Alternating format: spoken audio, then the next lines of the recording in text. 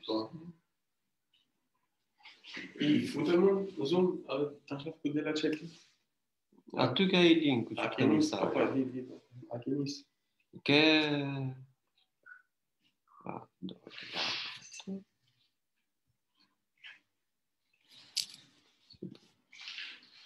Try new thing on the waiting list. Wait, wait, wait, wait. Maria, ah, ok, băia, nimeni nu sigur. Atât Să ai. nu știindes. And decide what to do.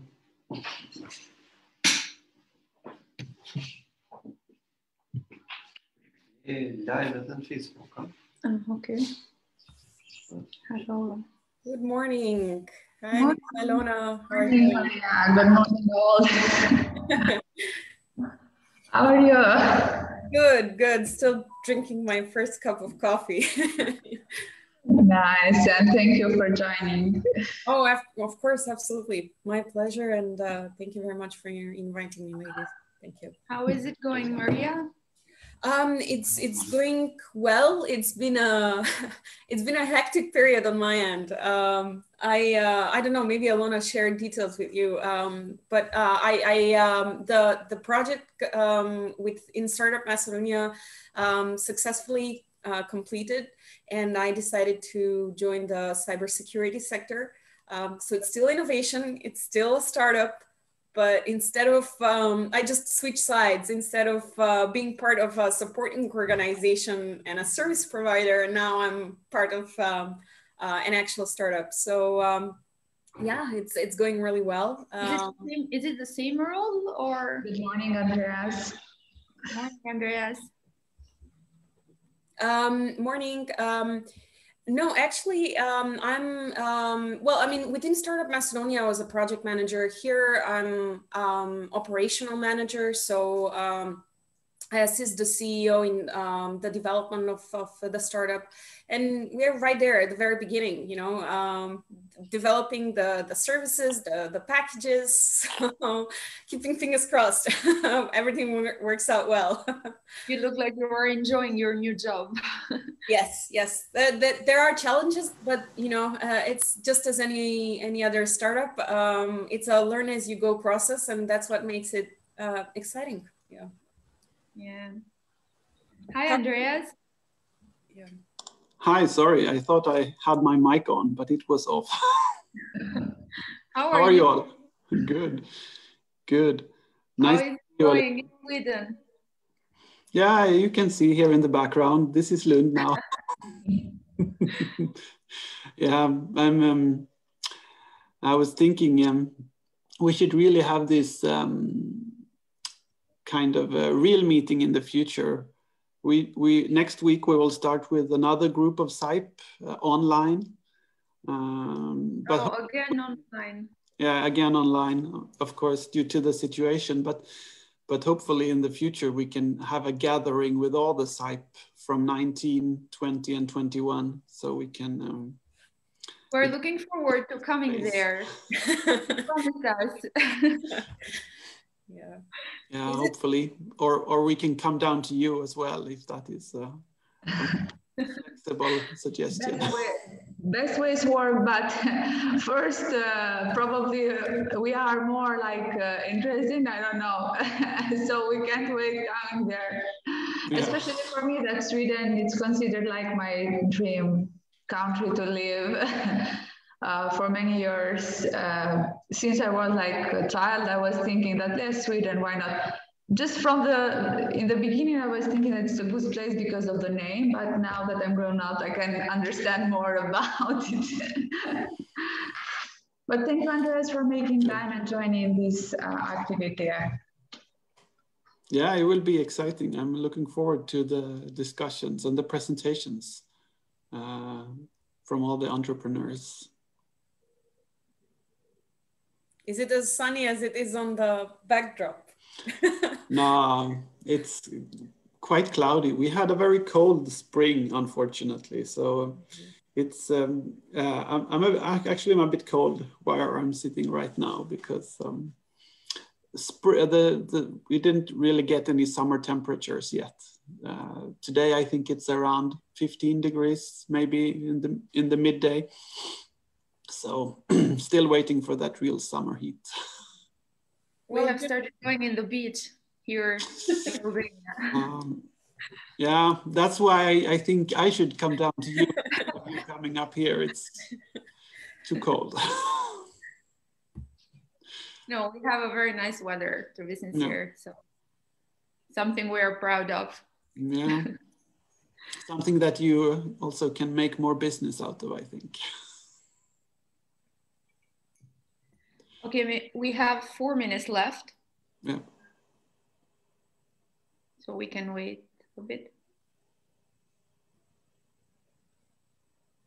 And drink the morning coffee. yeah. Yeah. Morning coffee already gone. the second one. we have nice weather here today in Skopje. Mm. But it could rain.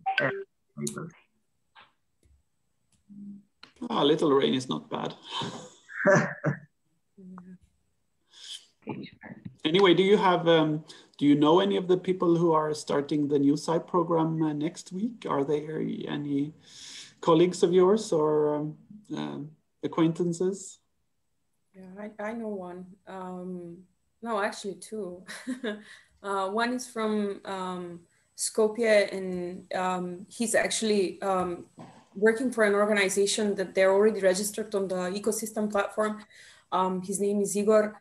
Mm. And the other one, um, I actually don't know her personally. Um, I met her husband via another fellowship uh, program. So he informed me that uh, she applied and um, she was a little bit nervous. She didn't know what to do about the, the video. She thought that it was a second interview. I was like, no, no, if, you know, if you've already received the email that you're accepted, then it's just an intro for, you know, the group and, and, and the rest of the participants to get to know you.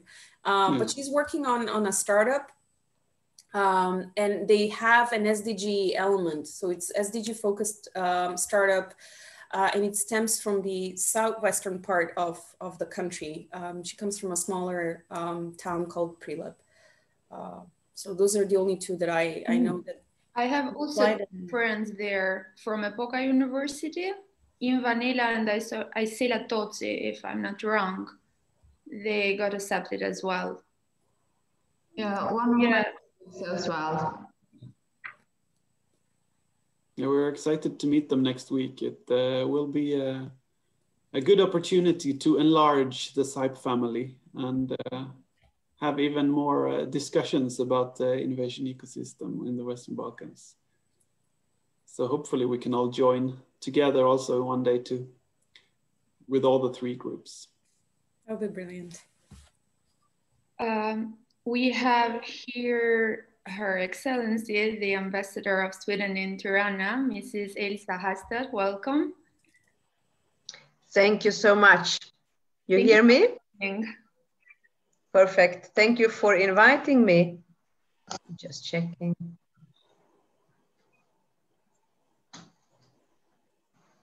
We need to see the Swedish flag in the background. Good morning and hello to everyone. Good morning, Alcion. Hello, Alcion. Hello. And good morning to everyone also.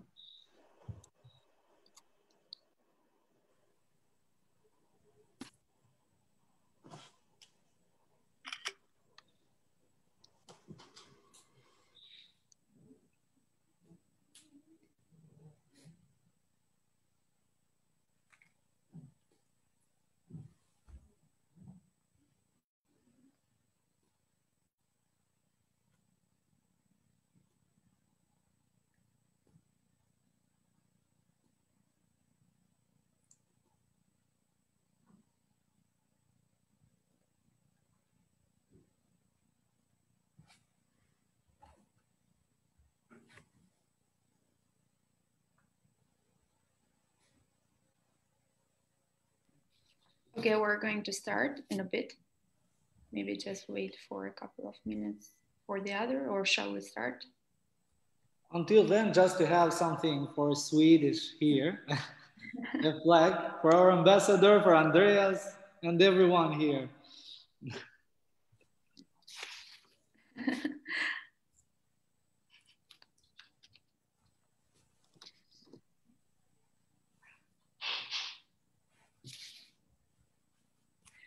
okay, maybe we can start for today.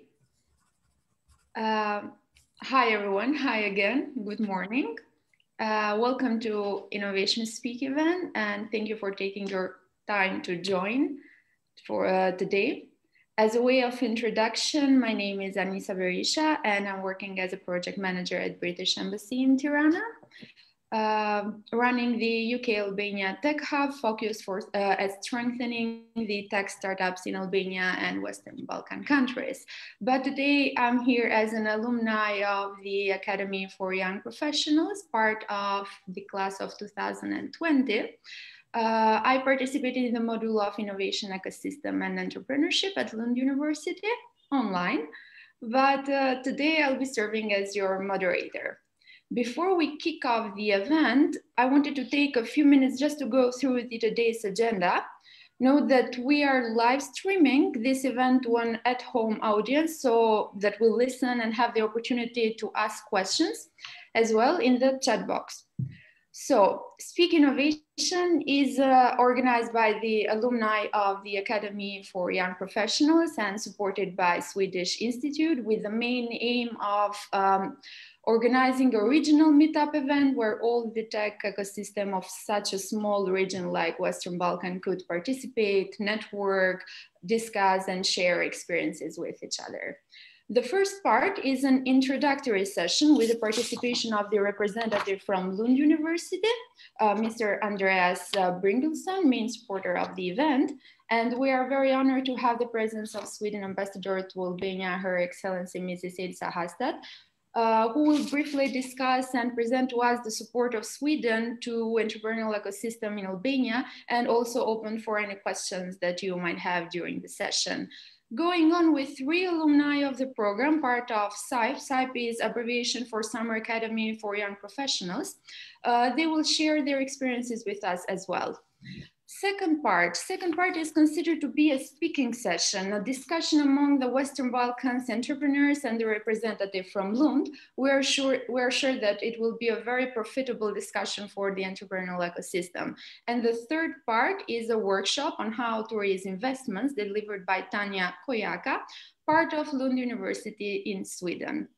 Uh, we'll go into more details uh, for each of the sessions later on. Now, moving along to our first session, Mr. Andreas Bryngelson will give us an overview of the program and the support and opportunities given by the Swedish Institute to Western Balkan countries. He is an experienced uh, project manager with a demonstrated history of working uh, in the professional training and coaching industry, also graduated at Lund University. Uh, well, without further ado, I'd like to welcome Mr. Bryngelson. Thank you very much, uh, Anissa, for that uh, introduction. And uh, again, uh, very good morning to everyone. Uh, I'm happy to see so many familiar faces here today. And thank you also to Elsa Håstad for joining us from the embassy. Um, uh, and first of all, of course, thank you to the organizers, Anissa, Ersin, uh, Elona, for uh, uh, putting us together in this format today. Uh, since, since the SIPE program started in 2019, we have been talking about uh, gathering all the alumni uh, in the future somehow. we had a plan to do it already last year, but the corona pandemic put a stop to that. But hopefully, maybe next year, we can all gather the the whole SIPE alumni for a meeting and also to invite other uh, stakeholders in the regional innovation ecosystem in the Western Balkans. So I thought I would just briefly talk about SIPE for those of you who are not familiar with the SIPE concept. Uh, so SIPE is the Swedish Institute Academy for Young Professionals and it is uh, supported by the Swedish Institute and carried out by Swedish universities in the Western Balkans, but also in the Eastern Partnership countries. And it has been running for about five years. And this module in particular uh, when it comes to innovation, ecosystems, and entrepreneurship. We've been running now for three years. Next year, uh, I mean, next week, we're looking forward to receive uh, the third group, also online, of this SIPE program. So we'll be starting actually already on Friday, I think, with a little warm up. Uh, and then kicking off for real uh, next week with the SIPE, third edition of the SIPE program. And part of the SIPE program is not only uh, training and capacity building, it is also an opportunity for alumni to apply for funds to arrange events like this one. Um, so with the intention to not only spread knowledge, but also to share experiences and enhance the networking between young professionals in the Western Balkan countries. So I think this event today is a great example of what we want to see with the SIPE program, not only as a training program, but also as a way of growing our networks and learning from each other. And uh, the SIPE program that we have in Lund is, has a triple helix setup. And we try to uh, put together actors from all uh, of the parts of the innovation system. So we try to, in the program, we try to invite public servants, university staff, but also the private business. Uh, last year, we had a digital study tour of Ideon Science Park in Lund, which was um, uh, one of the highlights of the program. So we try to put together actors from various parts of the innovation ecosystem uh, because this is necessary to reach really good new products and new services. We need to work together as a team, not only uh, working with your own idea in your own office, but also connecting with other people, uh, sharing your ideas, develop, developing your ideas together with other people. So uh, without uh, being without too many words, I think I will stop there. I, uh, I'm looking forward today to, to hear your experiences and, and uh, your activities uh, when it comes to entrepreneurship. So thank you very much. Thank you, Andreas, uh, for sharing the information with the others. Hopefully it, I mean, it will be helpful for anyone here that hope to have an experience in Sweden or uh, even an exchange visit there. Uh, moving along to our along to our next guest, Her Excellency Mrs. Elsa Håstad, the Sweden Ambassador to Albania. As we previously mentioned, since this event is supported by the Swedish Institute, we are very honored to have the presence of Sweden Ambassador uh, to Albania, discussing more on the program implemented uh, by Swedish Embassy in Tirana, the impact of pandemic, if any, and a general overview of the current situation or relation among the two countries. Please welcome Mr. Uh, Mrs. Håstad. Thank you, Anissa. It's uh, wonderful to see you. Some of you I have met, and uh, it's really great to be part of the introduction program. Yes, my name is Elsa Håstad, and yes, I am the Swedish ambassador in Albania, uh, soon coming up two years. And uh, I love Albania. I think it's uh, fantastic to be here. And uh, also because I meet so many people like you who are so interested and uh, uh, and ambitious and uh, and it's interesting to talk and meet with you. And I also I'm also happy to say that we have more and more candidates joining the program from Albania. This was a goal for us. And last year we had more uh, than ever, I think, and this is really good. So I know that you are doing a good job in promoting the program, and let's do this together. I will say a few things. I will talk uh, for a few minutes about Swedish innovations, something that you uh, know already a lot about, but still, I will tell you a little bit about the Challenge Fund that Sweden is supporting in Albania. And uh, I will also say a few words about the importance of joining hands between academia and innovation. So it is wonderful to be here, and I think that uh, uh, today is a sign that uh, that innovation is slowly becoming more and more important in Albania. And that is excellent because that is exactly what uh, the economic development in Albania needs. Uh, so, so that is a good sign in itself. And um, uh, in the case of Sweden, innovation is really uh, at the core of the recipe of doing business and uh, some around the world beat with the help of a pacemaker. And you know that candles are lit with the help of safety matches. And of course, you know that houses are equipped with uh, economical but very practical furniture by the world recognized brand of IKEA. And we depend on Bluetooth to connect our device. This is something that the mayor of Tirana was very impressed when he found out that this was a Swedish innovation. He didn't know, but I guess you know. And then we have uh, millions of lives that have been saved with the help of the three-point seat belt produced by Volvo. But all of this are actually Swedish innovations. And um, all of this Swedish innovation, they have started with one idea, and then they've been backed by an enabling environment of uh, uh, growing and scaling up in, and, and to become finally one of the world's leading innovations.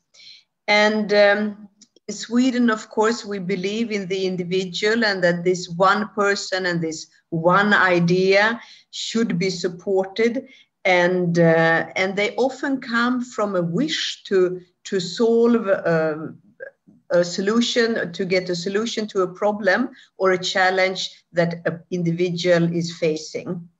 Uh, so this is the source of every innovation. And i'm sure that that you have experienced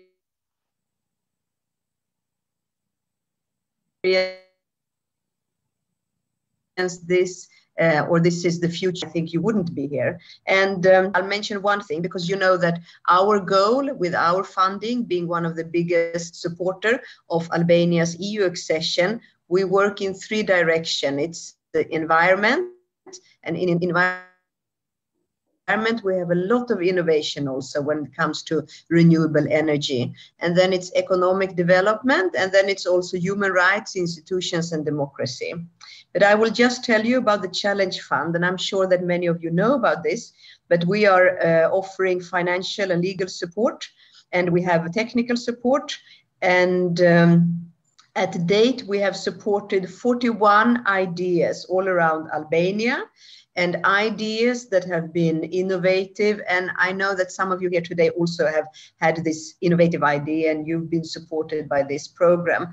And we launched it only 2019.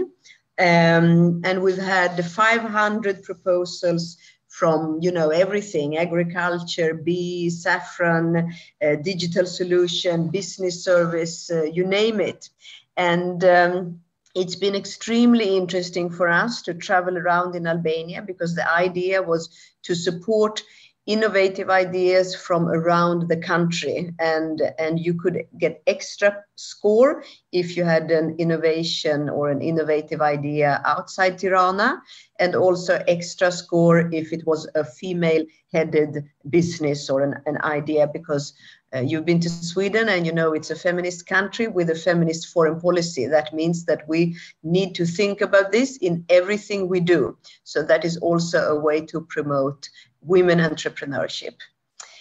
And um, and our idea is to engage as many actors as we can. And we also want to connect business community with academia and private sector enterprises and innovation organizations.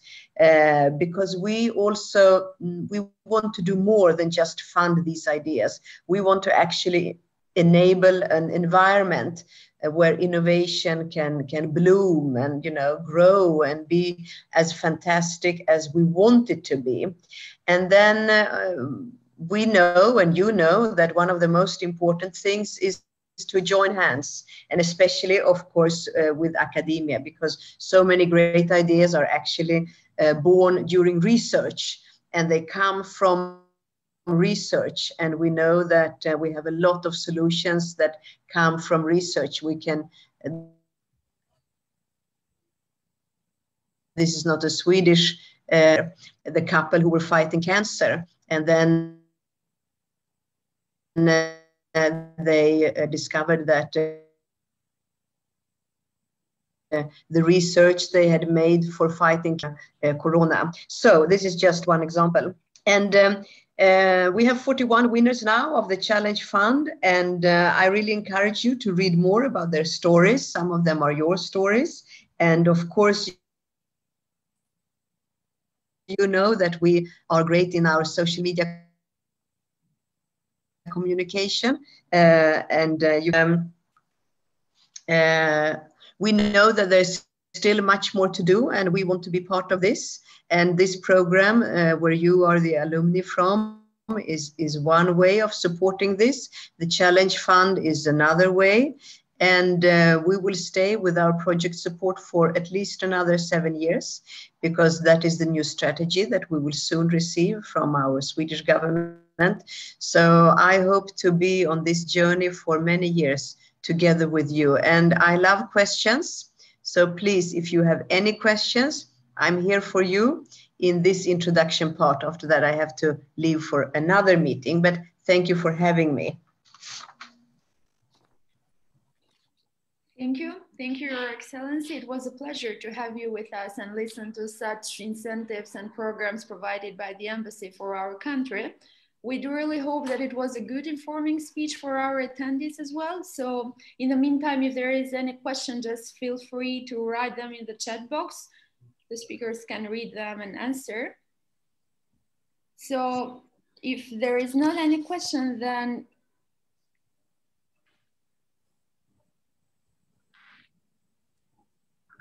Sorry, I think I lost the connection.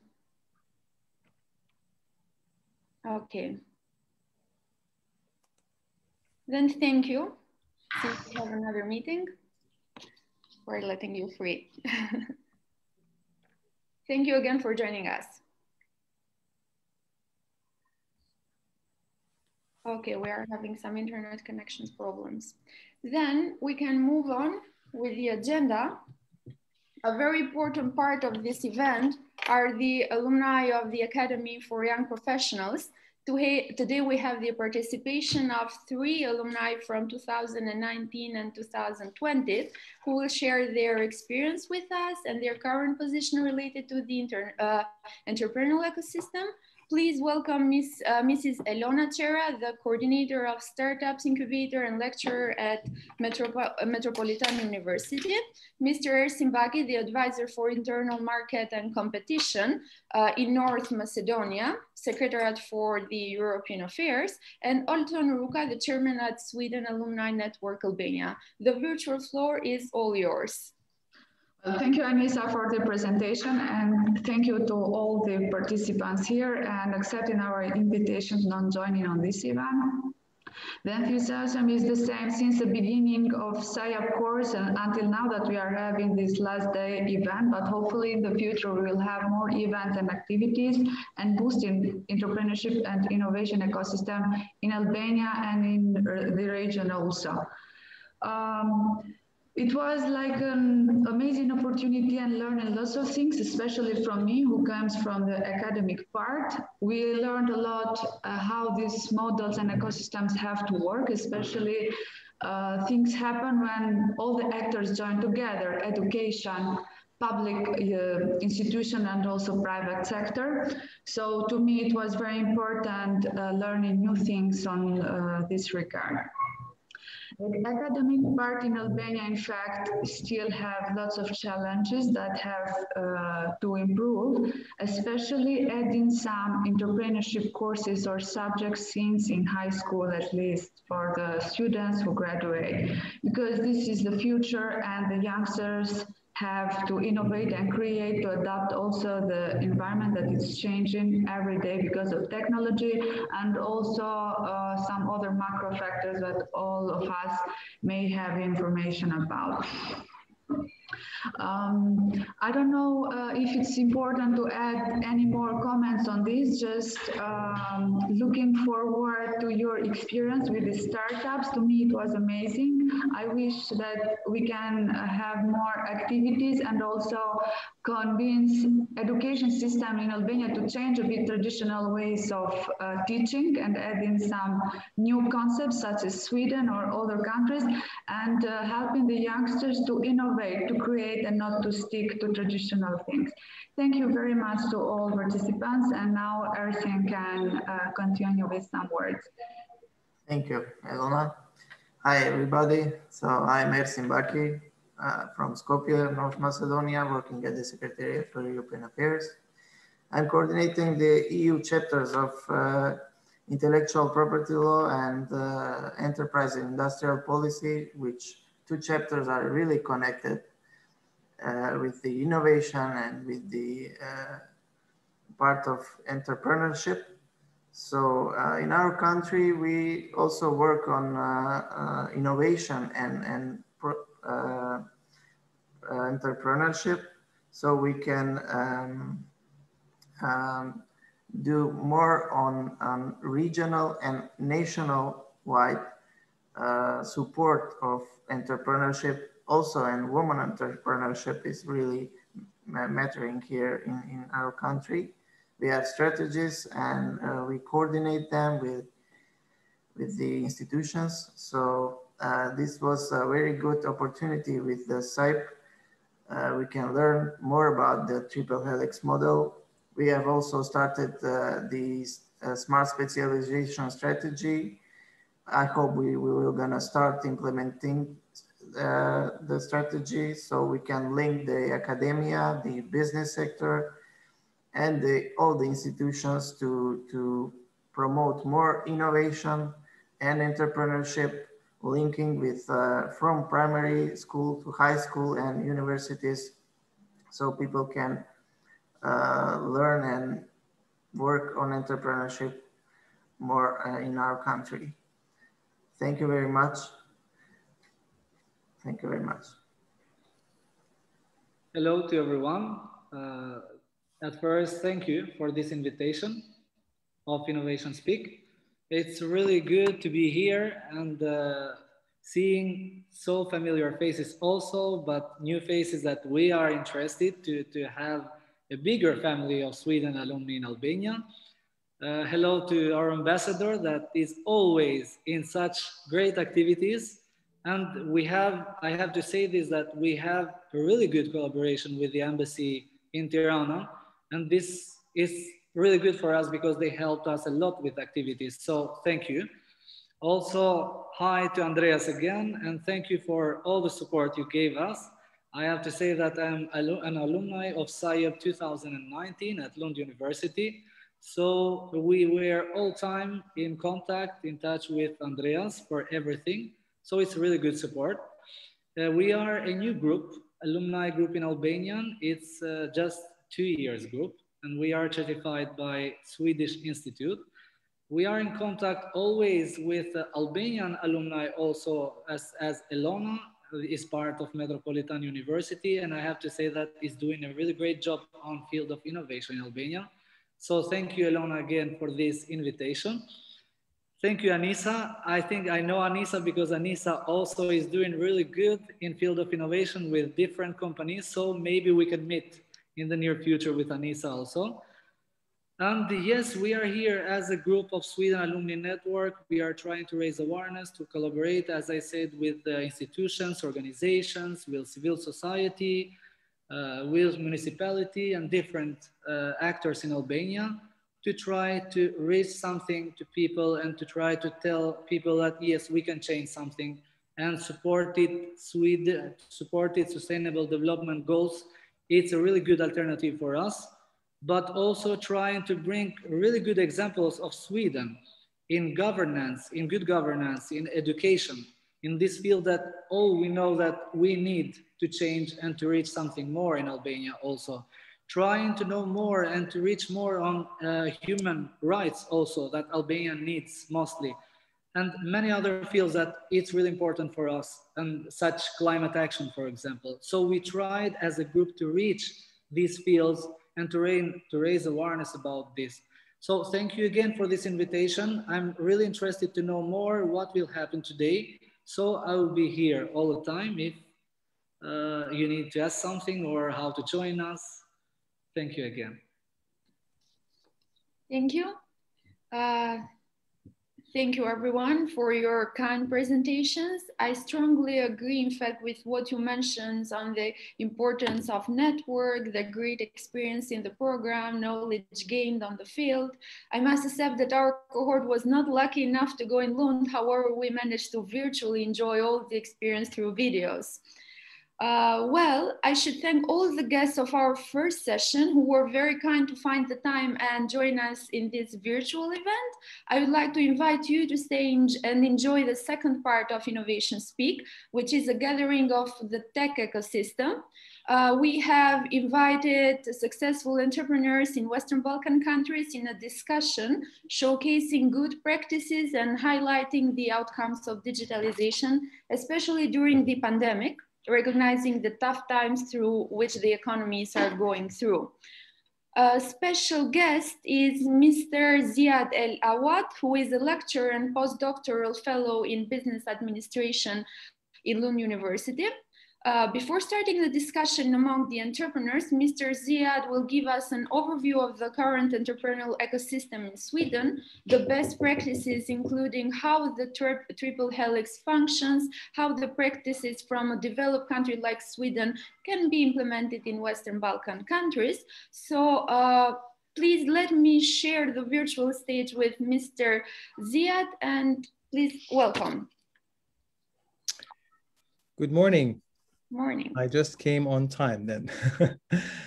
okay, so uh, can I share my uh, my slides? Okay. Just, uh...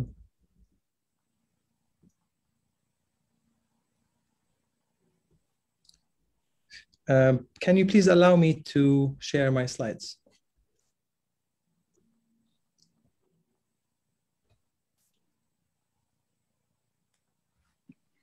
Uh, I think you should send me a request. I have already, I mean, I'm unable to share, so host disabled. It's not possible to share my, my slide. I can send you if you want, well, it's just a couple of seconds. Okay. Please.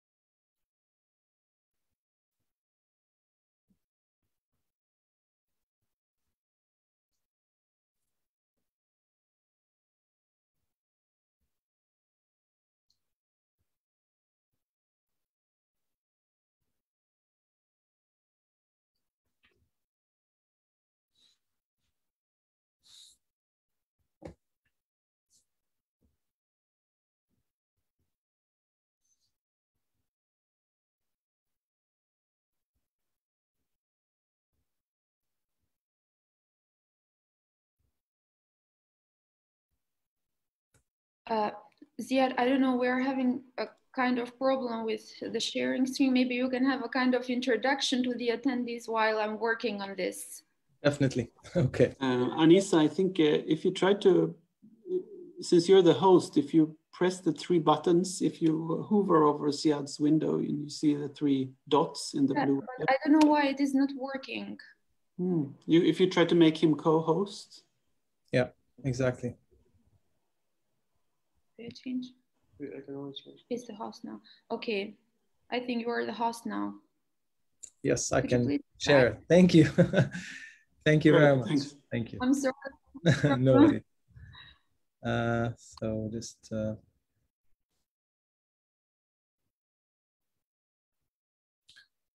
can everyone see my screen? yeah. Yeah.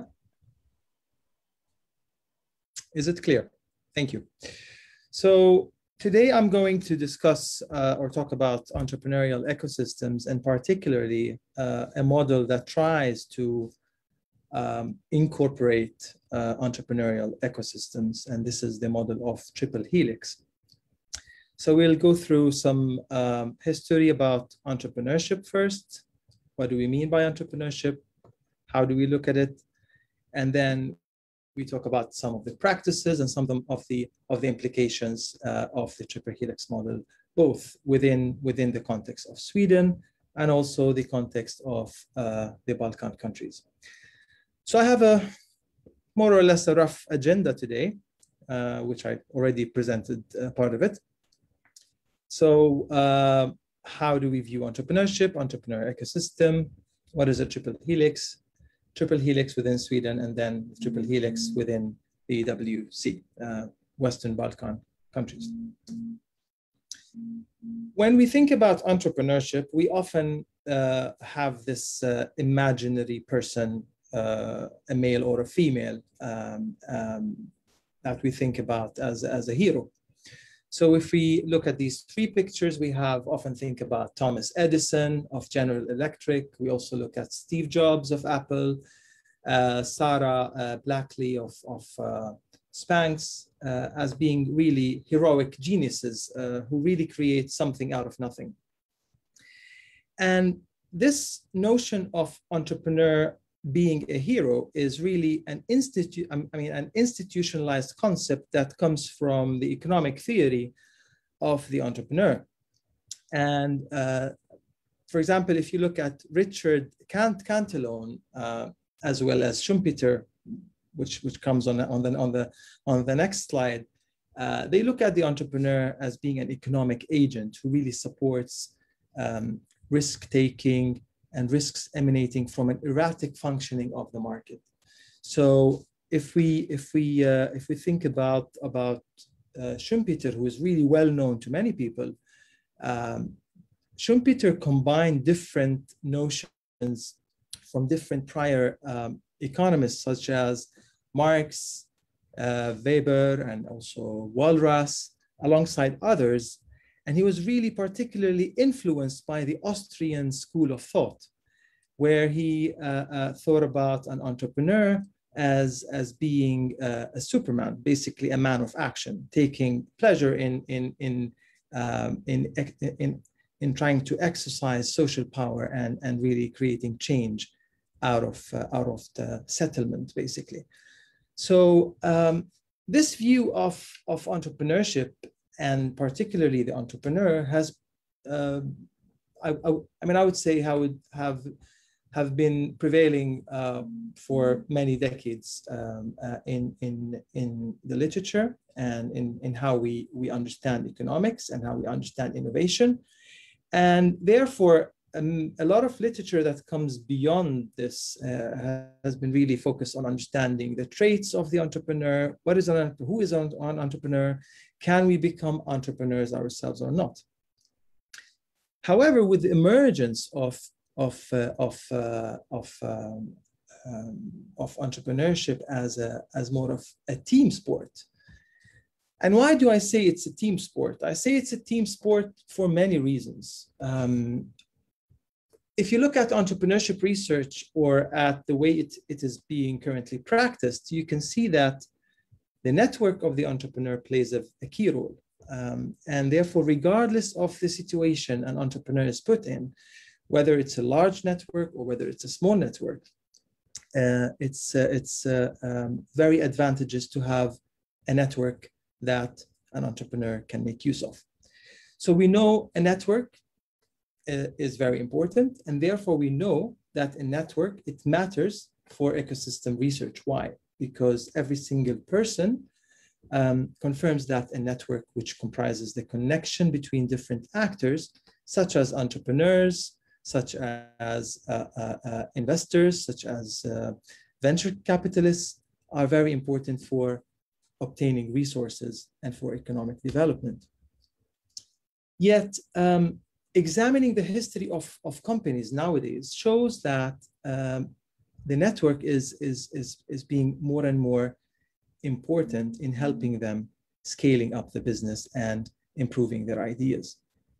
For example, uh, um, um, you have investors, governments, officials, universities, and actors within or around the company that are quite important for the development of the company. I'm really sorry, but I'm, I'm, I'm admitting people because I'm now the host, so I'm kind of distracted. So um, these supporters, as I said, they, they include uh, investors, they include government officials, they include universities or other actors, and mentors who help really open doors that would otherwise have been not opened or basically closed.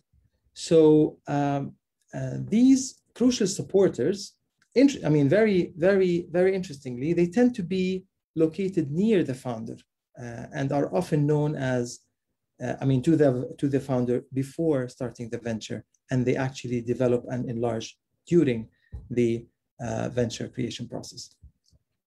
So these, uh, as I said, uh, actors provide a lot of resources like investment, skilled workers, um, entrepreneurial knowledge uh, that are more easily accessible to the entrepreneur uh, if uh, he or she were located in a distant location.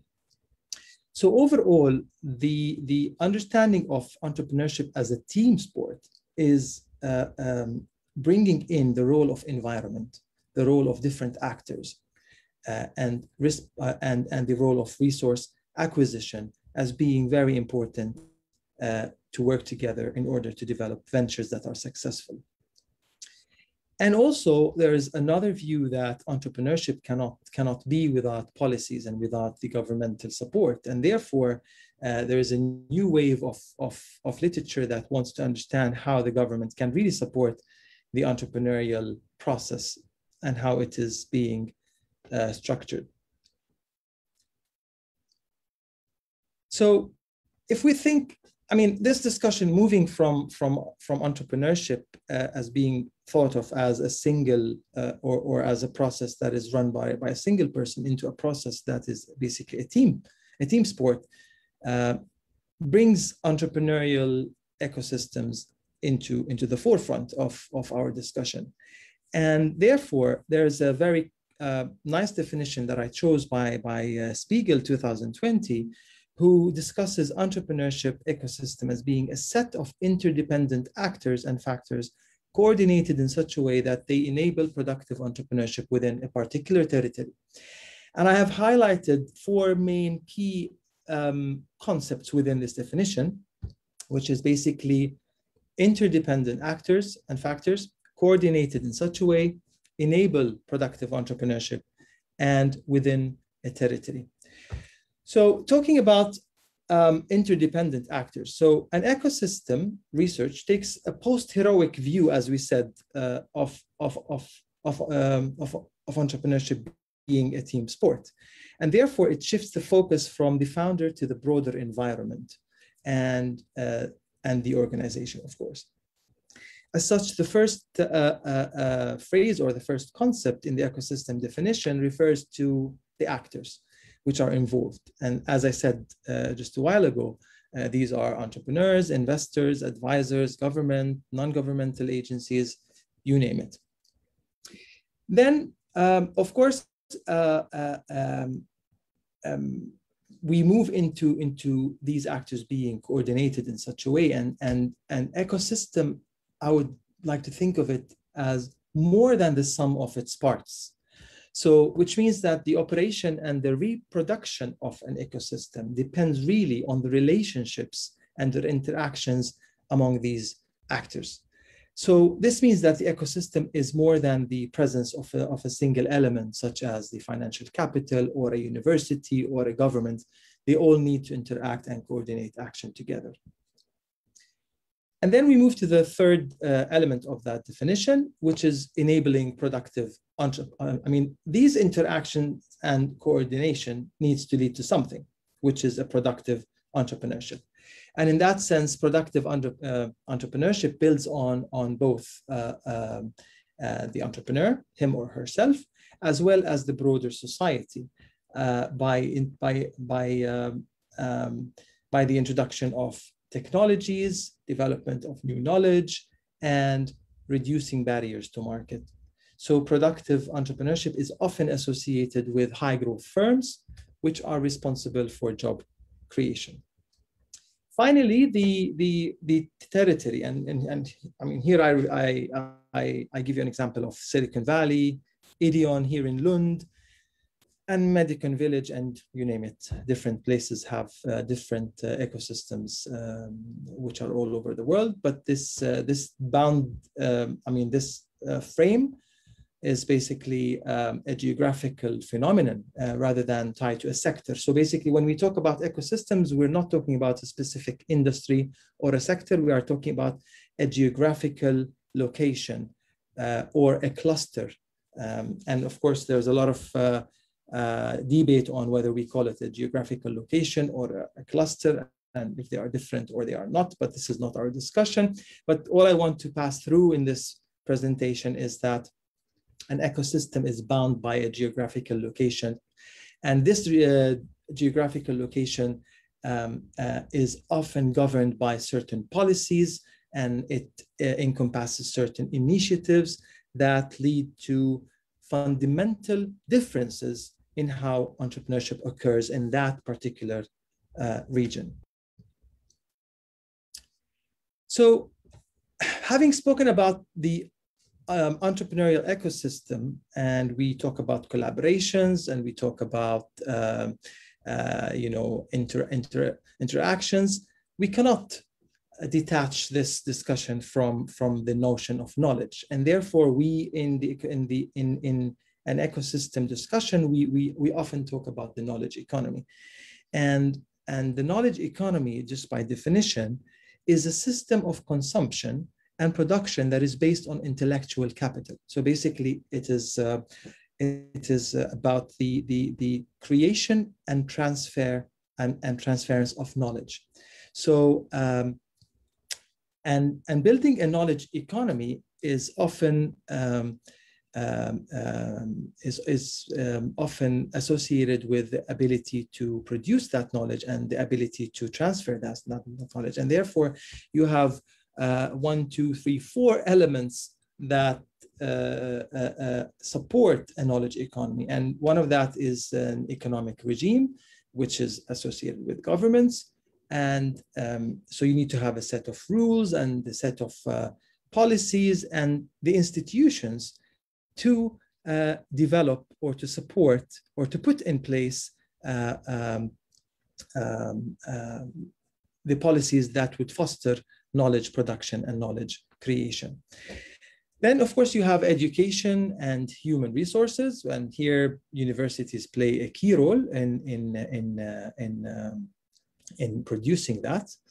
And then you also have uh, innovation systems. So here we have uh, procedures, processes, tools that facilitate, um, and also the technology that would support the creation and the use and the transport and even the storage of information.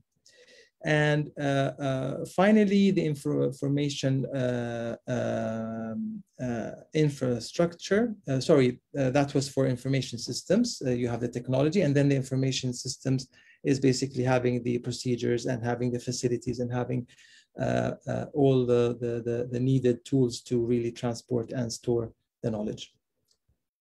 So um, having having really presented all of that, um, academia or researchers in general, they try to really capture all of what's happening in one model that can really tell us something about how we go about innovation and to capture all of these interactions and collaborations among these different actors.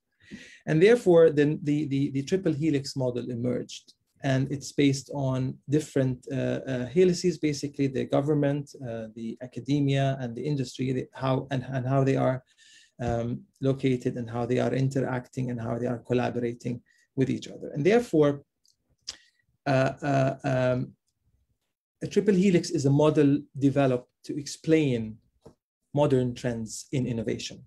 Uh, and um, really, um, we talk about three different elements here the government uh, uh, and the universities, and the third is the industry. So um, uh, an industry basically Uh, operates as the center of the production. Uh, the government acts more like the source of uh, the contractual relations that guarantees the stable interaction and the exchange among these different parties. And then universities for sure play a, a key role in uh, as a source of new knowledge and as a source of a new technology. Now, you would ask me, did the role of the university change uh, over time? Yes, of course. We have uh, something that we call a third mission. So universities are moving from being just uh, places where we teach and we do research into places where we, we also think about um, innovating, commercializing these innovations, and trying to contribute um, with these innovations uh, so we, we have more interaction with the industry, we have more interaction with the government. We often uh, um, uh, apply for fundings to, to, uh, to, to fund uh, new ideas and to develop new businesses. Um, here I give you quite a, an interesting example. so this is Lund University. I just captured a number of pictures here so that you can have a, an idea about the context. So uh, Lund University uh, was one of the universities around the world to, to, to, to adopt this third mission. And as you can see, I've just uh, had, uh, I'm basically presenting some of the innovations that uh, have, have been developed here at Lund University. And these innovations come not only as a, as a, uh, as a research initiative or just as knowledge production, but there's a lot in here. So there's a lot of governmental support. There is a lot of uh, connection with the industry. For example, Bluetooth. Not so many people know that Bluetooth has been uh, uh, invented um, here at Lund University together with Ericsson. So you can see this collaboration between Ericsson and Lund University's researcher, uh, and, and of course there has been probably some funding coming either from the industry or from the, from the public sector to, to have uh, this, uh, this invention commercialized on a wider scale. You have the facial recognition technology, you have the artificial kidney, you have the modern resp respirator, you have the medical ultrasound, all these inventions have been developed um, here at Lund. Now I, I, I, just want you to watch a small video to but just uh, have a, an overall view of what I was talking about. Lund holds one of the biggest universities in Scandinavia. It's old, it's broad, and it's a tremendous source of knowledge. Things like the artificial kidney, the medical ultrasound, and Bluetooth all started as novel ideas being researched and studied in Lund. But there's also hundreds of other innovations, maybe less famous, but having a great impact in our society. This is what we do at LU Innovation. We help researchers and students to convert ideas and research findings into new methods, services, and products. Technical, medical, and social innovation, we cover all of it. We want to make sure that the knowledge and research findings are put to use, brought into society, making a difference in people's lives. How we do it? Well, we help you to develop your idea into a viable business with funding, patenting, contracts, network, and even building a team. Oh, and of course, it's all freely available for you at Lund University. Sounds interesting? We'd love to hear from you.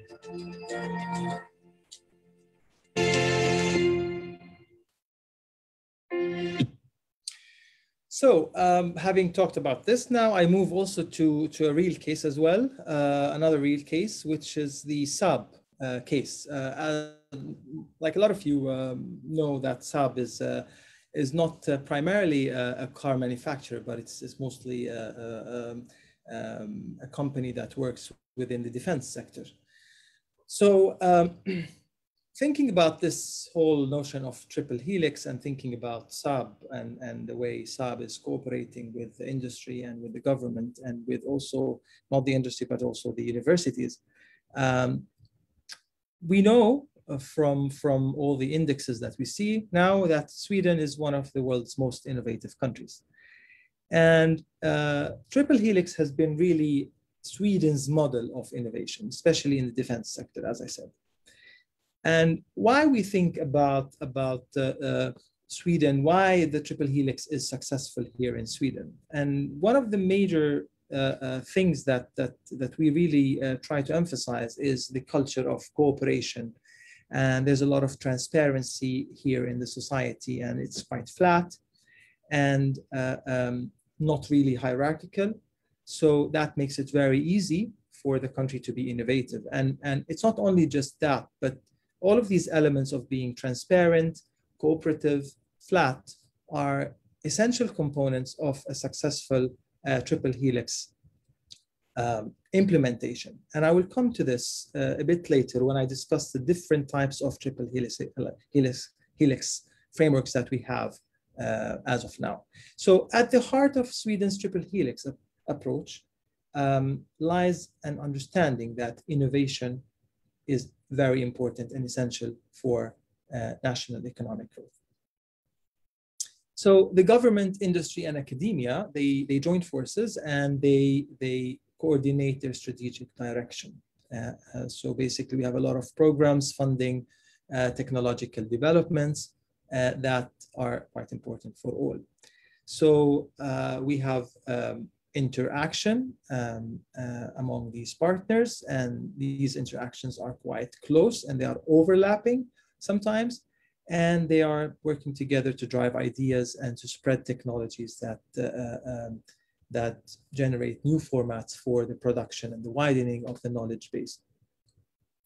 So uh, why triple helix is important and why Saab is really uh, pushing towards that. One of the main, one of the main important elements of applying a triple helix is sharing the cost. And there's a lot of, uh, uh, there's a, a, big stream of research talking about open innovation. And open innovation is one of these types of, of, or forms of innovations that where the R&D cost is shared among different parties.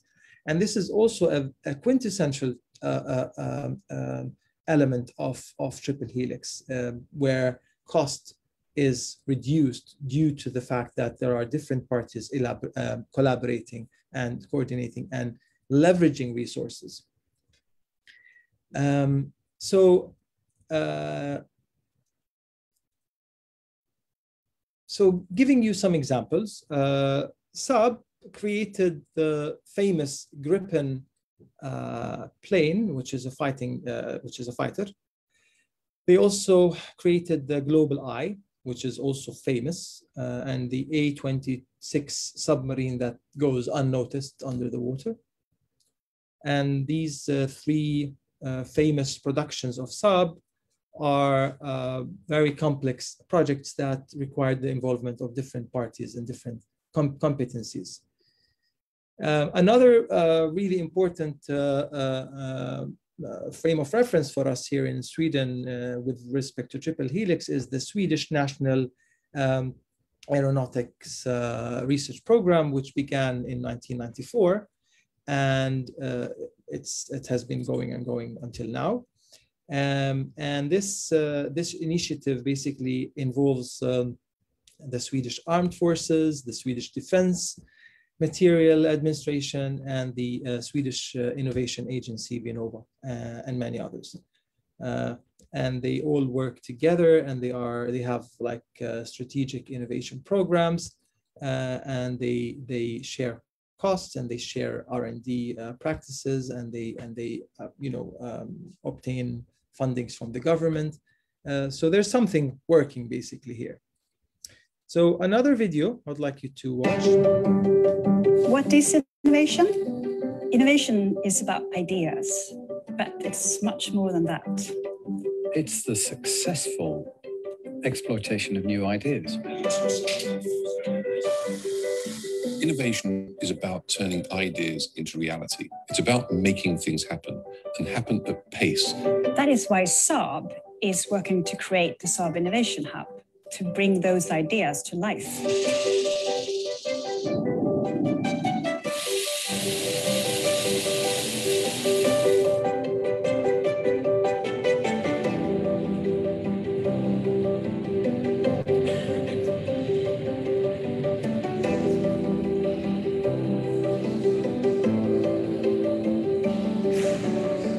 Saab has been in the UK for over 40 years. The UK is a key strategic partner for Saab.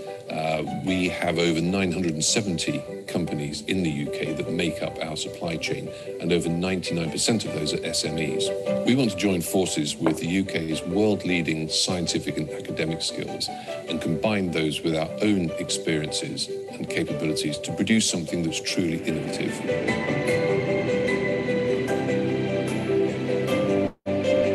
For Saab, a Swedish company, we find a like-mindedness in the UK. There is a similar mindset. Saab invests about a quarter of its revenue in research and development. At our heart is an innovation philosophy. Saab works with research and development in something called a triple helix, which is government, academia, and uh, industry working together. What's so exciting about that, it's not just about creating a situation for a company, but it's about creating a win-win environment and growing the national economy, you could say.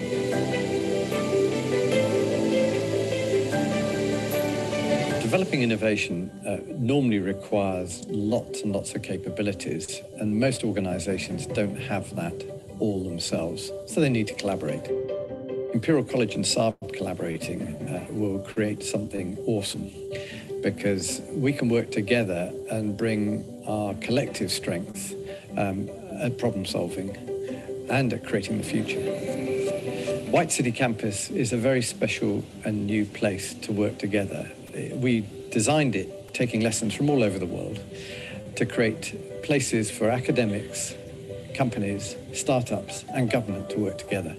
And we're doing that at scale. We all have a right to security, a right to feel safe in whatever country we live in. Via innovation or through innovation, that is the way we can develop the technologies needed to keep us safe and to keep us secure.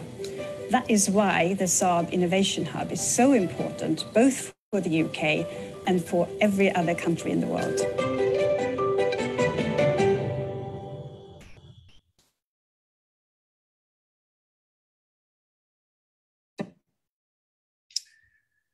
So, uh, well, as you can see in the video, it's it's really evident that uh, that both uh, uh, Saab and, and Imperial College, and as well as the government, both in Sweden and in the UK, they are all cooperating together to create something.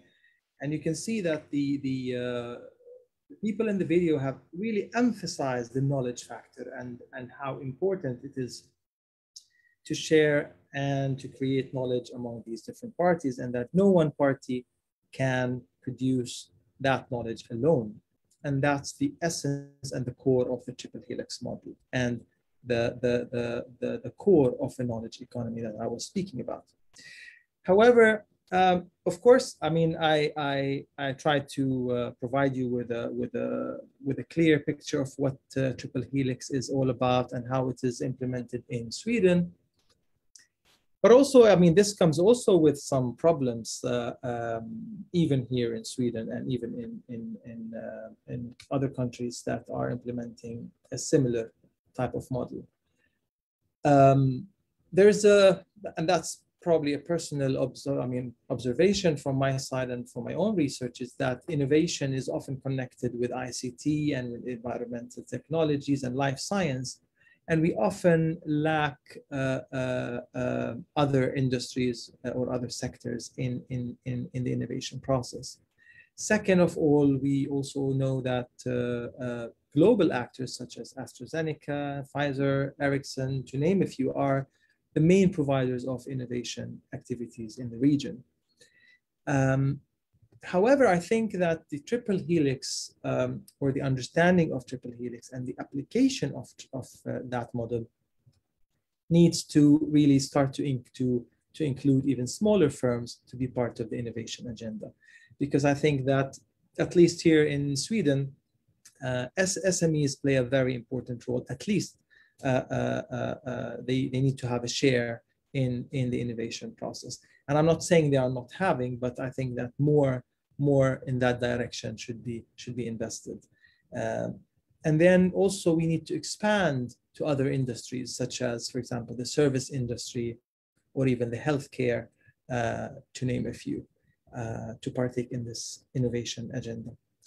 Uh, and also, uh, it is it is quite uh, quite fast fascinating that you can see that the triple helix is very much um, mainly in, in, in bigger cities like, let's say, Stockholm, Gothenburg, uh, Malmo, uh, Lund to a certain extent because it's quite near, near Malmo. So I think that also Triple Helix need to start to involve the, the other regions that are, that are quite uh, smaller, but they can together have a, have a much more impact uh, than they are currently uh, given. So to the quite interesting part as well is that having having really presented uh, a flourishing uh, a nice uh, uh, uh, image of what a triple helix and how it can be applied. Uh, coming to the core of this presentation, I would like to talk a little bit about how the triple helix could be applied in Western Balkan countries and why it is very important to do that. Of course, you all know that uh, in the last round of uh, EU enlargement that was taking place between 2007 and 2013, uh, three major countries uh, were added to the EU, Bulgaria, Romania, and Croatia. The last one, I think, was uh, Croatia in 2013. And therefore, the EU is starting to shift focus from Southeast Europe towards more the Western Balkan countries, where the future in integration is happening or is expected at least. However, uh, uh, the, the, uh, the, uh, the economic potential of the Western Balkan countries as of now uh, doesn't really meet the European integration criteria. And therefore, additional efforts are definitely needed uh, in order to develop these countries with respect to their economy, their excellence in research, and technology. Western Balkan countries' competitiveness in the long run is, is at risk if, if, if they don't really apply what, what they should apply in order to develop their economy and their innovation strategy. Um, they, they need to increase their ability uh, to absorb and create knowledge. And also, uh, this is mainly because the global economy has shifted uh, the labor intensive industry or uh, from from from the Western Balkan countries to the Far East. So basically, um, now there's a lot of um, there's a lot of tendency to to outsource um, services, to outsource the development of technology somewhere else outside the Western Balkan countries and mostly in the far in the Far East due to cheaper labor cost. And therefore, this puts uh, Western Balkan countries to a disadvantage because uh, uh, um, without without having uh, some maybe heavy industries, without having some technom, some outsourcing happening in these countries, the economy will suffer. And one more important uh, important observation that I did throughout my readings is that there is a low scientific capacities and low R, um, R&D investment uh, and there's absence of cutting edge technologies. And therefore, uh, Western Balkan countries' uh, uh, future orientation towards a more successful economy uh, needs to address these weaknesses in order for them to, to, to be able to, to catch up and to be able to be ready to integrate with the EU. So um, at the time um, when, I mean, the history tells us that, that uh, the triple helix was really deemed irrelevant uh, to these countries uh, due to the fact of that the three main elements of the triple helix, the government, the universities, and the industry um, uh, were not really ready. Uh, they were not very well integrated and they were not cooperating properly together. But I mean, it's not really, I mean, it's easily said than, than, than done because we cannot simply just copy paste a triple helix model, let's say from Sweden, and then just plug it in in a Western Balkan country because um, there, these triple helix models, they work based on some institutional logics. And these institutional logics, they are aligned with the triple helix uh, development. Um, and they are mostly the ones that, that I have actually presented now. They are based on, on, on the West or, or, or what, what they believe uh, is, is a good triple helix model. Uh, however, it's very important to, uh, uh, I mean, try to analyze how specific non-Western institutional logics may facilitate or may uh, challenge the triple helix um, act activities. So if you look at these three different models, we have the uh, statist model, we have the my my French is not uh, is not the best, but I think this is called the laissez-faire model, and also we have the balanced helix model.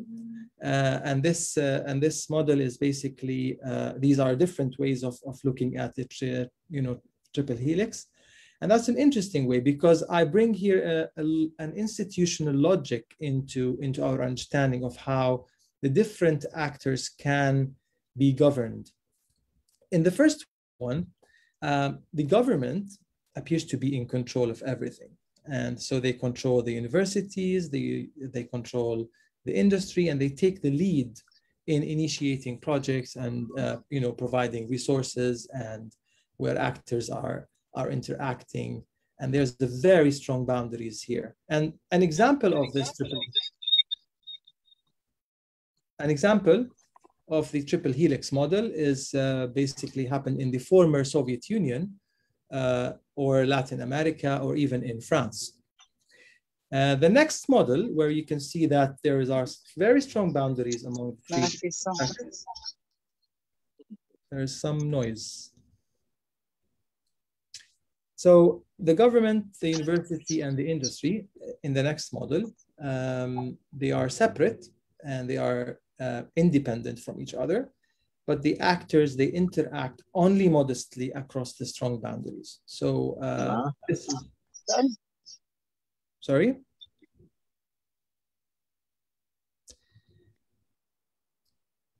there's some noise I'm i think sure. one person is unmuted Nedi uh, in case you can mute her because you are the host now okay uh, sorry i will uh, re-share again. Uh, okay, let me share again.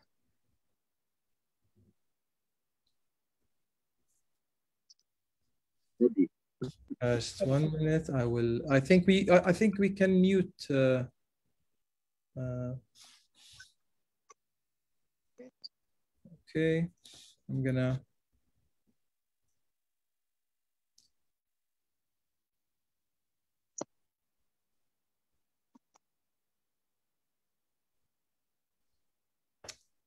Sorry, I will, yeah, okay. So do you see my screen?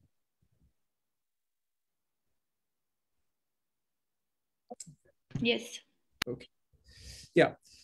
So uh, that model, basically, uh, the one in the middle, uh, uh is very much the case in the US at the moment. Uh, and to some extent in Sweden. Uh, but I would say that in Sweden, we are much more moving towards the balanced helix model where basically here the institutional spheres are quite blurry. So um, there's uh, one strong boundary that encompasses all three different parties together. So we have the government, the industry, and the universities, and and the and the contact. I mean, the the point of contact. I mean, here the contact points here are the ones that are very much important and very much shared. So, but how do we really apply, or how do we uh, try to to think about the models? I mean, if if if now we want to develop a triple helix that is based on the balanced view of a triple helix in a country that has most probably uh, a more of a state-oriented type of a triple helix at best. This means that we need to move uh, in direction towards the right, and that means uh, we need to have uh, a few steps that need to take place. And here I try to identify the different steps that we can that we can really talk about here. And, and step number one is realizing the need. So a triple helix often begins as university or industry or the government enter into a reciprocal relationship with each other. And here in which uh, they attempt to really enhance the performance of, of, the, of the other. And a single organizational sector uh, alone of course cannot or can no longer respond to the challenges and the and the and the and the uncertainties. Uh, someone is is on the. Can we have all the? Can we have everything muted? Um, I'm really puzzled. Just let me put them all in. I will. I will do that. No problem. Okay, that's fine. Um, sorry for that. So um, as I said, a single organization or a sector alone can no longer respond to the changes or to the uncertainties unless they cooperate, they cooperate with each other. And in this stage, collaboration among universities, industries, and governments for enhancing the local, uh, the local economy is at the basic level where each actor I mean, contributes with their traditional roles. So if we take the first step, which is realizing the need, so here at this initial step, they just simply uh, understand that we need to collaborate. But here at this very, very beginning stage, um, each actor does uh, exactly what they are what they are supposed to do. So universities are doing teaching, universities are doing uh, research only. Government is engaging in policies, and industry, they're doing whatever, what, I mean, whatever they do. In order to move closer to a triple helix model where there's a lot of cooperation, we need to move into the next step, which is the intra-organizational transformation. And this, uh, this really um, uh, uh, speaks of, of, of, uh, of, uh, of, uh, of a stage where um, um, we, we are talking about assuming the role of the other or taking the role of the other. So uh, here universities are more playing the, the, the mission uh, of, of uh, trying to commercialize. So here in, the, in that step, we are talking about um, an actor taking or performing its traditional tax, tasks, but also taking the role of the other, which is which, which I call the secondary activities. Uh, and, but meanwhile, each entity keeps the primary role and there's distinct identity. So um, there's not yet an overlap. For instance, in this stage, as I said, universities engage in business activities such as uh, selling education and research services. Um, companies, for example, from the industry side, they, they, they start engaging more in R&D activities and even establish corporate universities.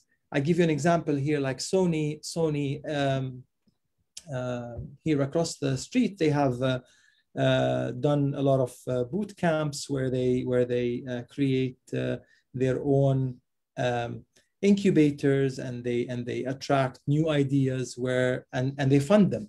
So that's part of an intra-organizational transformation where where they start engaging with other types of activities that uh, brings them closer to the market.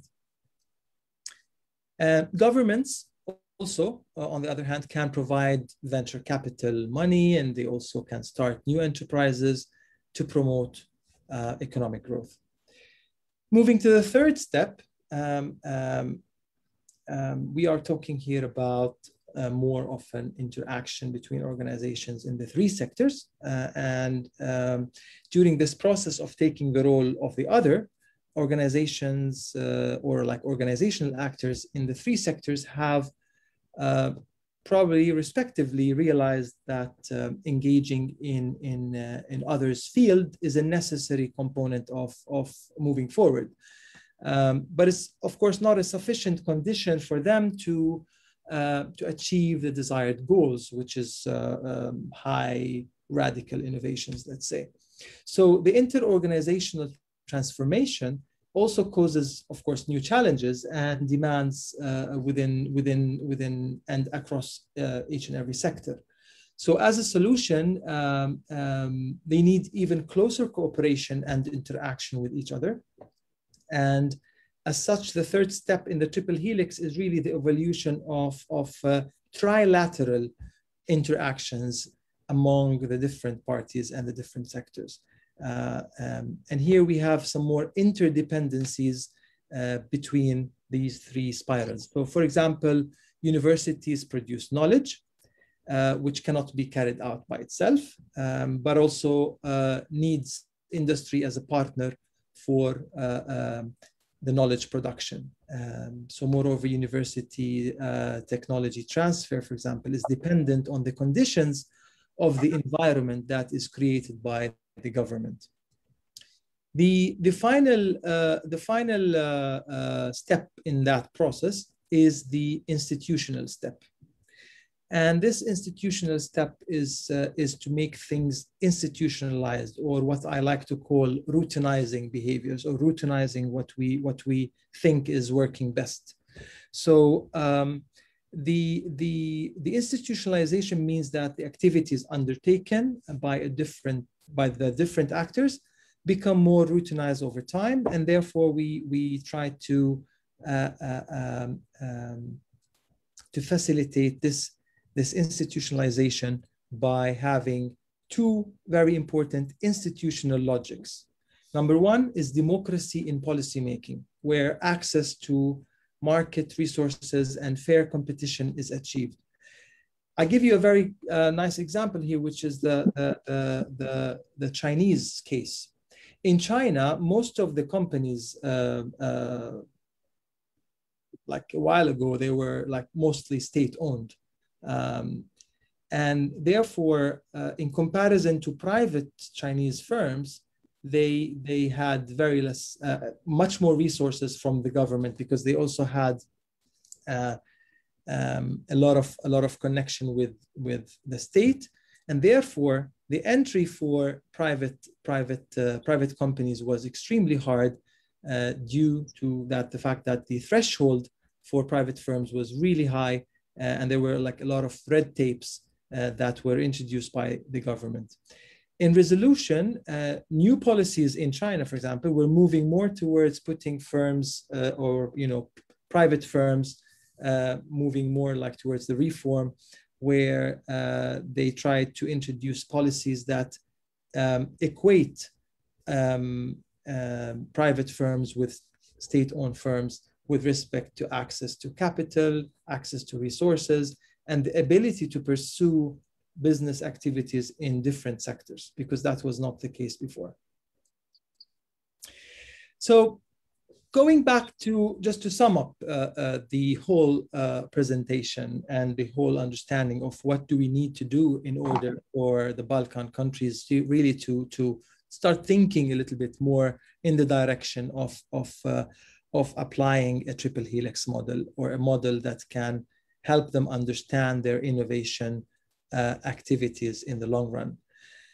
First, the basic three tenets of, of, uh, of the triple helix model is the industry, universities, and the government. As of now, the industry in the Western Balkan, they lack entrepreneurship capital. So there is uh, the, the private sector is really detached from the fact that they are not really investing money in promoting entrepreneurship.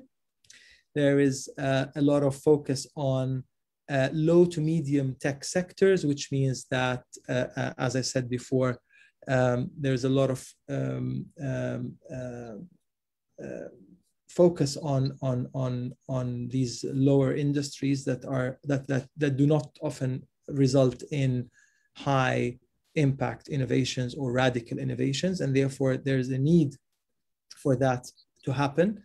And uh, there's a modest innovation and technological capabilities, and, and that is due to the lack of R&D. To solve this, they need to uh, cooperate more with universities and universities on their hand they need to really invest more because as of now there is an underinvestment in research in western balkan universities which needs to be rectified in order for um, uh, the industry to benefit from the knowledge that is being that is being produced by universities and then, of course, there we have an outdated research infra infrastructure, which needs to be also uh, uh, in, um, you know, advanced in order for, for the industry to work properly uh, with, uh, with the universities. And then uh, um, the, the government in, or the governments in general in the web, in, in, in, these countries are, are mostly focusing on uh, promoting entrepreneurship based on the notion of the entrepreneur and less on the entire ecosystem. And, and please don't take my words as being definitive, as in being generalized on each and every case, but, but that's, that's mostly uh, uh what, what the research tells us today, that uh, the economic, um, the, the way the economy is structured is yet very much individualized, and therefore you need to, to really take a more, a more of a broader view of what entrepreneurship is all about as, as being a team, um, uh, a team, uh, uh, you know, um, uh, a team process rather than um, a single process, and therefore multiple actors need to come into play. And there's of course lack of cooperation from the side of the government. Uh, uh, the government is really mostly imposing things rather than cooperating. And therefore, if I would categorize the innovation um, um, in in the uh, in the Balkan countries, uh, they are mostly probably in the in the first uh, quadrant of the triple helix. That is more the the state oriented or the status uh, oriented uh, type of triple helix, where the government is mostly in charge, with less cooperation with other with other uh, actors. So finally, I, I, would say that interaction is is a key is a key component and uh, low levels of interaction need to be uplifted. The government needs to, uh, to intervene, uh, not in the sense that they should be overruling uh, the, the, the cooperation uh, or the interaction process, but more trying to foster these interrelationships to a level where they become overlapping rather than uh, having very strong boundaries. Um, I am I will stop sharing now. Um, I would like to open some some. I, I have maybe some like five minutes to to take some questions. Um, so please, if you have any questions, I'm very happy to to take them um, right now. Thank you, thank you, Professor. It was, I think, it was a really helpful. Helpful. There is a noise, I guess, but it's okay. Yes, there is noise.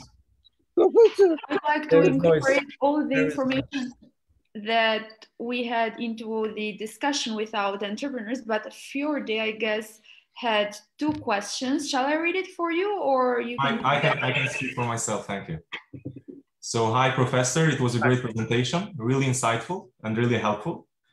I have uh, two specific questions. Uh, given that we are currently on a digital technological age where physical boundaries are no longer barriers of entry, how is your view of the future of the triple helix model?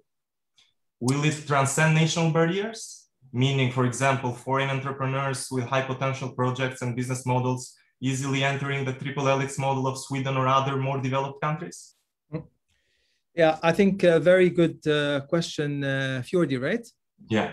Very good question. I really think that this is this is the future of triple helix, and I really think that uh, this was uh, really uh, a, a, a discussion uh, that we took the other day uh, with one of our partners here in Lund that even this triple helix challenge, we were we were used to certain boundaries being in, in uh, place that we can interact with people in the conventional way. Uh, whereas if you if you remember from one of my slides that one of the main elements of a triple helix is the culture it's the policies in place and how and the structures. And i think that uh, during covid-19 and and the the the moving into a digital world um, all of these structures and the way we think about the institution the institutions that we have and the way we do things and the way we interact are changing. Uh, and therefore but i think that there are a lot of opportunities in that uh, in the sense that before be, before having a digital eh, or before being in the digital era or heavily depending on the digital era as of now, uh, uh, we, we took for granted that uh, in order to access, uh, let's say, the Swedish experience, we have to be in Sweden. Uh, I think that nowadays we have a lot of uh, collaborations with different, with different agencies, with different actors abroad uh, and I think, uh, as I said before, it's knowledge, knowledge that needs to be created and knowledge that needs to be transferred. And I think if we emphasize all of us together that this is this is uh, something that we really need to to uh, think about when we when we uh, um, when we uh, try to implement a triple helix, then working together uh, digitally and, uh, uh, and emphasizing that there needs to be sharing experiences and sharing knowledge is key at the moment uh, uh, uh um, in, in, in, in, in how the triple helix can be implemented. I mean, look at all the companies that have been, have been changing the way they work. I personally think that companies following COVID-19 will never go back exactly to the way they, they have conducted work. And therefore, uh, uh, since we believe, or since we, we, we, we saw that, that uh, changing uh, the way we, we, uh, we understand how we can work and, and that there are a lot of opportunities and there's, that there's a lot of cost cutting in, in, in, in staying at home or working remotely, um, we are much more able now uh, to think that work could be conducted um, um, uh, from from from abroad or, or, or, not being located in the same location. And and many companies have decided that having a physical space is not to conduct work but more but mostly to to maybe uh, socially gathered once in a in a while. So i think that with the presence of technologies that we have nowadays, and the technology is improving and improving even more and more, um, this will facilitate a lot of knowledge transfer uh, um, among, among uh, different actors. And I think that also being part or close to the EU, the Western Balkan countries, as well as many other countries, um, are in proximity from these well-established systems. And these, is, these systems are actually moving online because the collaborations are taking place online at the moment. So I don't really see, I see more opportunities actually, more accessibility even, uh, that you can, at the finger of, uh, at the tip of your finger, you can just access um, a lot of, a lot of knowledge and a lot of resources um, um, without you know having to really uh, be be be be there. Yeah. Okay, great. I also have a second question. Yes. Regarding outsourcing that you were speaking earlier. What do you think is the best strategy for a developing country to follow in order to attract foreign companies, besides the incentives of lower labor costs and lower taxes? Yes, as I said before, uh, uh, there is a, a, model at the moment in the Western Balkan countries that they are investing in low technologies that are really not very attractive for companies uh, for foreign direct investments. And therefore, the, the solution for that is really to start from universities, trying to create uh, uh, incentives to attract uh, research, to attract funding from not necessarily, I mean, from the government could be, or from other countries around, collaboration, cross-country collaborations. You start from the universities because universities are the source of knowledge. Once you produce knowledge in universities, then you can proceed with the commercialization process where you engage the industry, you engage the government. So that's why I said investment in in uh, uh, um, in, in triple helix uh, is extremely important because once you have a good triple helix model, then you are able to attract, uh, I mean, to develop innovations that are more radical rather than just facing, you know, focusing on low, medium end uh, uh, innovations. And then by doing, by, by having foreign, foreign, uh, I mean, good innovations in, in, in, in, in place, sorry, you can have foreign investments immediately. Um, so it's it starts from the creation of the knowledge, creation of of uh, new technologies that can be attractive for foreign investments. Because I mean, you you you you have good low cost labor, and that's and that's very attractive. But that's not. But there is actually cheaper labor costs somewhere else.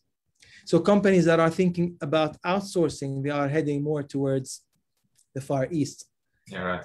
India, China, and you name it. Uh, so the other or the next step for you, and that also comes at the at the cost of, of you joining the EU or not, is to elevate the level of um, innovations that are being in, in uh, or that are being produced. Right. Thank you. Thank You're welcome. Any more questions? If there is no other question, maybe we can uh, go on with our agenda. Uh, maybe we can start with Mr. Pleura Trejepi, who is the director of Metropolitan Incubator, given that both of you are coming from an academic perspective and it can be uh, included in the academia actor of triple helix model. So after that, we can go on with the industry. Our entrepreneurs can share the real life experiences and how much they find themselves in the Swedish practice that you already mentioned. So uh, Mr. Jepian, welcome, and whenever you are ready, you can start.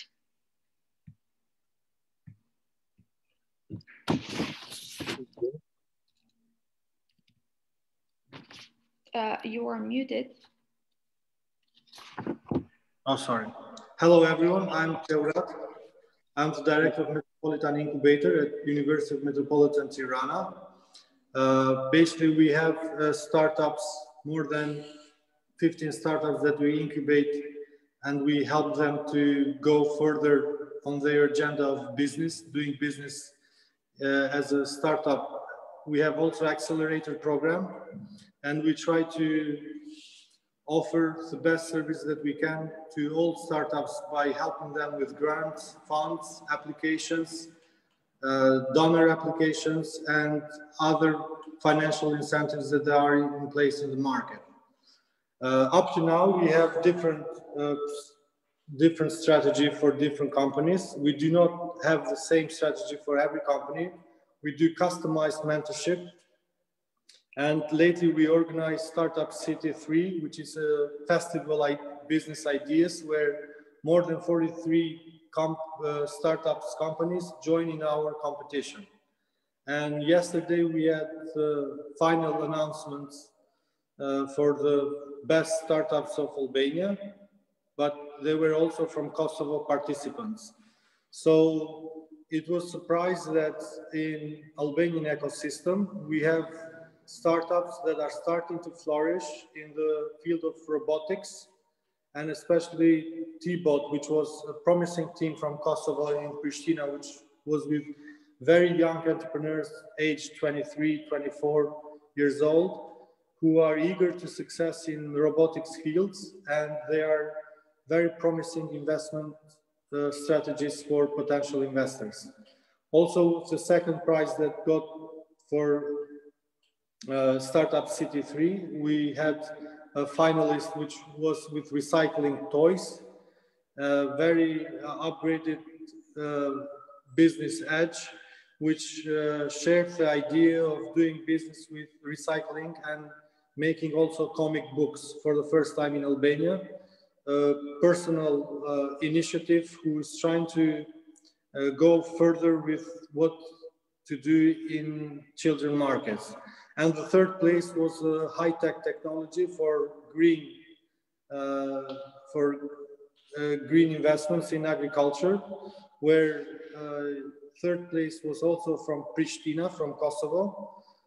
And it was about a technology uh, for greenhouses to move the layers of greenhouses and to adjust the temperature automatically through iPhone.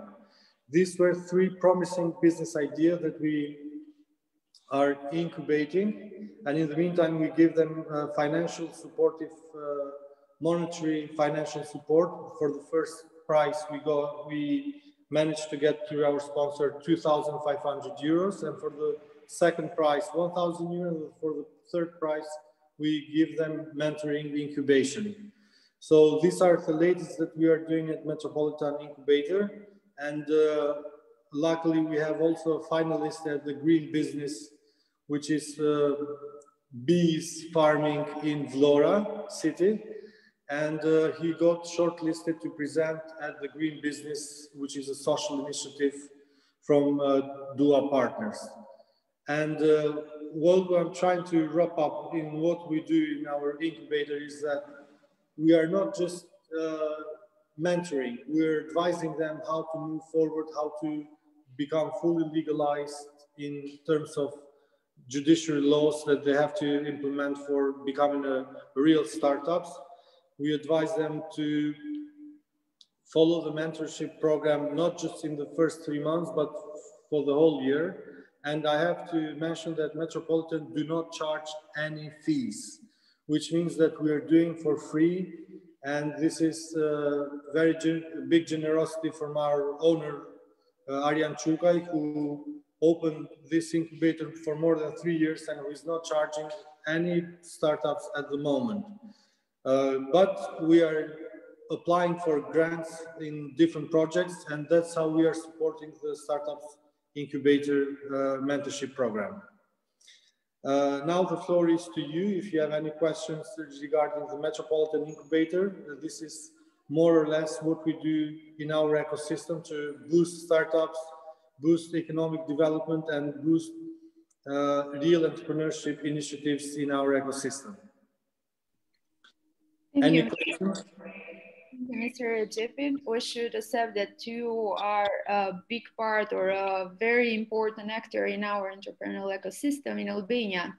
I would like to ask, how do you see the future of this ecosystem and what is the work that can be done in behalf of the progress or Yes. the development that the government or the institution, other institution can do? Yes. Uh, I have to say that I started to lead this uh, business incubation more than a year ago. So when I come in the beginning, it was very poor initiatives for startups. They don't have a clear business mind. They didn't have any real project. But I was surprised after Startup City 3, I can see a big potential for startups to join our incubator and join the ecosystem.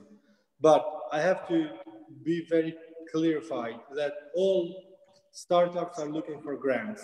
Majority that they applied, the main reason that they applied for Startup City 3 at our initiative was mainly for financial support.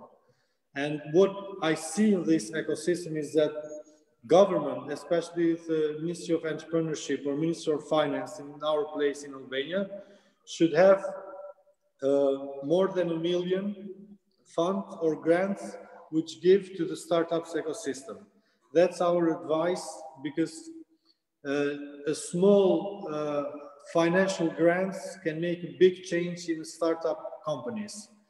We had a startup company which two years ago we gave in a startup city two, we gave 1,000 euro and they made a big change. They started to buy cameras, they started to do uh, marketing online, uh, digital marketing only through one camera.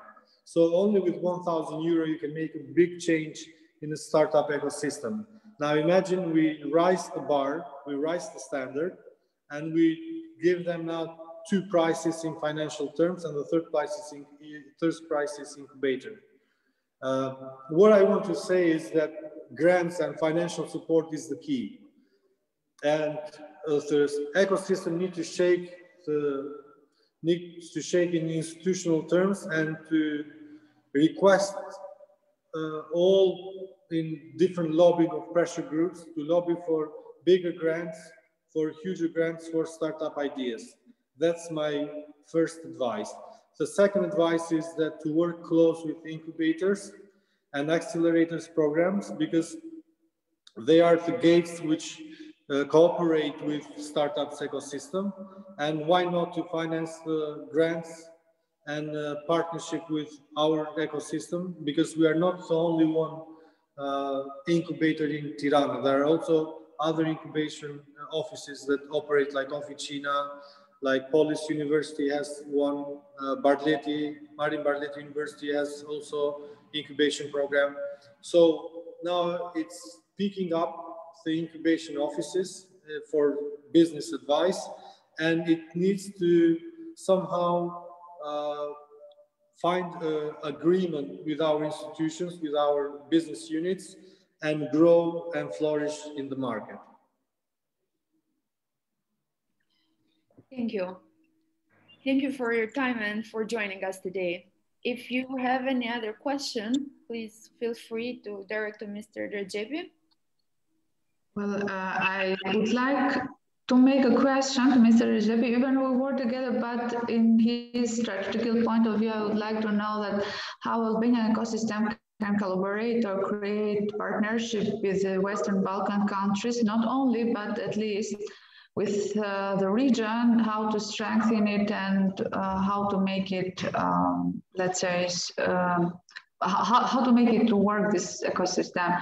What do you think, or how we can work on yes. this? Since we have also some partners from or some participants from other countries, and probably we can find linkages between us and them. Yes. Well, the COVID times, the COVID times were very bad for region cooperation, uh, especially in uh, our ecosystem. It was hit very hard, but in the other terms, we are pressured to work more through online meeting systems and to be more e-commerce based in business ideas that we share.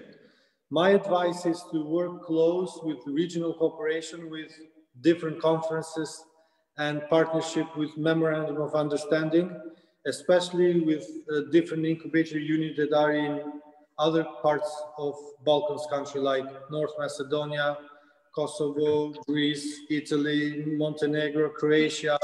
These are the target markets for Albania that needs to work close in cooperation. But the worst thing is to cooperate and not to have startups in the program.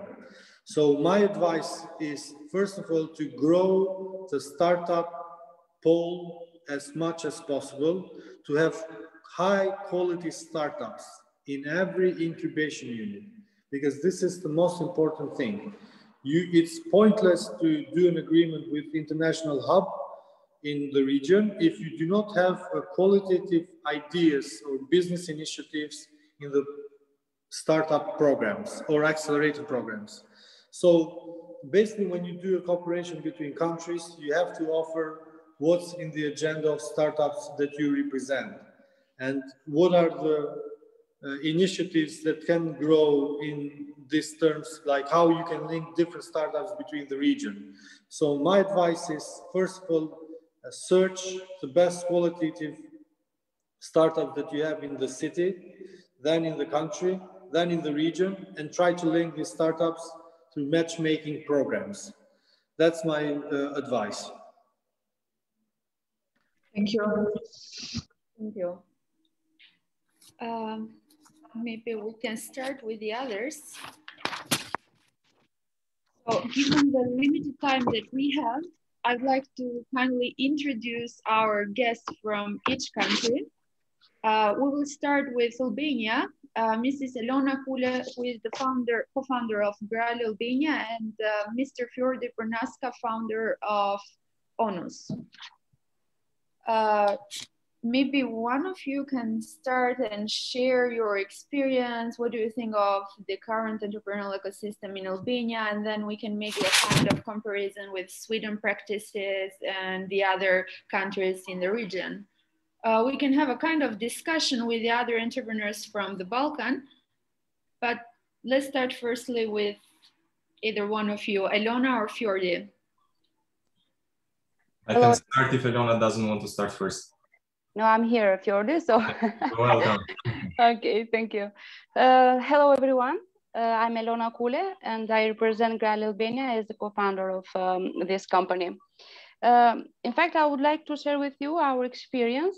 I know that 10 minutes is not very much, but uh, I will make it. Uh, I want to mention the, let's say, the difficulties and the challenges that we faced during the COVID-19, during the pandemic, uh, let's say, period in the beginning, as all of us, really uh, surprised and very shocked um, the, the fact that everything will be shut down. So we will be in quarantine and it was uh, unexpected for all of us. And me and my colleague Pranvera is over. So the business down and everything will be will be off. But what we did is that we think we thought about um, a new uh, strategy uh, we started to keep our customers engaged in, in our social media, in Instagram and Facebook, just to make open questions. Uh, uh, what for, for them right now? And what we, uh, let's say we discovered was that the customers needed, um, let's say product that were missed uh, uh, in the market in, in that moment. For example, they asked for masks they ask for uh, hands alcohol and uh, all the things that uh, let's say were uh, were missing in that in that period. So what we collaborate with um, fabrics with manufacturers that produce these masks and offer them to the customers. Um, uh, let's say that another thing that we thought were, were to to ask the customers um, about to offer the customers about the fitness product because as they were at home uh, they were asking product that can do uh, let's say uh, activities in their home. So uh, it, it, at that moment there were there were a change of buying trends. So from uh, fashion that Gral was uh, at that moment, everything was changed. The, the trend was toward gadgets, toward home products and fitness products. Um, challenges that, that we faced in, in that moment uh, were the customer insecurity. In September, uh, there were still discussion that will be a second quarantine and customers were toward saving money, uh, not to spend money. So they started asking for cheaper prices uh, and there were, let's say, a decrease of our uh, online, online sales. I don't know if anything of you has faced uh, this kind of challenges, but uh, I would say that we have, uh, okay, now we are still working and uh, I think that the difficult part is, is not um, surpassed, so we still are in difficult in difficult waters. To uh, okay, right now we are asking uh, for investment in order to put the company in another level, in order to uh, offer and to to expand uh, our categories and uh, to optimize our system, our website, to offer, let's say, some innovation in in the market. Um, so Anissa, these were a little bit, let's say, our experience. I don't know if uh, there is any questions about uh, Gral. Gral, I don't know, maybe it's better to, to say what we are. Gral is uh, an e-commerce company. Uh, we are a marketplace offering uh, different um, categories, uh, starting from fashion to, to let's say, electronic or home products, um, other kind of categories. Also, I must emphasize that the girls are the first one in this market doing these great things.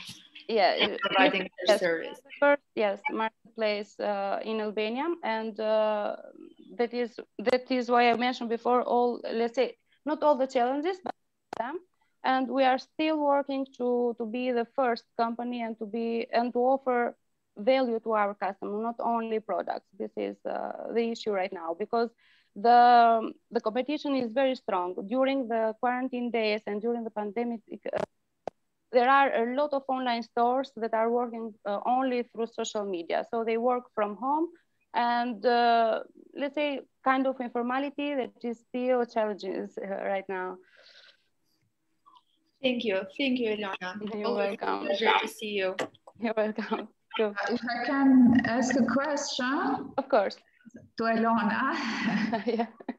Well, um, I'd like to know if you, since you are operating on e-commerce, you are using only online payments or other kinds of payments since in Albania credit cards are not used so much on online shopping and those kind of industries because for many for different reasons but first it's not the infrastructure and also the people are not educated with this kind of shopping and yeah. buying and some other reasons. So uh, you are only online or you are also offering uh, your products or services? We are operating only with cash on delivery. And this is one of the challenging that uh, let's say online shopping is facing. Um, because uh, we, we have thought to, let's say, to implement even the payment with cards, but it's very difficult uh, due to the reason that you mentioned before. The customer is not educated, the infra infrastructure is already in place. So this is something that requires a lot of, um, let's say, work, um, education, information about the customer, because the customer needs uh, security uh, to, to pay with, uh, with cards. And still if they buy a small value, let's say um, 10,000 or uh, 1,000 new lek, he does not uh, find the reason to pay with card that small that small amount, you know, because he need to go to the bank uh, to open the card, maybe to pay commission there, and it still is something that um, uh, let's say needs a lot of work to be done. And even the um, uh, World Bank uh, during the that uh, has done for e-commerce in Albania. This is one of the points that there's they, let's say they uh, found uh, something and found it as an issue and are working to improve and to implement the payment um, with cards here in Albania. Maybe yes. have a uh, collaboration with PayPal, so they are still, uh, let's say, finding um, issues and working on that. Uh, in my information, I know even the government is working a bit in the security of the customer when they are buying online because there are so many challenges for them. Sometimes they are not secure on what they are buying. Um, I don't know, uh, just for curiosity now, because um, the e-commerce is something uh, that is becoming more and more interesting and important, in, especially in developing countries as, as Albania. I'd like to know if uh, from the part of government or public institution, if anyone have made sometimes any anytime any focus group or just to know what the businesses think about this topic and how they can manage. So if the law for this is getting improved or since there is no, uh, let's say, um, advancement or steps toward them, do you have any kind as of... Far, as far as I know, uh, there is no any law or regulation in place already. We have, um, let's say, organized some meeting with, uh, let's say, uh, Eduard Shalsi or our prime minister to, let's say, explain our uh, this and all our issues. And uh, as far as I know, they have done a draft about startups and uh, let's say uh, some facilitation about uh, the startups, uh, financial support and other things, but nothing in place. Nothing is in place yet. Thank you very much, Ilona, for your You're answers. welcome. Thank you, Ilona. Welcome, Anissa. Uh, let's move to the other guest, Fjordi. The virtual floor is all yours. Thank you. So hi everybody, my name is Fjordi Pernaska and I am the co-founder and CEO of VIP Thai and I also serve as the chairman of Onus, which are two 3D printing and handcrafting companies, first of their kind, using sustainable materials for the final creations realized. Uh, during the pandemic, uh, we faced almost the same challenges as Eliona did because we are the fashion industry and unfortunately it was the one most affected by the pandemic. But before the pandemic, we managed to use all our stock materials to produce free face masks and face shields for the hospitals uh, during the first phase. We also managed to switch mostly working online. 90% of our workforce went online. And we also are proud to announce that more than 80% of our workers are females, given that the industry is more oriented in the female sector. And uh, we managed to survive during the pandemic working online. Uh, during the post-pandemic phase, we completely refreshed our strategy. We focused on sustainability more, restructuring our production line in uh, using more than 90% of sustainable materials and technology with a new objective that we managed to set for reaching 100% sustainability for five years. We also uh, focused online, recreating our websites and making them more user-friendly. Uh, we focused on clienteling, further nurturing our relationship with our clients because we offer bespoke offerings and our technology lets us to create customized fabrics and products from scratch. So we have a really tight relationship with our clients, a really intimate in a certain sense regarding their tastes and preferences. And they give us their trust uh, regarding the collection of this information for better service in the future. We also uh, focused on uh, entering new markets and uh, on outsourcing our production, uh, let's say production line, because we have several patents in the regard. Uh, we will be representing Albania in Dubai Expo 2020, which is postponed for this October and will be going on for six consecutive months. We'll be there representing our country with our innovation and with our products regarding sustainability. Uh, this is almost the, let's say, the worst period for all the fashion industry. And everybody has been readdressing their strategies for better, let's say, uh, for a better vision for the future and for the, for the sustainability. Uh, regarding the Albanian entrepreneurial ecosystem, uh, I must say that unfortunately it is not well developed. There is a huge vacuum regarding the triple helix model that was discussed earlier. Most programs supporting entrepreneurships are not permanent and are temporary, which is also a drawback, a major drawback. We have really interesting programs like the UK Tech Hub, but it is not an ongoing program which doesn't stop. It only happens, let's say, periodically once a year, which is great. But uh, what we need is something more permanent, which will help entrepreneurs here in Albania to further expand and grow in the optimal way. The majority of the programs are mostly led by people with no experience in entrepreneurship. And I think that at least one entrepreneur must be integrated in the leading phase because not uh, for, let's say, for something uh, interesting in terms of leadership, but for more practical know-how in addressing the problems of entrepreneurs and what entrepreneurs face in the industries. It, it will be more practical in my opinion. Uh, they also lack uh, the coordination with angel investors and uh, venture capital the programs that are managed here in Albania are too chaotic. And the most, let's say, the most troubling problem, in my opinion, is that there is too much bureaucracy. And the standard competition and funding processes take too long. Uh, we live in a time of serial disruptions where new industries are created and wiped out in a matter of weeks and months. What is the use of the funding process if it takes years? The time span must be drastically reduced in order for it to be more effective and to help entrepreneurs grow their businesses, which are subject to the serial disruption threatening each industry every coming year. This is what I had to say regarding my line of work and the status, the current status here in Albania. I'm expecting some questions from the girls here since it is a fashion industry but it's a joke. Uh, if you have any question for Fjordi, just direct to him.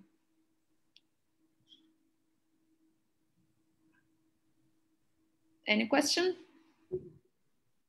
Um, if if no one is having question, I have a question. Uh, usually, most of the time, I'm having question. I don't know because of the profession, or I found very interesting those startups here. But uh, thank you for your presentation. Um, according to, to the report of Brands 2020, it seems that the industry of fa fashion is uh, led by companies like sport wears like uh, Nike and Adidas and etc. I just wanted to know uh, what about you? How you manage this kind of compet competition? Because people are mostly focused on clothes that are sport uh, categorized and not so many of the other industries. So how how uh, you manage this situation and I don't I don't want to use the word itself survive, but I think it was challenging a lot for the other kind of industries here operating in sectors of uh, fashion. Now that is true. It is a survival, so that's the right term to use. Uh, but we mainly we mainly produce fabrics for other companies, so that is our core product we have our fabrics which are made and designed here. They are, let's say, designed in a joint venture with a company that we work in Milan, Italy. And the production is made here in Albania. So we make custom fabrics for different companies. Our core product are accessories, which you mentioned earlier, and it was, let's say, the biggest hit of the crisis. But we had the luck, the good luck and the opportunity to be working with uh, other companies which use our fabrics in different ways, which uh, let us keep up and uh, continue in the market. Thank you. I see. So it was like uh, another, okay. Seems interesting you because in, in the beginning I thought that you are selling the products directly, but now I see the strategy. Okay, thank you. This was my question.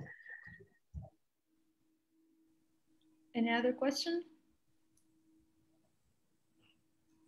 Fjordi, if you were to compare the fashion industry in Albania with the other countries that you are operating or selling, uh, do you face any difficulties in terms of the culture or any difference? If yes, how do you overcome it?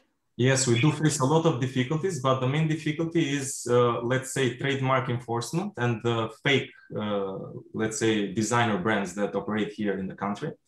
Unfortunately, the government doesn't support uh, copyright infringement and uh, trademarks. So the market uh, is full of fake designer clothes with really, really low prices, which is a little bit, let's say, difficult for a brand to operate in the market, given that uh, there is uh, such a lack of uh, enforcement.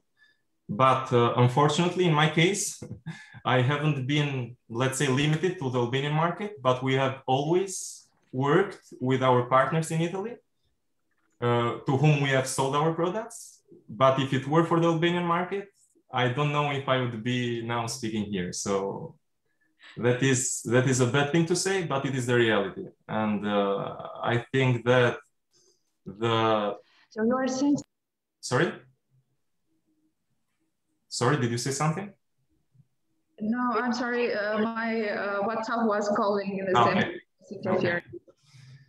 So I think the biggest problem regarding the fashion industry, the local fashion industry here, is the copyright enforcement and trademarks and uh, banning the fake products of designer brands, which uh, not only distort the market, but uh, completely overwhelm it in different, let's say, scenarios. So if this is combined with a direct, practical, and I emphasize, I highlight the term practical support for entrepreneurship, which must be quick and quick enough for the industry to emerge and for the entrepreneur to be able to surf the wave that he is trying to get. And so the funding must come in a point where the wave is still high, not when the wave has gone under the water that's the main problem regarding the bureaucracy here and the programs that I have been, let's say, part of, and the problem that I have been able to, to understand by my own experience. And if these two things are done in a, let's say, parallel way, the market will be much more positive for new entrepreneurs and much more potential will be in the table for everyone to grab. Thank you. Maybe we can hear the opinion. Uh, Anissa, can sorry, just one more question since, uh, can I have time? It's okay with the time? Okay, uh, Fjordi, one more question since you are speaking about brands and marketing. So uh, the situation of Albania's customers, their awareness about the brands, how it's compared with the other countries in region, yes, but also with other countries, because I think this is a challenge. And how you deal you with this? Do you think that those practical, technical um, practices that we are using on marketing, like digital marketing, are useful for Albanian customers? So, and their behavior, or what marketers can do better, especially young entrepreneurs on this kind of, uh, on this regard, so to manage better and to inform more customers about the brands and their importance and etc. Well, that's an interesting topic. And uh, in our experience, the best marketing channel is word of mouth marketing. And it doesn't, uh, let's say, compare with the other methods of marketing in any way. Uh, because the customer has grown more skeptic of uh, other marketing channels and they are tending to not to trust even celebrities that endorse certain products because what they think from different studies that we have made as a company is that the celebrity is bought from the company and the opinion that the celebrity is giving for the product or the, or the service isn't the real opinion of the celebrity, but is what the company wants the celebrity to say. So this is a really negative, uh, let's say, feedback and output from the standard marketing channels. In our experience, given our specific offerings and the, the capability of the technology that we use, that we offer to the client, let's say maximum customizability and personalization, we have been able to achieve a certain uh, word of mouth marketing from happy clients, which have uh, referred our brand to other clients. And this is our main way in which we have been able to grow our clientele. But regarding other traditional marketing methods, uh, the results have been mediocre, uh, to say the least. And uh, furthermore, the most important thing to address is not competing with marketing, but competing with what you offer. Because if your only strategy or if your main, main strategy is to compete through marketing, who markets more, who markets better, who makes the better advertisements, etc., the strategy is not solid because it will backfire. If you have a good product, if you have a good service, then it is a matter of time in which your service or your product will enter the market in the best possible way for your customer. Yeah, and, fact, and, and, regarding the brand awareness, the other difficulty uh, here in Albania is that uh, given that the majority of the people and of the customers are, let's say, uh, low net worth individuals, uh, the majority also tends to go to the designer brands, to the fake designer brands that are available massively in the markets in Albania. So the brand awareness is more oriented to big international designers, which have, let's say, expensive pieces of uh, more than $200 per t-shirt or something like that. And they are able to buy the same t-shirt here for $20. So this is the reality of the fashion industry here in Albania. But uh, in our last study before the pandemic, we understood a new trend for the made in Albania sector of uh, products and services, which is growing, but is growing in a slow pace, not in a big pace. Compared to Bulgaria, for example, Bulgarians uh, locally consume more than 80% of the local consumption is from local brands. Whereas here in Albania, it is less than 10%, something like that. It is really the inverse uh, reality that operates. But the trend is increasing, and we hope that the customers will be sensibilized in uh, buying more products that are made here in Albania, but furthermore, that will be more interested to know the origin of the product in terms not only where is it made, but also the composition of the material, the impact that it has on the environment, uh, what will happen with the product if it is thrown away, etc. Uh, thank you, Fjordi. In fact, uh, I totally agree with your argument that our marketing strategy in Albania is totally, I mean, totally uh, not correct because uh, we are uh, doing very good advertising promotion on Google Ads and SEO, SEM, and marketing strategies. But the strategy of marketing is not just promoting, it's more than that. It's with the products, with the origin of the products, the quality, the added value to the customers. And unfortunately, I think that something else that it's a problem here in Albania is um, economic conditions of the uh, buyers, customers, because I think one of the factors that people are oriented to the fake brands is the fact that their uh, incomes are low. And the other factors is their education about the other elements that looking good should have on you, not just wearing, but also some elements that should be considered. But thank you for interesting, and I, am really interested on reading your uh, studies if they are published somewhere, just for general information, because it seems very interesting for customer behavior on regarding the marketing. Thank you. Thank you. Thank you, all of you. Uh, maybe we can change the state now and go to North Macedonia uh, and exchange some ideas with, one of the most enthusiastic person that I have ever met in my life, uh, Maria Dimovska. Um, I'm very happy that I met you during the uh, program, but here we are today. Maybe you can exchange your ideas and experience with the other attendees as well. Yeah.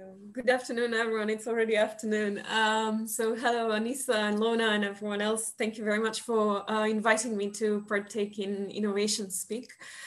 Um, yeah, I've heard the uh, very detailed presentation by uh, Dr. Ziad, and it almost made me, uh, I had that sort of mirror experience of when you're being forced to look at yourself and say, okay, this is what the real situation is which I believe that every entrepreneur definitely needs, and it's part of that uh, um, um, learn as you go and and uh, process and and growth mindset um, for um, in, in order to share um, some details from the Macedonian ecosystem and where we are with um, um, the uh, building of uh, the ecosystem infrastructure and trying to implement um, segments of the triple helix uh, uh, component or model within uh, the Macedonian startup ecosystem and from what uh, Professor Redzepi um, shared and, and your two startuppreneurs, I would say that Macedonia has achieved certain milestones um, and we have made certain steps forward uh, in the past um, three years. Uh, more, um, those, those steps forward have been exacerbated. Uh, it might be because of COVID as well. Um, and um, one of the one of those uh, significant milestones is actually the development of the first digital data-driven ecosystem platform, where we are um, uh, matching uh, startups uh, from various stages uh, that develop different kinds of um, services or products. Uh, so they pertain to different niche sectors with service providers. And when I say service providers, I, uh, I mean institutions and organizations that um, offer different kinds of um, uh, growth services to startups, such as access to finance, access to mentorship, um, and uh, access to new, to new markets. Um, the three accelerators within the country are um, um, also registered and part of uh, um, the platform. Um, in order to um, sort of topple down the barrier that exists between the young innovative entrepreneurs in the country and to engage the academia into the uh, world of, of startups and innovation I mean, Dr. Ziad uh, shared a, a, wonderful, he said that the, mm, the universities are the, that vast um, um, resource of, of knowledge. And it's somewhat, uh, I think, um, um ironic that in, um, and I, I think that this is true, stands true not just for, for North Macedonia, but also for the Western Balkan countries in general, it's that the academia sort of still persists on doing things at their own pace and they're not so agile to accept the um, new challenges and new ways of, of thinking that come along with the fourth industrial revolution and the digital transformation. But one of the reasons in order to change this um, picture and in order to change this situation, a couple of years ago, uh, the Macedonian government decided that one of the accelerators, um, Business UKIM Accelerator, needs to be opened right on the premises of the oldest uh, and most established uh, um, university in the country, uh, St. Cyril and Methodius.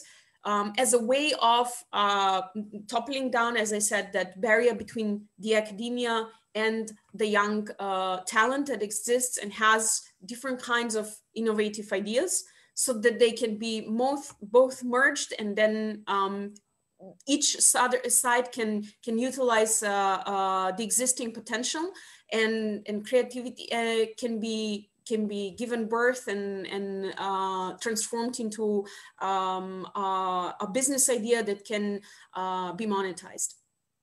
Um, the um, currently on, on, on the ecosystem platform, we have over uh, uh, 140 startups and, and uh, um, 51 uh, service growth providers and 63 different services. And, and we, we designed the, the, the reason why this platform was designed because there was a mismatch um, between what the um, what was in offer for the startups in terms of support and the types of support that startups required and, and needed. So um, the platform in itself, in a way, has um, a goal uh, to be that connective tissue among all the ecosystem stakeholders and key players, just as the triple helix model um, uh, plays a role within the Swedish ecosystem.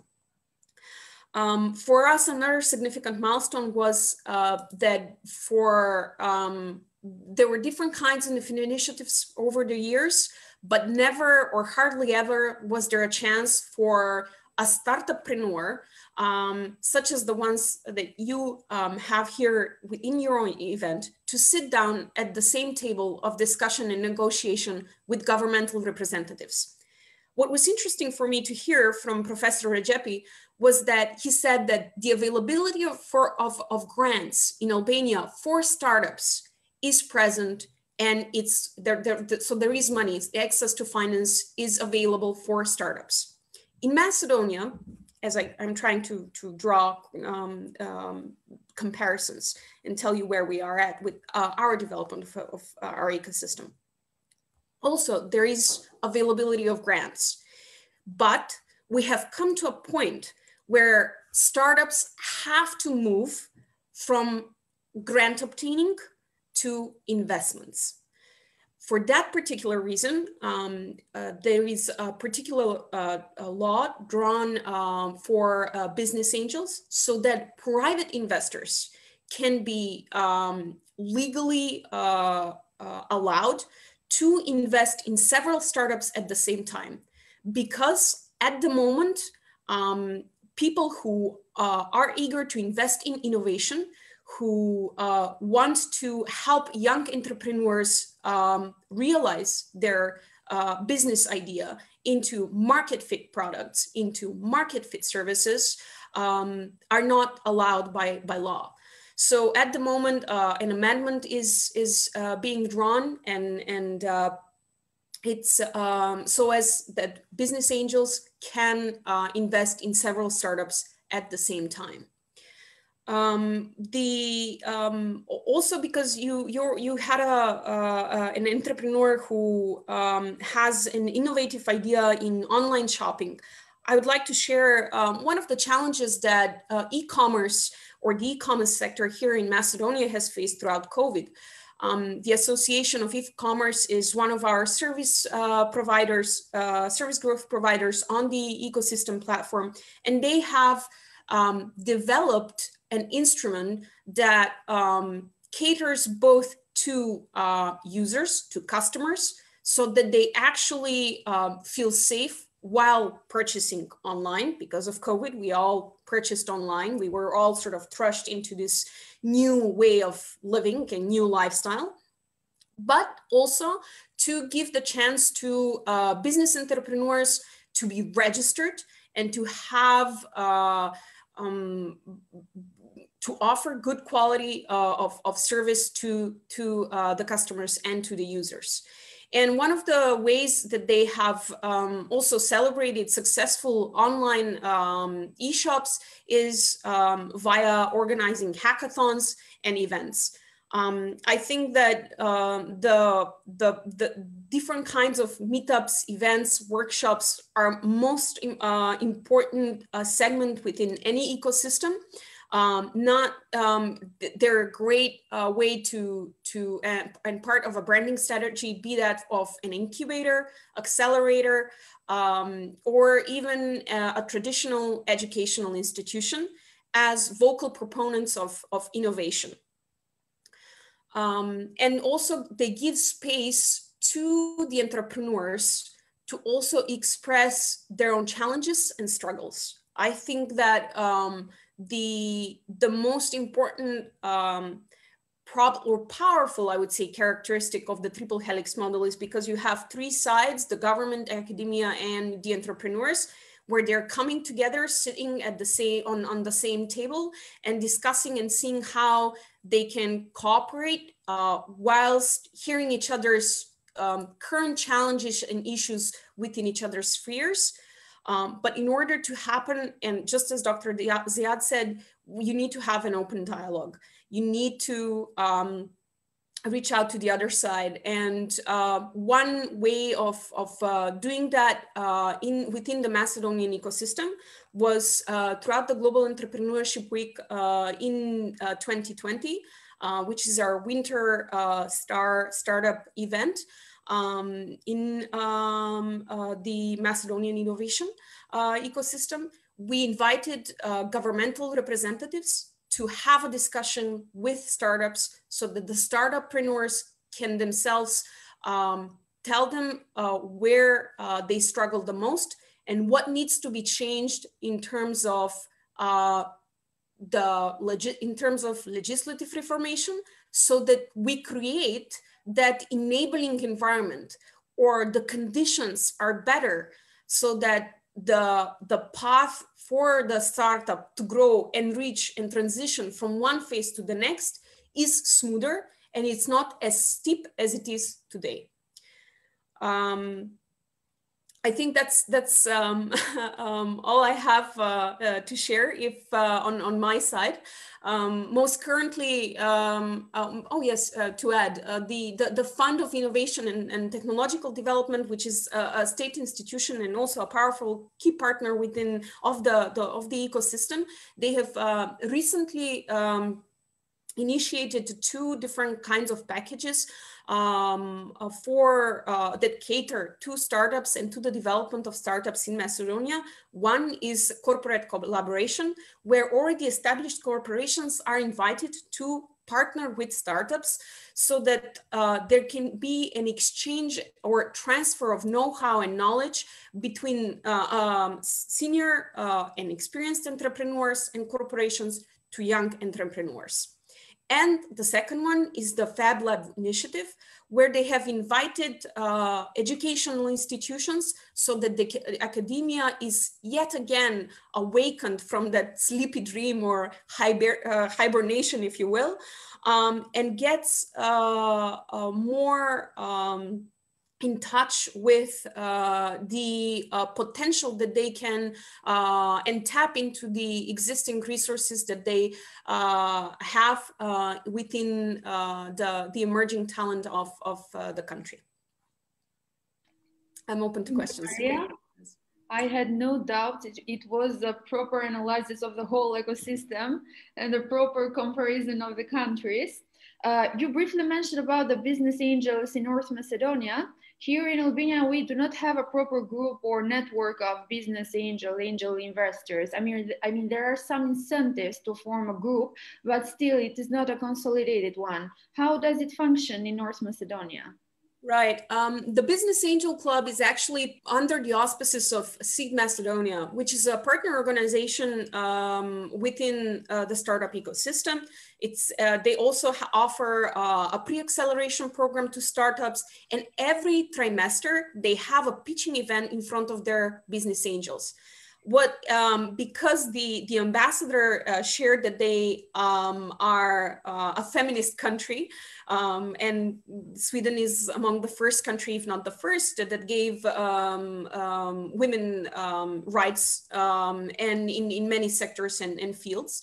Macedo- in, in Macedonia we have uh, formed um, right one month before COVID actually um, uh, broke out. So that's back in February 2020. We actually, uh, the, the same organization saw that there is um, a reason and enough of a reason and enough of an interest to form uh, a business angel club solely for women. So it's founded, established by women, and it caters solely to female entrepreneurs. Why?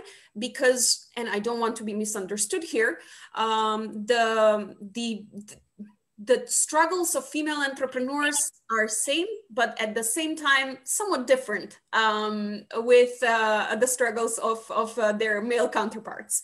Um, and um, what the uh, female business angel clubs uh, is currently doing is that every month and a half they're inviting um, different entrepreneurs even from uh, the traditional sector as well via uh, the chamber of commerce uh, via different uh, business associations. So they can actually um, get acquainted with the opportunities that exist um, within the startup ecosystem.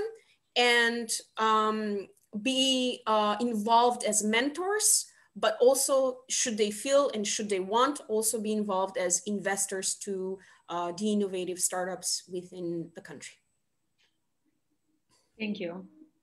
You're welcome. Thank you very much, Maria. Then we can move from North Macedonia to Serbia.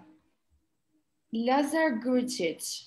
Sorry for the pronunci uh, pronunciation of the surnames, but I hope I'm not wrong. Uh, no Lazar is an entrepreneur from Serbia, co-founder of LSC Development, but he can provide to us more information about his startup and his relation with Albania. He has been here for a long period of time, maybe six months, I guess. But yeah, Lazar. Uh, first of all, uh, thank you for inviting me to, to share some experience and my insights into the Balkan entrepreneurship uh, ecosystem.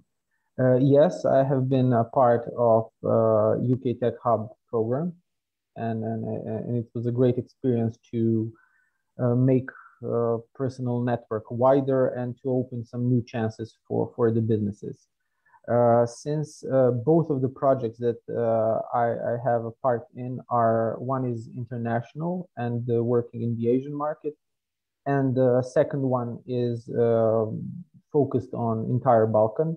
I would speak about the situation in general for, for the Balkans because in the end, um, I agree about most things with Fjordi and uh, I like I love to say that all of us on Balkans are in the same uh, situation. so so we all uh, struggle same difficulties, and though some of those are access to funds, uh, chances for additional revenue streams, both for our businesses or privately, everything is very poor. So um, if we decide to start uh, anything, um, it is important to realize that for us here on Balkans, it will probably be five times harder than if we are in developed countries in EU, USA, or even the, the Asian countries. So knowing these facts, um, we need to choose to fight all these circumstances and, and, to strongly believe in our ideas and products so we are ready to sacrifice for, for a bigger success. Uh, uh, I, I, would like to use one quote uh, that that probably every startupper and entrepreneur can relate to. So the level of success here for us on Balkans is directly proportional to how much we are willing to sacrifice. So definitely, I think everything is possible. Everything is achievable, even if we are in Serbia, Macedonia, Bulgaria, Albania, Kosovo, anywhere. But uh, we need to accept all the facts and uh, and that it is very hard to access to to many things. So if we precisely uh, talk about covid and how did it affect the businesses definitely some of the companies were affected very hard and some of them were basically destroyed by, by the situation but some of them uh, went out stronger than it, they were before by transforming their businesses into different models, change their marketing strategy, uh, change their uh, business models by working more remotely than, than office based. So in the end, some of the businesses scaled. Um, if I'm to share the experience about uh, ELSD, which is uh, basically the first online language school originating from Europe, from Balkans, that is 100% ours here, meaning that we do not have uh, like a Chinese, Japanese uh, equity partner. Uh, it's definitely one of the, one of a kind business, and it is in edtech industry. So uh, COVID for ELSD was actually just another virus that that uh, that we needed to to fight with in order to survive. And again, the thing that you already said, yeah, all of us who have experience in in building something operationally from scratch, the the, the term survival is actually very uh, common for all of us. So aside of COVID, ELSD for the last two years was was fighting with all of the circumstances, with uh, lack of funds, lack of budgets, uh, and lack for uh, lack of the money for marketing and sales activities because we were doing business in China the mostly. Started in Japan, but moved to China, and we were fighting competitors in the industry with millions in a budget, and we started from scratch so basically, our entire business was uh, growth hacking model based, and we needed to scale by doing things that other people wouldn't do and the normal entrepreneurs wouldn't do. So um, aside of the investment we raised in the early stage, uh, all of our uh, budget went to the overhead costs, and we uh, had to cover our staff and to cover the part of the business that will make an offer for the market. In our case, those it is the offer of available classes to the students that that will join our platform. So um, when February 2020 came and COVID happened, uh, a month uh, before that, we signed few big deals in, with Chinese private institutions, schools, for providing them uh, language services and for providing them uh, the service on our uh, platform. And then quarantine happened in China. All of the deals were dead. we lost our clients and they basically decided to uh, how to say how to say to invest only in the public educa education and not to pay the uh, expensive online courses. So this was a moment in the startup where i had to make a decision to quit or to uh, keep uh, keep working. And the quitting was never an option. So we decided to, to keep struggling.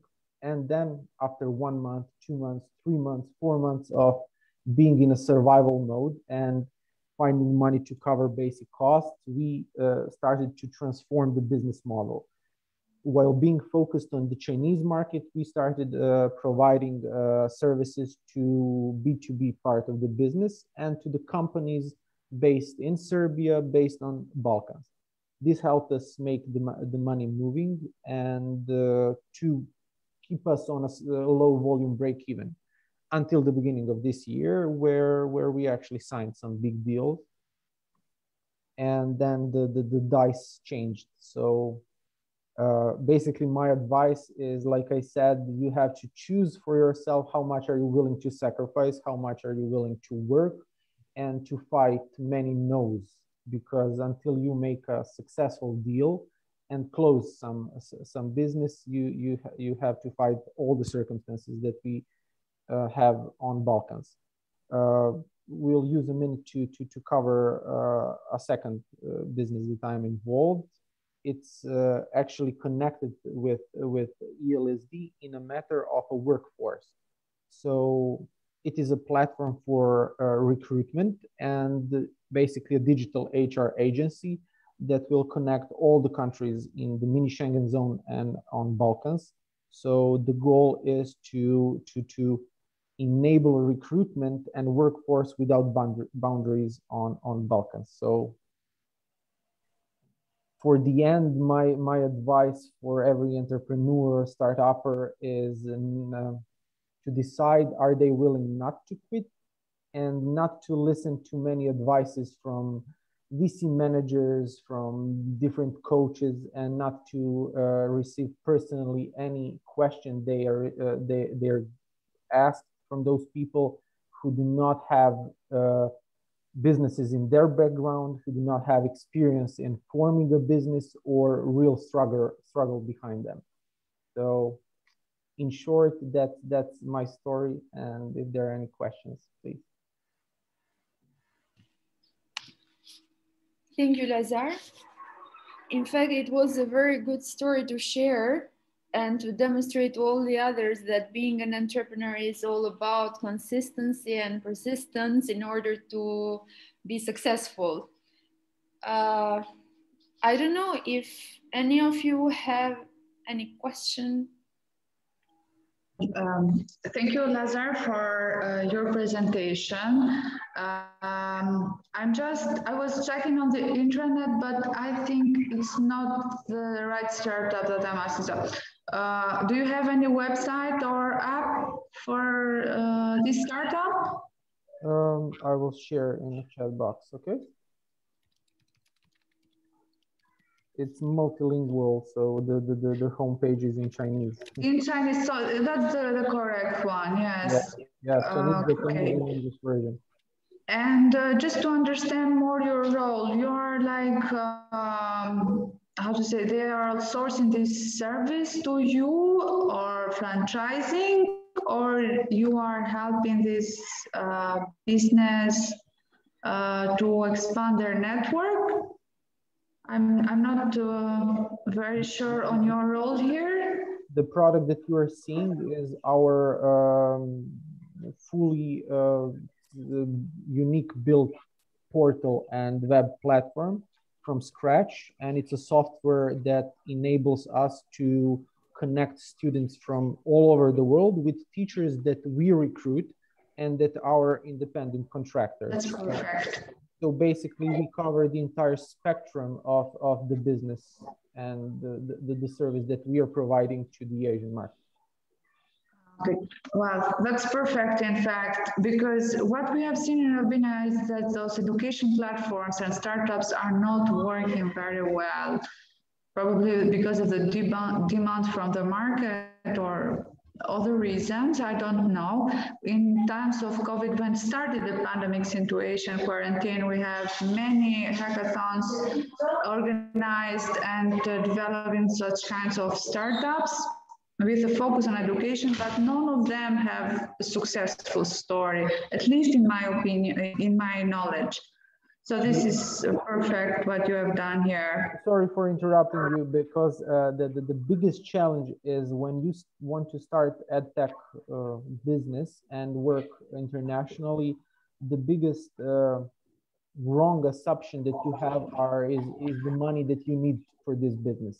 And actually you need a lot to be competitive on any other market and you realize that very late because your belief in idea is that you're awesome you're great and everything but you're fighting with with billion dollar companies so you need how did you manage uh the, the, that, that that that's a hard story but small step by small step. Uh, first, uh, I gave a part of the equity to one partner who took technology on them and provided us bigger network of potential investors.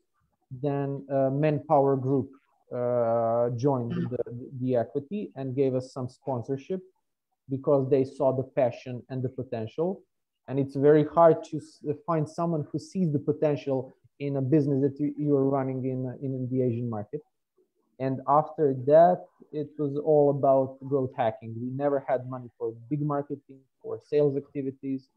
So in the end, we partner up with Chinese Chinese uh, corporation, and now the things are scaling really nice. Yeah, I see. Very interesting. In fact, that's true.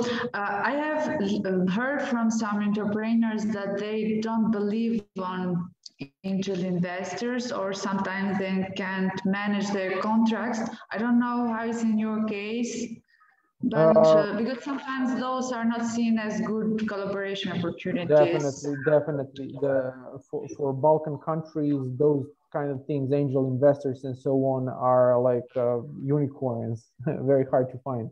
So I had luck to to to to find a friend that uh, put his beliefs in the business and and is owning a huge IT company. So for him, it was not a big expense to take the technology and to develop the, the, the software, to keep developing the software because it was already developed. And then uh, it is also private contact that enabled us to be sponsored by Manpower. So basically, no angels, no VCs that are doing hard due diligence processes, but uh, simple handshaking and the belief in the product. So it was yes.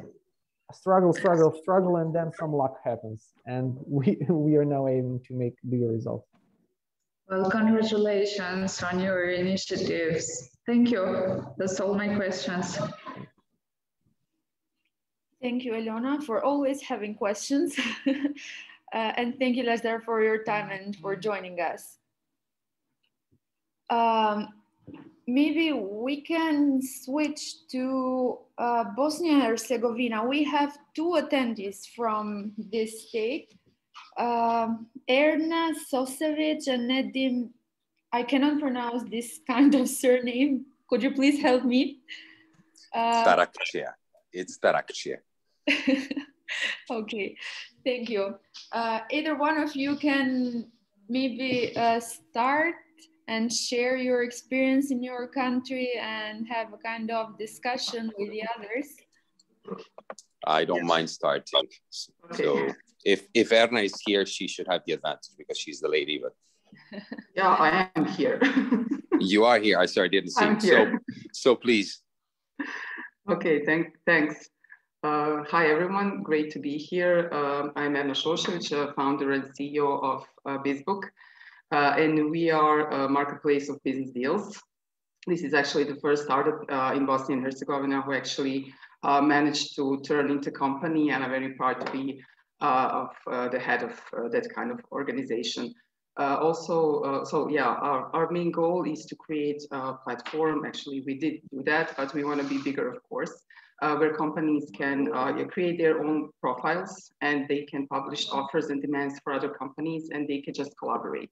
So uh, my goal actually was to to show the potential that Bosnia and Herzegovina had in the entrepreneurship and how many companies uh, we have and what kind of products we have on the market. Because when I did my research before I started working on BizBook, uh, I found out that there's 70% of uh, companies in Bosnia are actually uh, importing stuff uh, and products and services from the countries of all over the, over the world and a lot of them we have inside of our country. So I decided to map all the things we have and to show them that we can collaborate between each other and maybe just uh, that some of that money can stay in the country and that we can uh, at that point just promote our company and uh, help uh, our, our, government to be better because all of you know how complicated we are. So uh, I think that any solution uh, that anyone gets is uh, only a progress.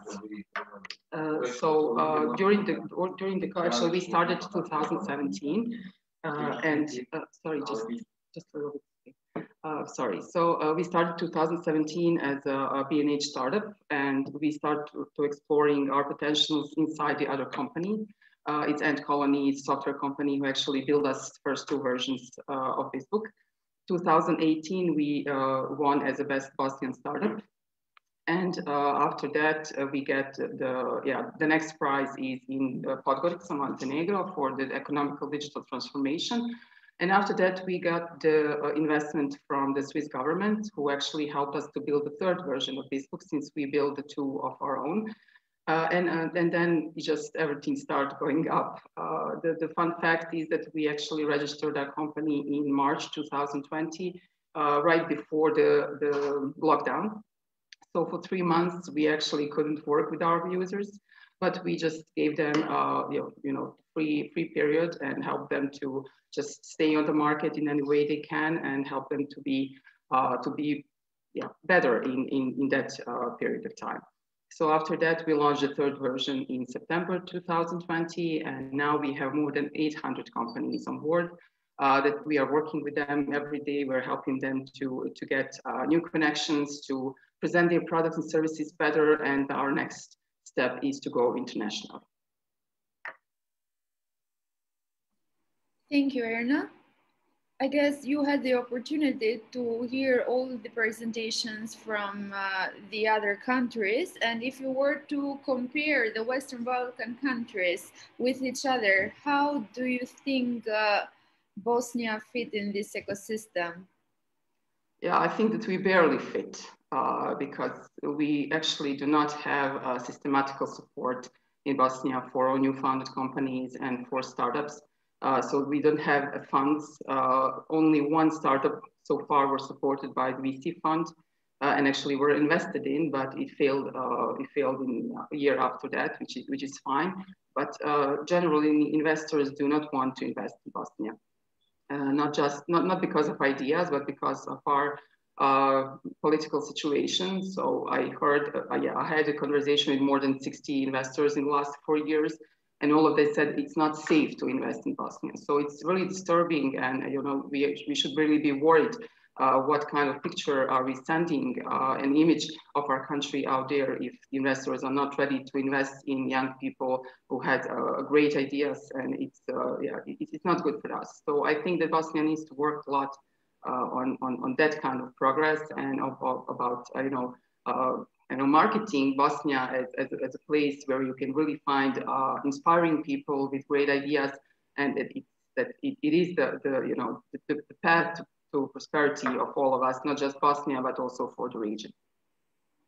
What about the academia perspective? I mean, here in Albania, we have some problems in, in regard with curricula I mean, students are not do not have any course in entrepreneurship. I mean, there are some few, uh, very few courses in this field. What about Bos Bosnia?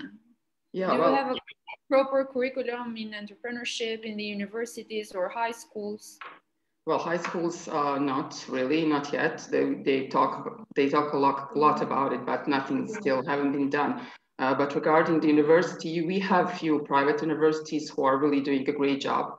Uh, but you know, it's not um, it's not for everyone. Not everyone can can uh, can attend uh, those classes and can uh, be able to pay uh, to to attend that kind of university. But uh, for example, we are now in cooperation with International Burch University when we and we are you know providing the students the, the the place where they can learn about, for example, B2B market they can work direct, directly with our clients. So now we have a pilot project uh, when we launched our first, our new uh, product. It is a B2B web shop uh, that our users can uh, edit by themselves and also uh, you know, control everything. So they don't need any kind of technical experience. If they can uh, edit their Facebook page, they can edit our web shop.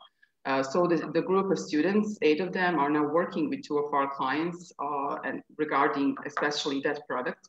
And they said that it's really great experience for them. And it, it really tells us that uh, startups uh, anywhere now, we are really, uh, you know, we are changing the culture of, of, of everything, especially, especially in corporate world where, where, you know, everything has the place and you know what to do. But here we can do whatever we want. We are we are changing the rules. So uh, I think that we can also contribute a lot uh, regarding this uh, education in the in the yeah, high schools and schools because we are ready to collaborate and uh, there are no restrictions. If you want to work with us, we are happy to work with you. Uh, so I think that's the message that we need to send as well. Perfect. Thank you. I think uh, Nedim can have some complementary information, additional ones in regard with the same country. Yeah, thank you. Well, you, you know, it, it's one of the things that I also wanted to talk about. Um, uh, before the pandemic, about two years ago, I founded the Balkan Leadership Academy, and um, it's it was not only you know you're not only looking at at, at uh, uh, something that is expensive and something that's not very available, but you also have to educate the market about what is leadership and uh, you know how can sales impact your business or uh, how when how a course of human resource can impact your growth.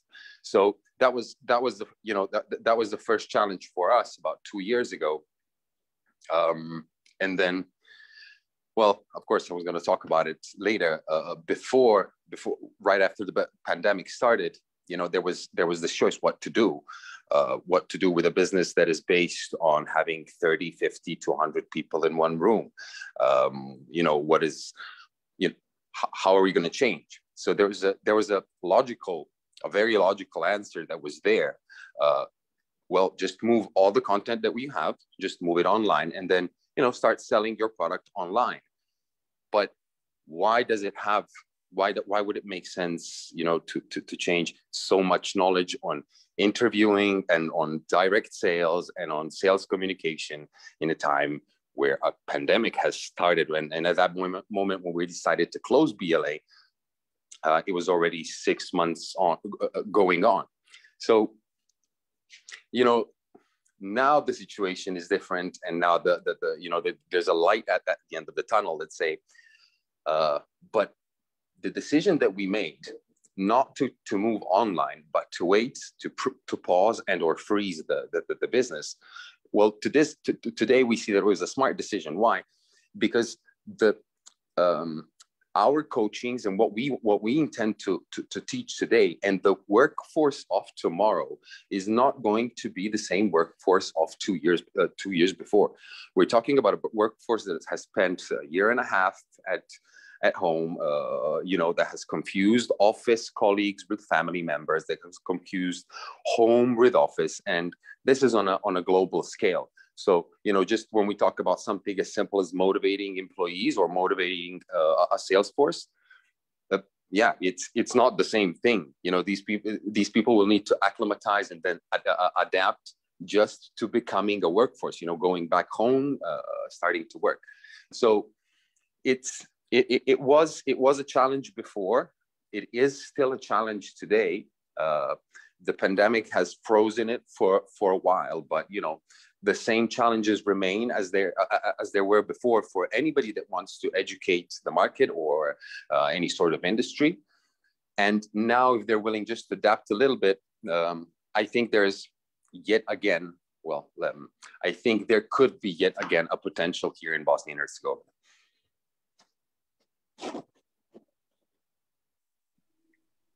Thank you, Nedim. Is there any questions? Yes. Yes, Ersin. Um, I would like to ask to Erna also and to Nedim, uh, what about uh, support from from government officials or uh, institutions for, for your companies for entrepreneurship or innovations? In this uh, manner? So regarding the government, government are funding, uh, you know, here the new founded companies, startup are the same. So if you are, uh, you're, you know, developing the tech product and if you're opening the hair salon, is the same thing. So uh, they say, our government always said, we founded 300 startups. None of them is tech startup or none of them is some innovation. So they are all new founded companies. And we actually ask uh, for our you know, authorities to change that that new founded company is totally different from the startup and they should be you know diverse in the law and they have they should have uh, you know different treatment. Uh, so that's why we cannot for example also in bosnia if you are women in tech uh, you cannot apply for any kind of fund because there is no that category in the you know in the listings uh, and also I, I, I, you know, I went there and talked to them and asked them, why are you doing this? We, cannot change anything, you know, that those are the rules and we just have to do by the rules, say why this is discriminating. You know, I, I have a tech, tech product and there, there is a money available for women in entrepreneurship, but not for women in tech. So we have a lot of things uh, to work here. Uh, but uh, regarding the innovation and startups, you cannot get any kind of fund and any kind of startup uh, you can apply. There are a few organizations who can really help with, uh, for example, a Swiss entrepreneurship program. Uh, also Foundation 787, you have Mozaik Foundation as well. They all work in that area, uh, but none of them actually have a huge amount of money that they can invest in and, and, and to say, okay, let's support this, uh, this, this, startup and let's, let's work with them. So you can get a mentorship, you can get, you know, uh, any kind of education, but, but not, not, not, there are no funds uh, for development. Uh, what what what is your cooperation with the chambers of commerce in this uh, regard? Yeah, they called me. we had a meeting, and they said, you know, you're interfering in our work, so we have to do something about it. Said, yeah, we, we should support each other. You know, it's not it's not okay. But they, no, you should, you know, just lay down. You can work with some companies, but don't go, don't don't aim for big ones. Uh, they're ours uh, it's sad. You know, here we, we have three sides of everything and you cannot find one person to talk to them because you have three directors of Chamber of Commerce mm-hmm. uh, and, and you have to reach each one of them and each one of them has its own interest. So it, it, it's impossible. I, I tried for, uh, for four years to talk to them to get uh, some, because we, we actually can really help each other. They're offering like digital uh, digital uh, chamber of commerce and you can see all the companies there what they're doing but i'm offering the the the, uh, the the, the, the, offer and uh, demand. So I'm matching companies instantly what they need uh, and they can cooperate. So it's really, you know, we're a match, but they, they didn't see it that way. So we, did, we didn't make it. Maybe you have to make a memorandum for cooperation. Yeah, maybe maybe with with the presidents for for start, maybe we can get something. But for example, the MTEL uh, company, it's uh, for now its largest BH telecom in Bosnia. Uh, they they ask us for partnerships. So now we are in ongoing partnership with them. They want to sell our services to their users. So it's it's it's something new. It's new for them and new for us. So we are you know testing and learning a lot. But it, it's one way to go up, of course do you have any plans for uh, taking your business out of Bosnia, like uh, with the Western Balkan countries, to make more uh, cooperation in this aspect? Yeah, that's that's the goal. Uh, BizBook should be and uh, it will be, I hope, uh, the regional network for businesses, so that we can, you know, all connect with each other and see what's what's out there. Because I think that this is the area of 24 million people, and it's it, it's a great potential for for not just for me, for yeah, for my company, but also for the people who work in this uh, this region. Uh, so yeah, that's the plan, and I already start negotiating with one company from uh, from Croatia. They are interesting to uh, to start uh, selling BizBook out there. Uh, I'm also talking to Lazar about the Serbian market. He's helping me a lot to reach uh, to reach some, reach some people out there. Uh, I also got a, a, offer from Russia. You wouldn't believe, but there's an investor from Russia who is interested too. So you, you just have to, you know, you, you just have to make it through those probably four or five years and then someone will notice you uh, this is not Silicon Valley. We, we should not, you know, be enchanted by those stories because this is reality. You have to work uh, twice as hard as anyone else in the world, and maybe one day someone will notice you. But I believe that every work will pay off at, at one point. Yeah, I agree. Thank you. Thank you. Uh, just a quick question. Uh, according to a study here in Albania, we have more incubators and accelerators than startups. What about Bosnia? How do they function? Good question. uh, yeah, it, it's a question for one great research. I think that you can maybe get a huge fund for that kind of research. Uh, we don't have any kind of accelerator here. There were uh, there were a few attempts to to get one, Uh, but like I said, the investors just said, okay, it's not safe to invest, so there's no point of, of you know building this the, the accelerator here.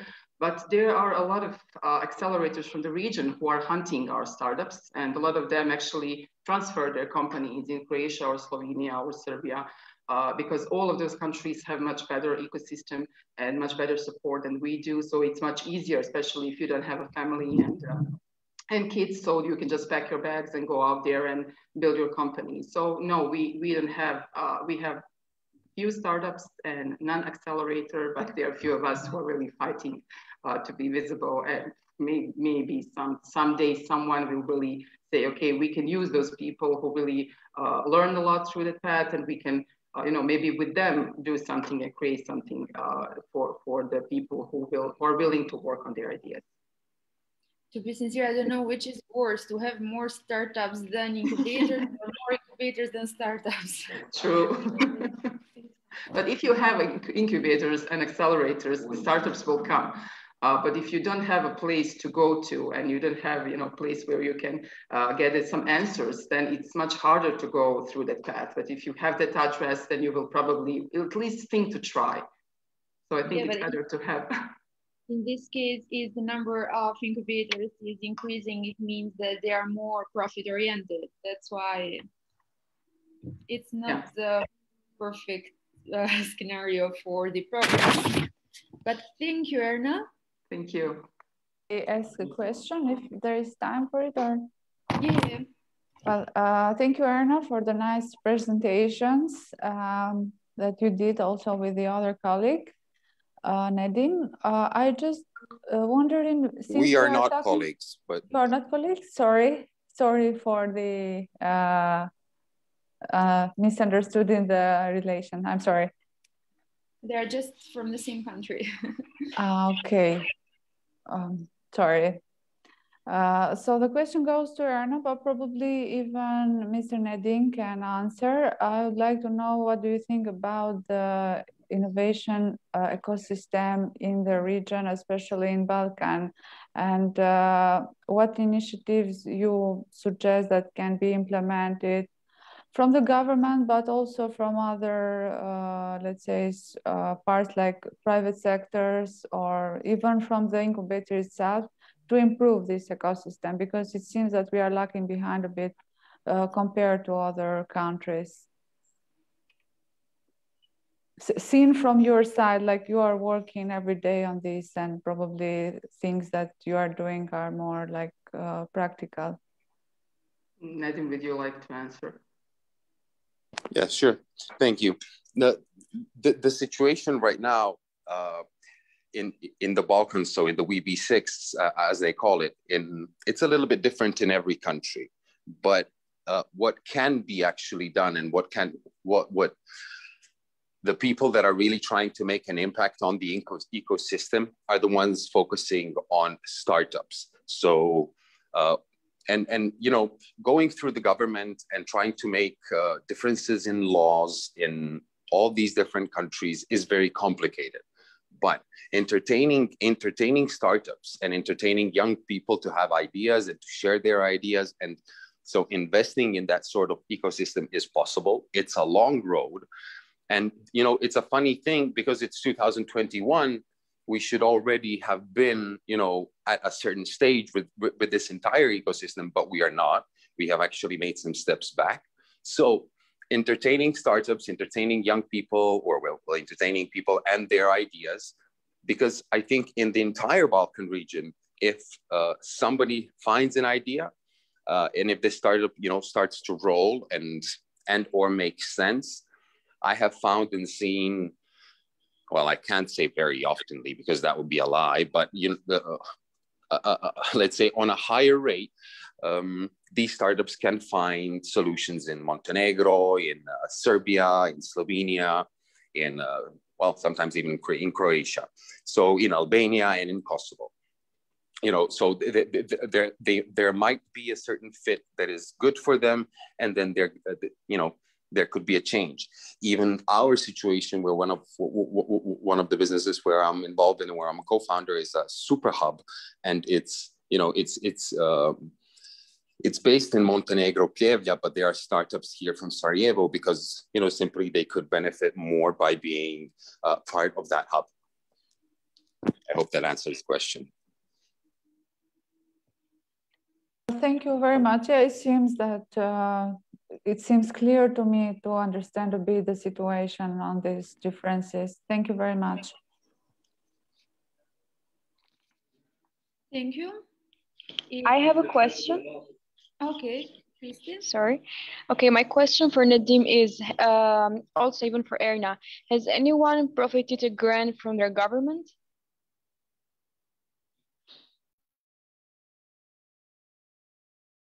No. From, well, uh, me is in Bosnia, from Bosnia, no. Uh, in Montenegro, we, we might, but until now, no, not, nothing concrete.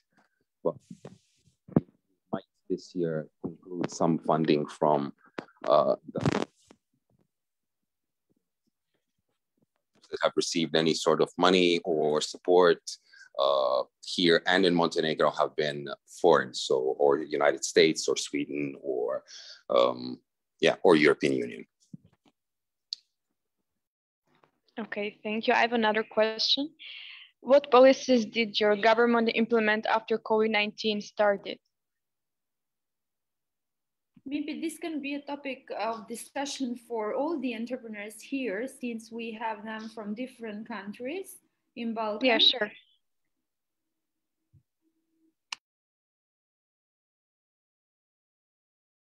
But you can start with Bosnia since you directed the question to Nedim and Erna.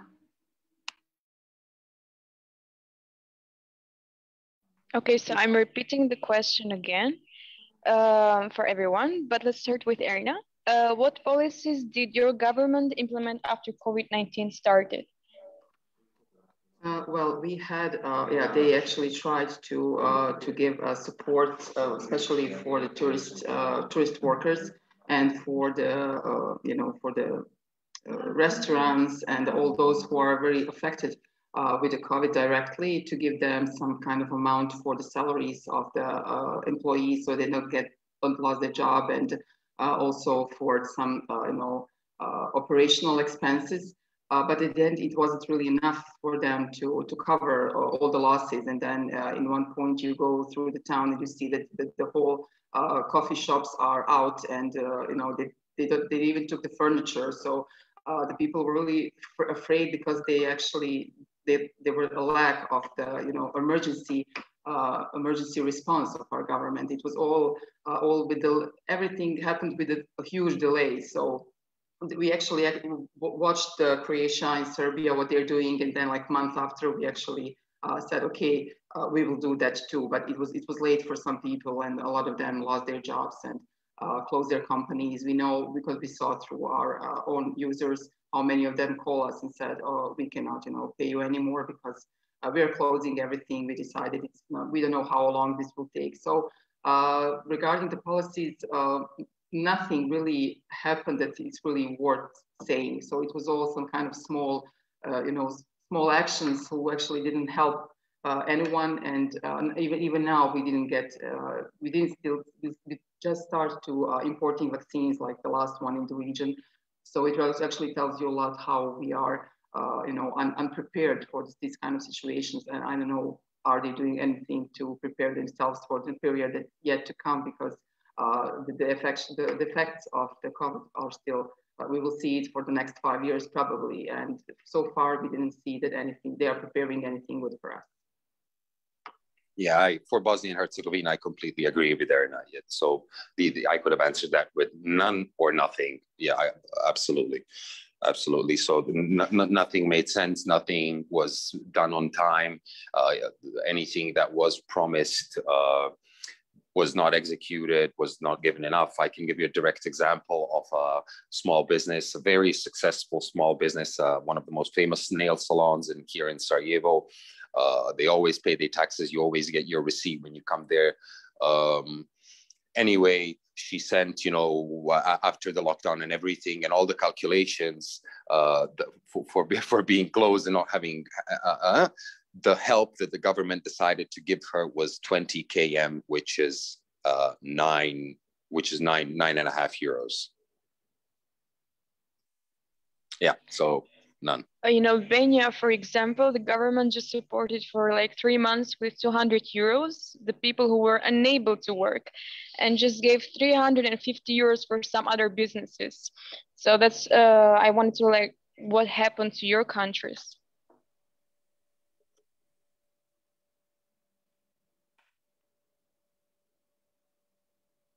Yeah, it's true. At least we got some help from the government during the difficult period of pandemic. Ersin, how was in North Macedonia since you were discussing previously?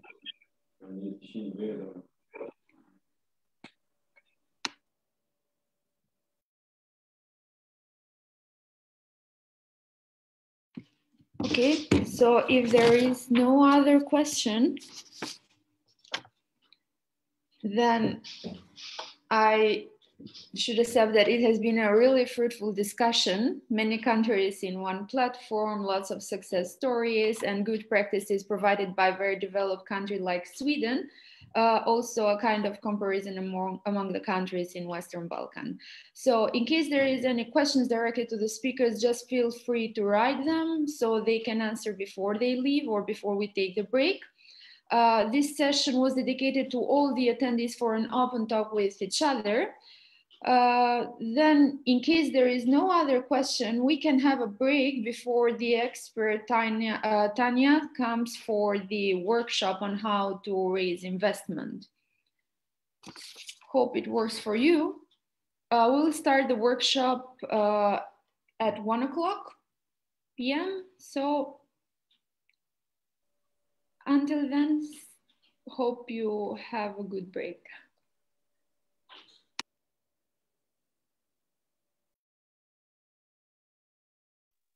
Okay, thank you.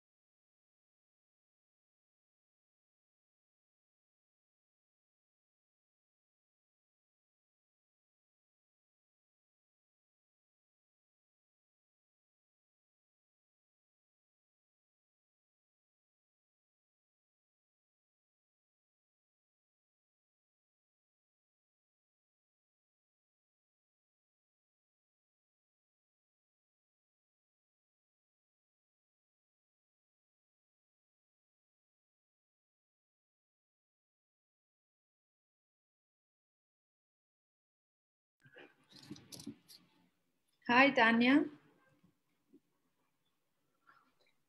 Hello, everyone. How are you? Very nice. Very nice to be here and great discussions. Thank you. Thank you for letting me. Thank you for letting me be part of this. Our pleasure. Uh, we have to wait a couple of minutes. People are just joining the room.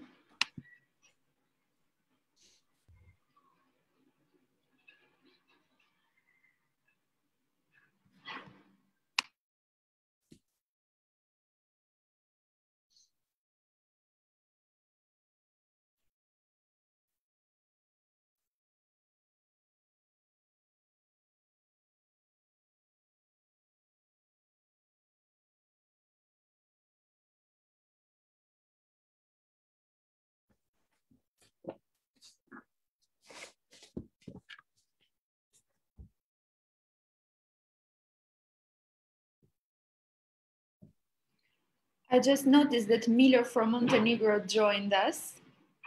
Hi, Milo. Hello, hello everyone. How are you? I'm good. We Greetings. missed Montenegro during the discussion. Yeah, but greetings from Stockholm, from Sweden. I'm very, Oh.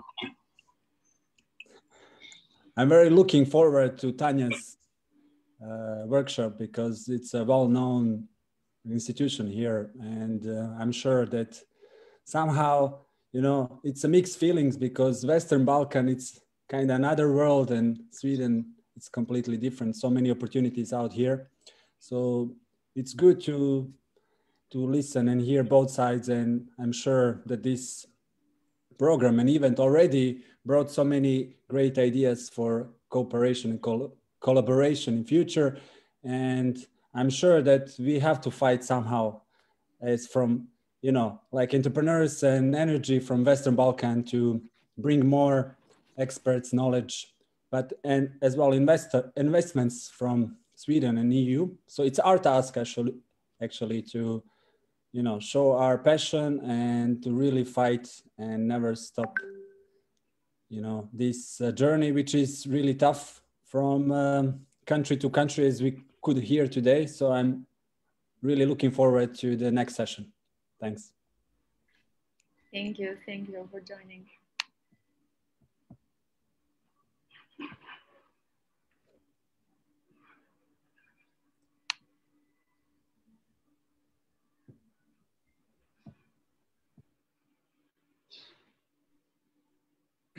Uh, Tanya, I will make you the host, but you have to accept people entering the room.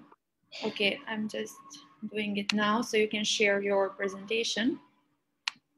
Mm-hmm. We will do that. I think I should uh, say a few words when I, everyone is here, um, which I guess we need to wait a couple minutes or are you ready? Uh, I think we can start now since it's the time. Uh, I, Okay. I would like Yeah. to to just uh, interrupt a little bit here. uh, maybe not everyone knows, but Tanya is a is a colleague of mine uh, at uh, the School of Economics uh, at Lund University, and uh, we both uh, started our PhD back in uh, 2015, and uh, um, and uh, apparently Tanya uh, took a much better uh, path than I did. Uh, she she taught, she engaged herself very well in the ecosystem, uh, and and she really did a fantastic job in in uh, in in her PhD, where. Uh, she did not only manage to finish a PhD, but also to work on on on on on the side of uh, teaching and the side of being involved with the ecosystem around her.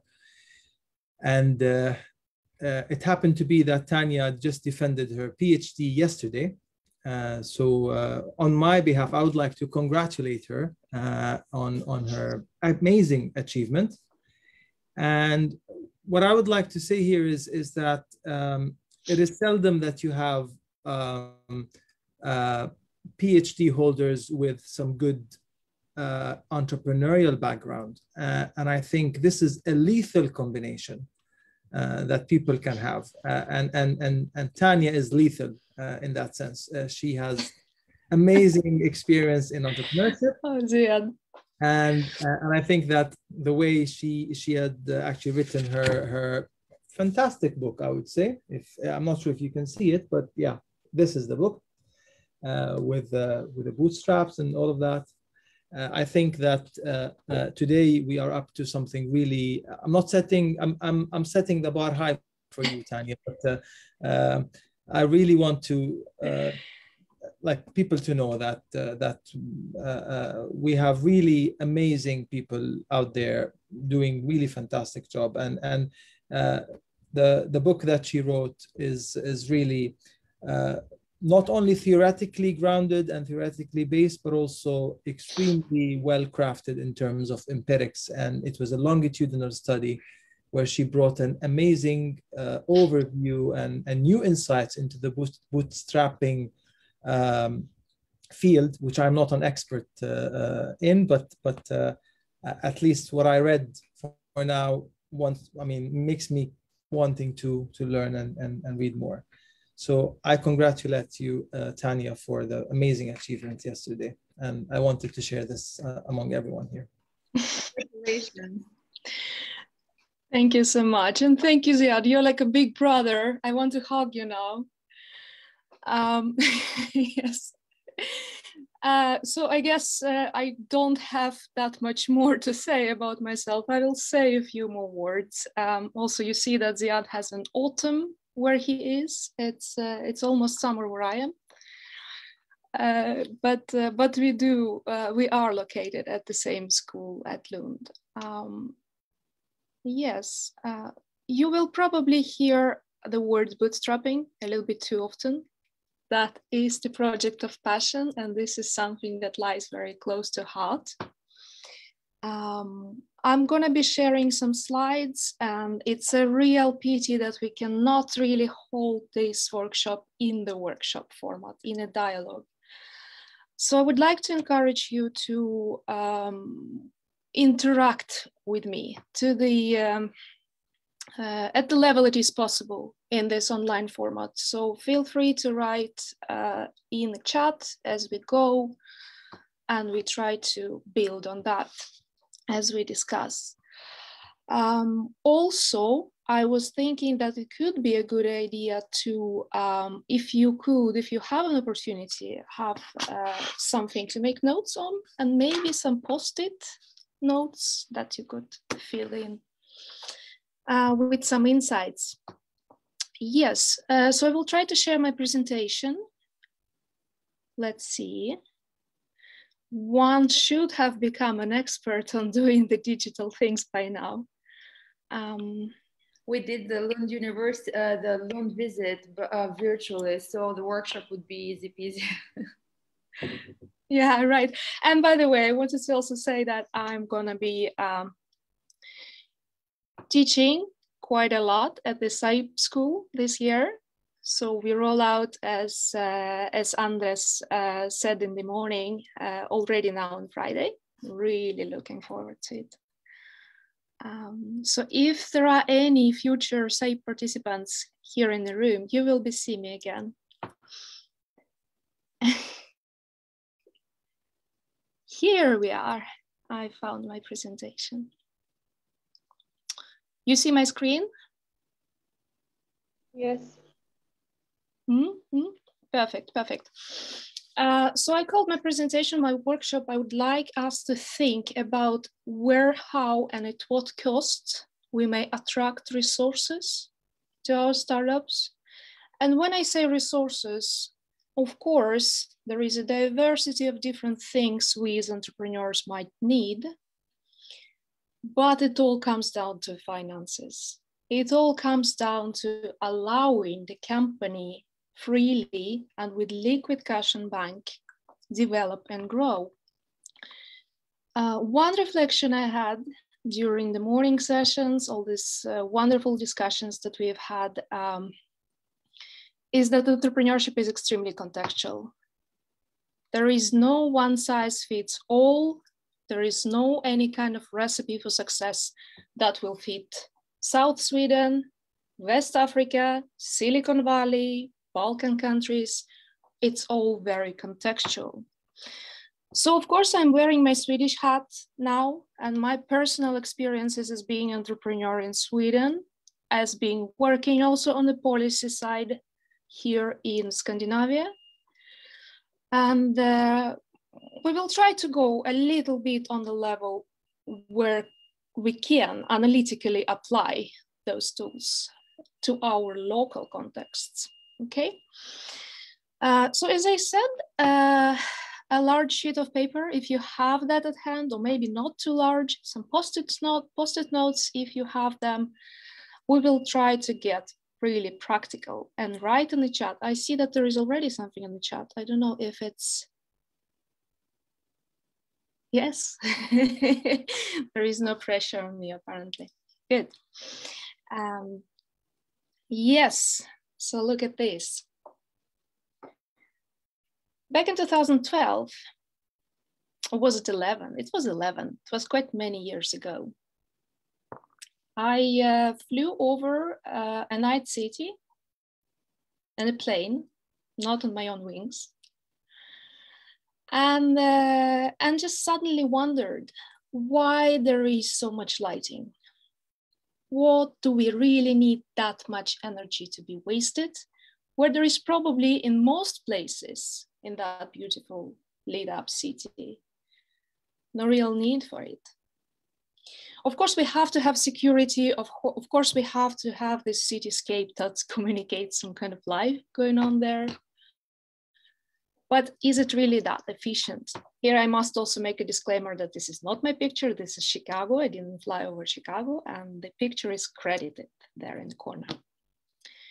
So I came back to Sweden. Um, I was already a part of um, entrepreneurial crowd and worked very close to university.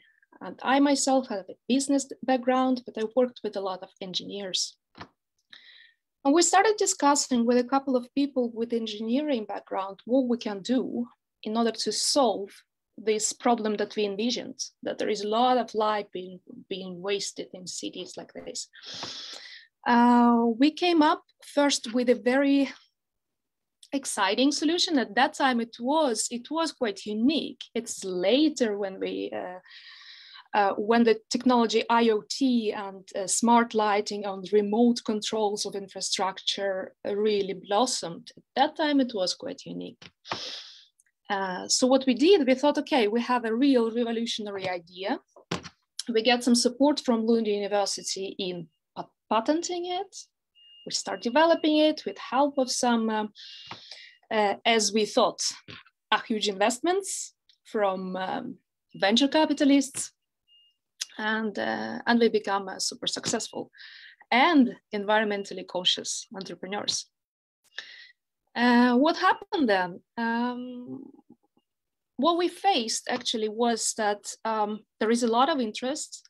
We actually were quite quick and indeed got some support from university in terms of small uh, test test grants and we uh, uh, developed a very rough quite ugly prototype of the system that's supposed to go in street lamps and uh, make them aware of the time of the day, of a presence of people, and adjust the level of lighting.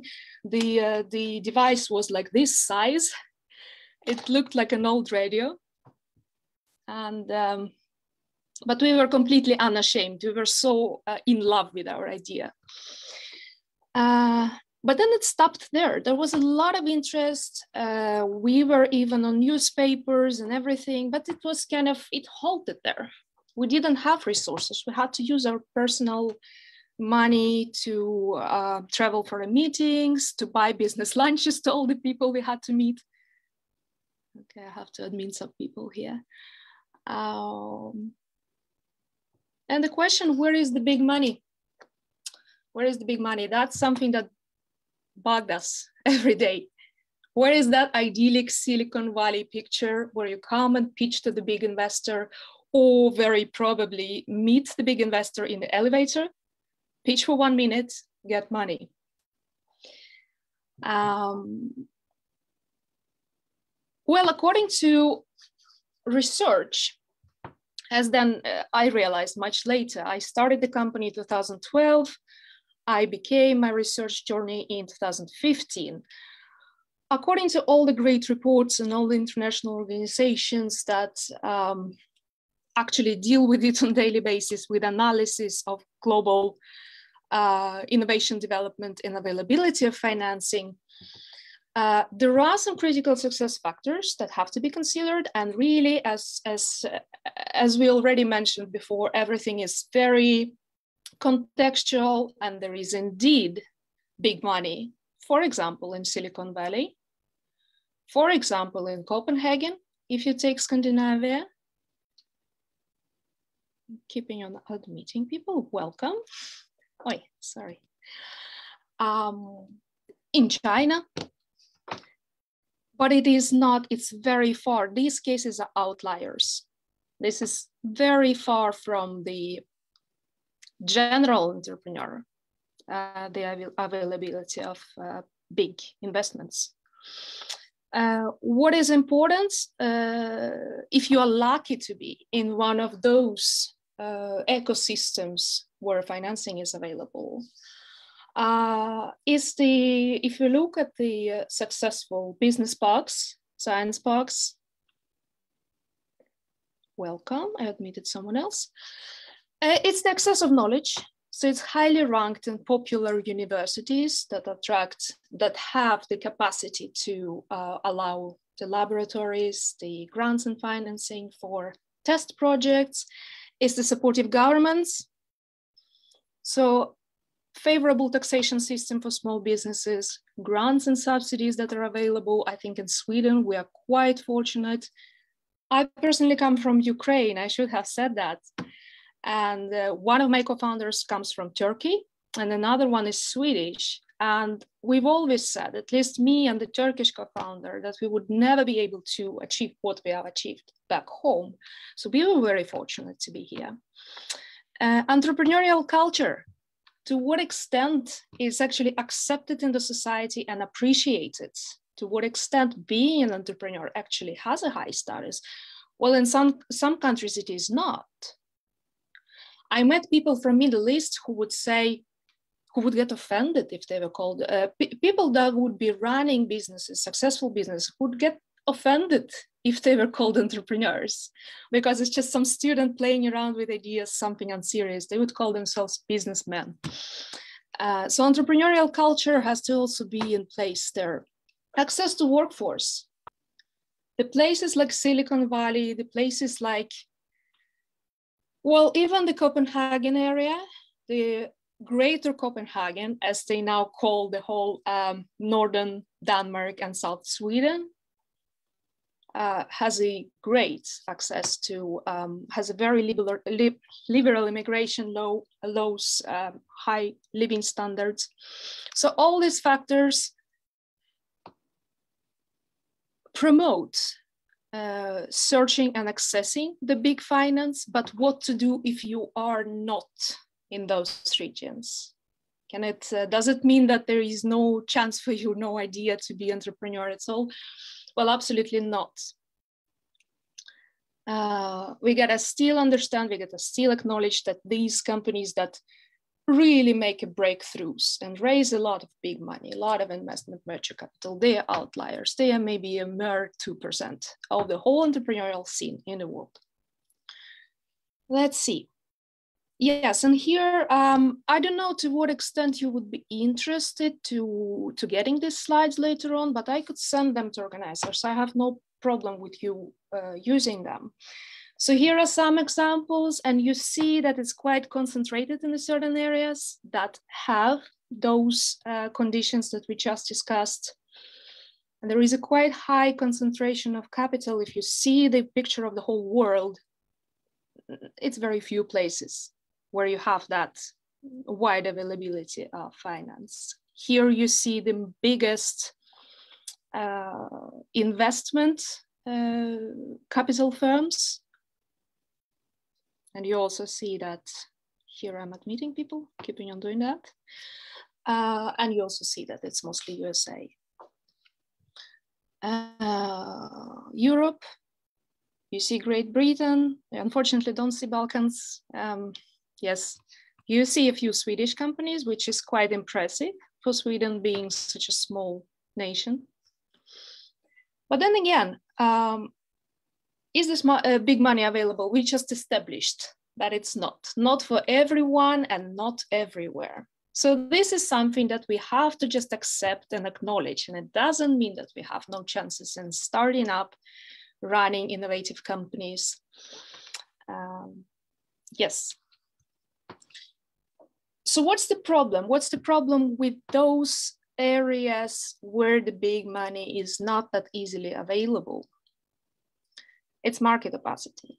This is something that unfortunately one cannot avoid that means that we as a small entrepreneur, as a uh, often, often also quite young person, um, do not have that complete picture. We cannot just understand how the market in our area works by buying a McKinsey report.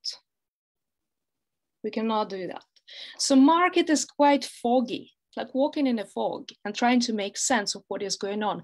At the same time, we have to be quite fast because the more resourceful competitors may come into the picture. This is actually what happened to my smart lighting company as well. We struggled quite a lot without the speed, without the lack of information about the market and the speed of development. Um, so this is also something to consider, something to acknowledge, and something always to have on you on the back of your mind.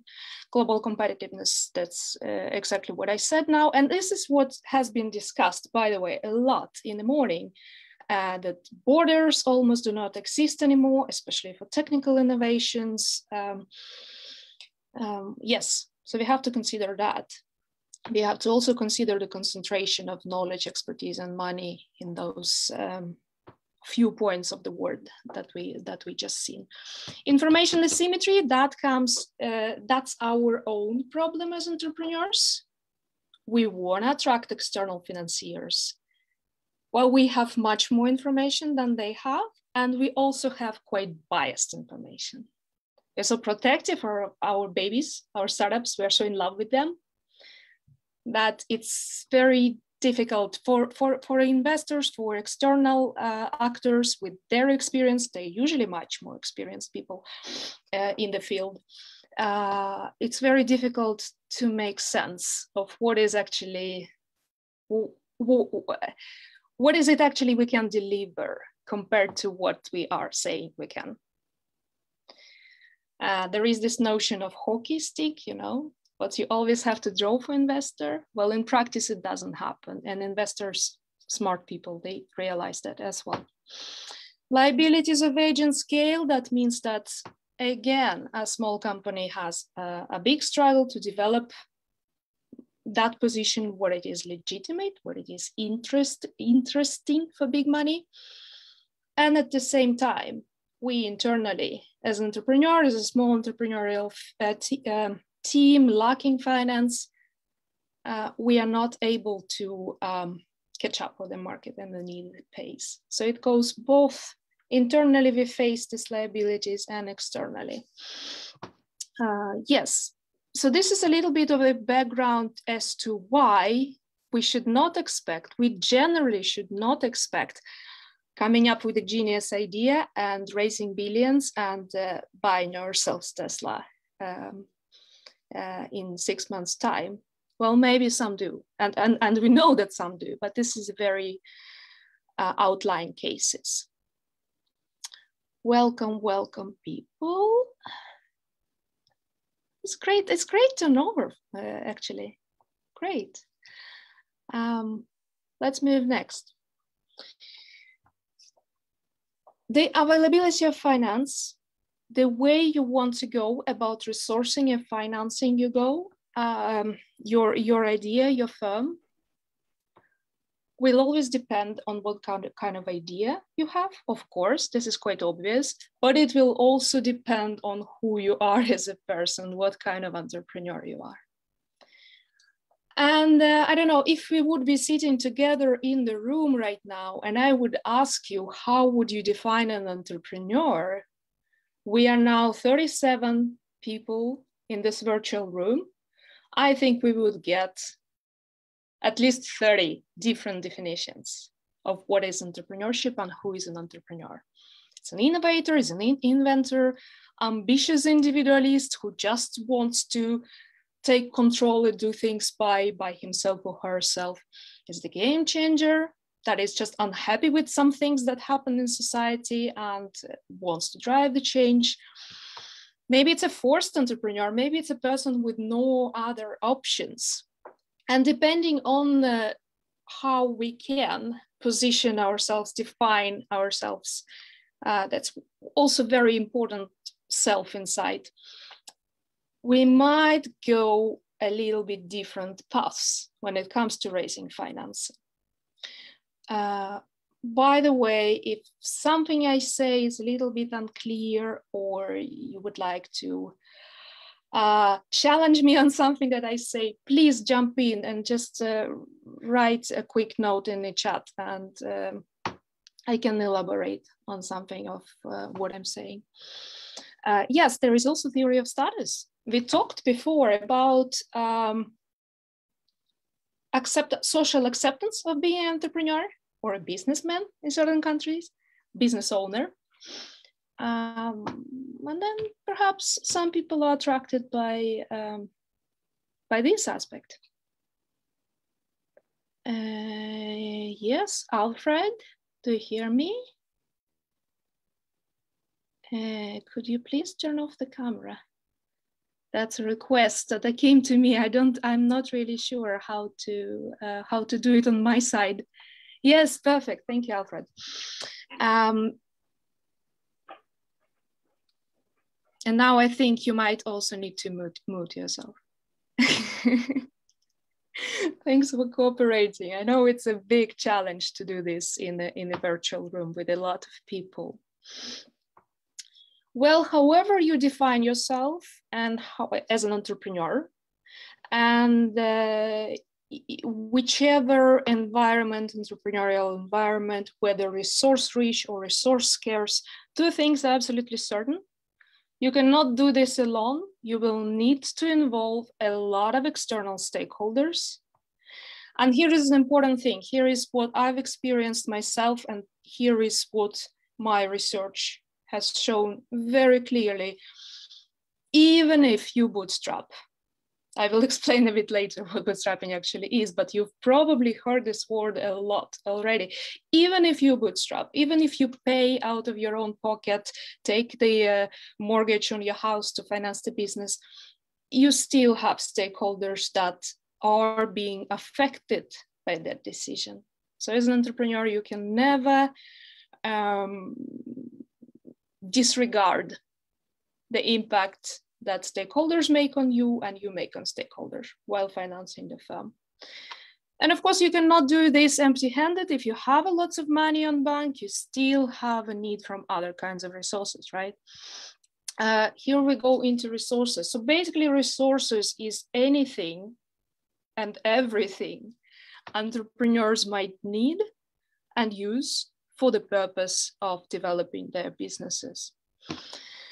Uh, it's not always money, but they're always transferable into the uh, firm finance. Here, try to understand, uh, please, what I mean. If you get some service for free, for example, you are allowed to use or you work from your own garage. This is very popular myth, right? That all the companies start from a humble garage. Uh, even if you do that and you don't pay anything for that, that means that other resources that you have uh, at hand you save and you can reinvest them. In kind of resources will be in one way or another in the end of the day showing off on your balance sheet on your pure financial situation. So resources are pure finance. It's a premises production facilities physical resources. Intangible resources very important point here especially for young and small firms who are suffering from those liabilities of age and scale that we mentioned before. Uh, and it's highlighted in bold here, human and social resources. Next, we will touch upon a little bit on the ways to make decisions as an entrepreneur. And here, just allow me, I don't know if you came to this workshop with expectation that we will only be talking about acquisition of money, but that conversation could be, uh, could be very short. so I want to give you some background into how, um, how you can reason. Maybe your big money is not only unavailable in, uh, in the area where you are, but maybe it's also not what you need. Here, let's move on. So your usual priority order. Let's take an average non-Silicon Valley, non-high uh, concentration uh, resourceful environment. Your usual entrepreneur would likely go in this order about financing the firm. It will be first financing at hand, and here I wrote a bit of different concepts. We will go through them. Then it will be debt financing, most likely. So the loans, the some types of crowdfunding, we will go through this. We will, through this. We will elaborate on this. Uh, and only in the last hand, equity will come. And equity is that, that traditional investment that you are very eager not saying you, one is very eager as an entrepreneur to go for first. This is this is perhaps not not the optimal way. And for what reason it's not the optimal way? Uh, well, first of all, uh, the second the second and third, what we would call a traditional finance, debt and equity, they are very seldom available immediately because of those liabilities we've discussed, right? Um, it's also quite common common sensual to start testing your idea with your own finance before you go out there. So it's uh, you might be bootstrapping without even realizing you do that. You probably uh, you're very likely to do so. You're you're very likely to not start your business with renting an office facility but in your garage or in the incubators. There was uh, there was one interesting very interesting speech from the Tirana Science, Science Park, right, where, where one could get a free office space. That is also a form of bootstrapping. So that is financing at hand. You might just naturally, intuitively go for this option first. And then it might be a strategic uh, choice because uh, whether whether we are, um, of course, we are attracted by that big money, yes, from the debt and venture capital, but it costs so much when we are young and small as, entrepreneur, as, as entrepreneurs. You will have to give up a lot of share, a lot of control in your company if you go for equity first. And there are other aspects that we will discuss later. Um, yes. So apart from that uh, usual order, you go by let's call it pecking order. Just imagine you have a basket of fruits and and and you like bananas the most, and, and you go after bananas, then you have just uh, uh, oranges and kiwis, and you go after oranges, and then kiwis are the last. So that's the pecking order think about finance. Ah, this is very simplified, of course, and one could argue, but uh, about like this. So picking orders first and real options. You choose your order according to options you have at hand. And the options are generally, this is not how a normal entrepreneur would reason. This is not anyone who would sit at the, at the brainstorming uh, board with a co-founder uh, thinking, okay, should we expand? Should we reconsider? Should we abandon? No. But if you look at your business decisions back, if you even look at your most important life decisions, not related to business, uh, these are usually the options you have at hand. So you can either um, expand with help of external um, extra co-founders uh, with external help help because you will need that you cannot be alone uh, you might reconsider. You might say, okay, this this is not really working. I will. This is a very popular word. It has been um, a few years back. Pivot, change your idea. Uh, you can decide to abandon, terminate, go and take your uh, bank clerk or or whatever. This this is not to be disrespectful to bank clerk, but just like take take a conventional employment somewhere. You may decide to wait and see if you have you, you have other career on the side. Uh, and you might decide to contract. And the contracting in this case is uh, would be the big money. So going into the formal legal relationship with stronger stakeholders.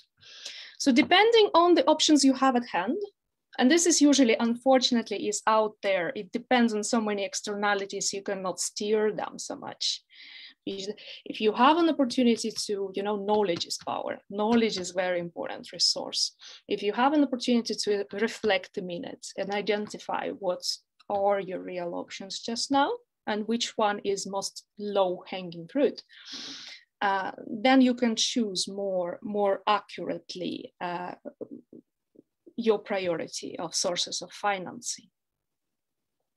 Hmm? Any question or reflections at this point?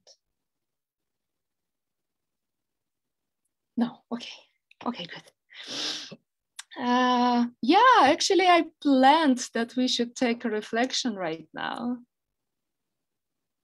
What do you say?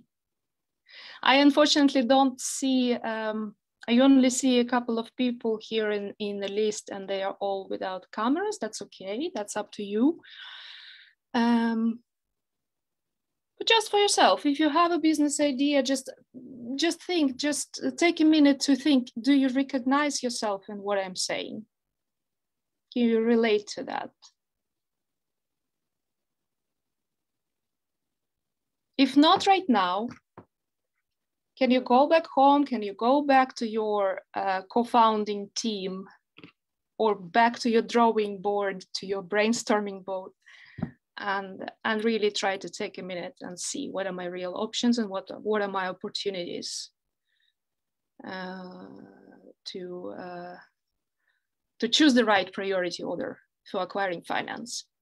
Because that picture of, uh, of a big money again, I'm gonna be returning to the same tagline.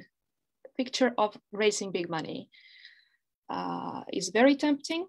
You might find yourself stuck on this idea, chasing it, uh, but it's it might be just objectively unavailable, and it might be not optimal at the stage where you are at, at the stage you find yourself at. So uh, let's say we have reflected. Mm -hmm. Tanya, sorry. Yes, yes. I can share my experience to make it a bit. Yes, perfect, perfect. Thank you. Because, you know, practical experience. So I'm from Montenegro. I have built mm -hmm. my own startup four years ago. I started as a hobby. I work full time. And then as a hobby became mm -hmm. working more on hobby than on full-time job. So from two hours, four hours, six hours, eight hours. So I worked 10 hours on my startup, started to build uh, my team, enter first incubator, second inc first incubator, we didn't get MVP, meaning we didn't have any prototype. Second incubation, we formed the team. We finally got MVP. We finally won the first prize etc. So everything started spontaneously as my personal experience of building a career abroad in Sweden, in Lithuania, in um, Slovenia, and Montenegro. And actually, we are helping job seekers and career coaches. So we are matching job seekers and marketplace for job seekers and career coaches. And then we enter in Western Balkan program together with Anissa in Albania. Then we enter in another program. So, you know, so many incubations and trying to enter accelerator, for instance, in Malmö, in fa fast track, Malmö, mm -hmm. three, three years in a row and meeting so many people from, you know, in Sweden, etc. So to short the story, now I arrived, actually we got one offer in Croatia, one offer in Slovenia, like accelerators, but those were a bit low amounts for you know because now you are talking about financing. So until now we are still bootstrapping. That's first message that, mm. that i want to mention. Mm. because i myself for last one year and a half i can earn my salary through offering the service through my own startup So I can survive. I can live like this, let's say next, I don't know, 5, 10, 30 years, right? You can ask. May, I just ask, uh, how long did it take you to start being able to pay yourself? Well, to be honest, even though everyone was saying, you know, just sell, try to sell and sell, I was firstly uh, building a strong ground, let's call it like that. You know, uh, mm. firstly a team, then I was aware that startup world is completely different than the regular business world because when I was back in yeah. Sweden uh, eight years ago, I entered one startup and I realized how much I don't know, even though I, you know, have one master in Sweden, one master in Slovenia. So what I'm trying to say, I, I, I was aware and that I should invest and enter these incubators and accelerators and talk with so many different, you know, people and smart investors uh, or stakeholders or the most important, of course, coaches and mentors. And I think that's something that, you know, young entrepreneurs are making a mistake. They think they know everything. And of course, you don't know everything. So that's why you have to build a team no. that you trust and you can delegate. And most important, you can execute something from an idea to a first, let's say, prototype or MVP. But so we have a mm-hmm. MVP, and now we are at the stage where we are seeking for investors. So I told we got two offers, but we declined. And now I actually came to Sweden for six months. It's a great program, Erasmus for young entrepreneurs. So, and you can mm -hmm. stay up to six months. And I have a great uh, coach, uh, business coach here in, in Sweden. And I'm actually approaching incubators and accelerators and business angels and VCs here in Sweden. That's what I'm doing for last three, four months. And it's fun because you know, incubators are saying to us, well, you are already having an MVP, you already have 600 clients, mm. so, you know, you should not go through us. And then when you talk with VCs, they say, you know, you only have 35,000 of uh, revenues, which is, you yes. know, great, but come back to us because, you know, we need 200,000 or 1 million of revenues mm-hmm. per month. So we are kind of, you know, uh, between uh, let's say incubator so we should go through accelerator or through business mm-hmm. angels for i don't know six months one year to build milestones to package our product to have more market fit yeah. product and more clients and that we all develop as well and then we could be ready for vcs in sweden so different markets are mm. just you know different mm. financing opportunities that's that's my story yeah thank thank you so much. This is uh, this is perfect and there are many things that i can also um, agree with and relate to from my personal experience. It's very common actually to to be in that gray zone right? And you realize that you're chasing and chasing and chasing uh, one opportunity or another and you are kind of in between and not fitting and you're losing so much time and you get so frustrated and you're losing motivation. So this is something um, you know one thing that is very important to know. So that entrepreneurship back to the discussion who is an entrepreneur? Entrepreneurship in most cases and largely it is a skill like any other skill. If you want to learn to play violin you will need to spend years practicing it, failing, uh, until you can be a master in that, right? If you want to be a successful entrepreneur, of course, there are outliers. Again, there is uh, Steve Jobs and uh, Bill Gates and, and, and, you name it. Uh, but this is a very small proportion, right? Normally you would need to practice that skill. You would need to go out there and fall and learn from your experience. The more you do it the more chance for success you have. That's that's what uh, research says. Uh, yes. Thank you milo. That was very good. May and also, I also share mine please? Sure. Absolutely. Absolutely. Okay uh, my case is totally different. I don't have a business but i have some ideas and the problem here in Albania is that there are not too much funds available. So the first challenge is getting the sources where to ask for funds. And also another mm -hmm. challenge is the law, which makes it difficult for startups as the taxes are very high and there is actually no law for startups in Albania. Mm-hmm, mm-hmm. I'll continue. I'm just uh, so this, these the, are the two challenges, challenges, that I find. Yes. Mm-hmm. Like yeah. to know how can I it's to make it, even though I have these mm-hmm. challenges. Mm-hmm. Even the law okay. is implemented, is in the even the law, yeah, is in the drafting phase, but still, it, mm. I mean, the taxes are too heavy for the startups, and this is the main mm. challenge. Mm. This is a, unfortunately something that in these cases we cannot, these externalities we cannot really influence. Uh, we can just hope that there is a um, substantial base for lobbying through the incubators, through the accelerators, uh, especially I would say in the cases like if I would now uh, try to replicate my Swedish experience in Ukraine, where I come from, where it's a completely different situation, much less availability, I would absolutely not try to start in the garage. But will go in a first hand to the networks and incubators and see what kind of community help there is there. Because I'm sure there is a lot of um, local initiatives and community support in the countries that are quite uh, in the structure, in the governmental structure, taxation st uh, structure, uh, resistant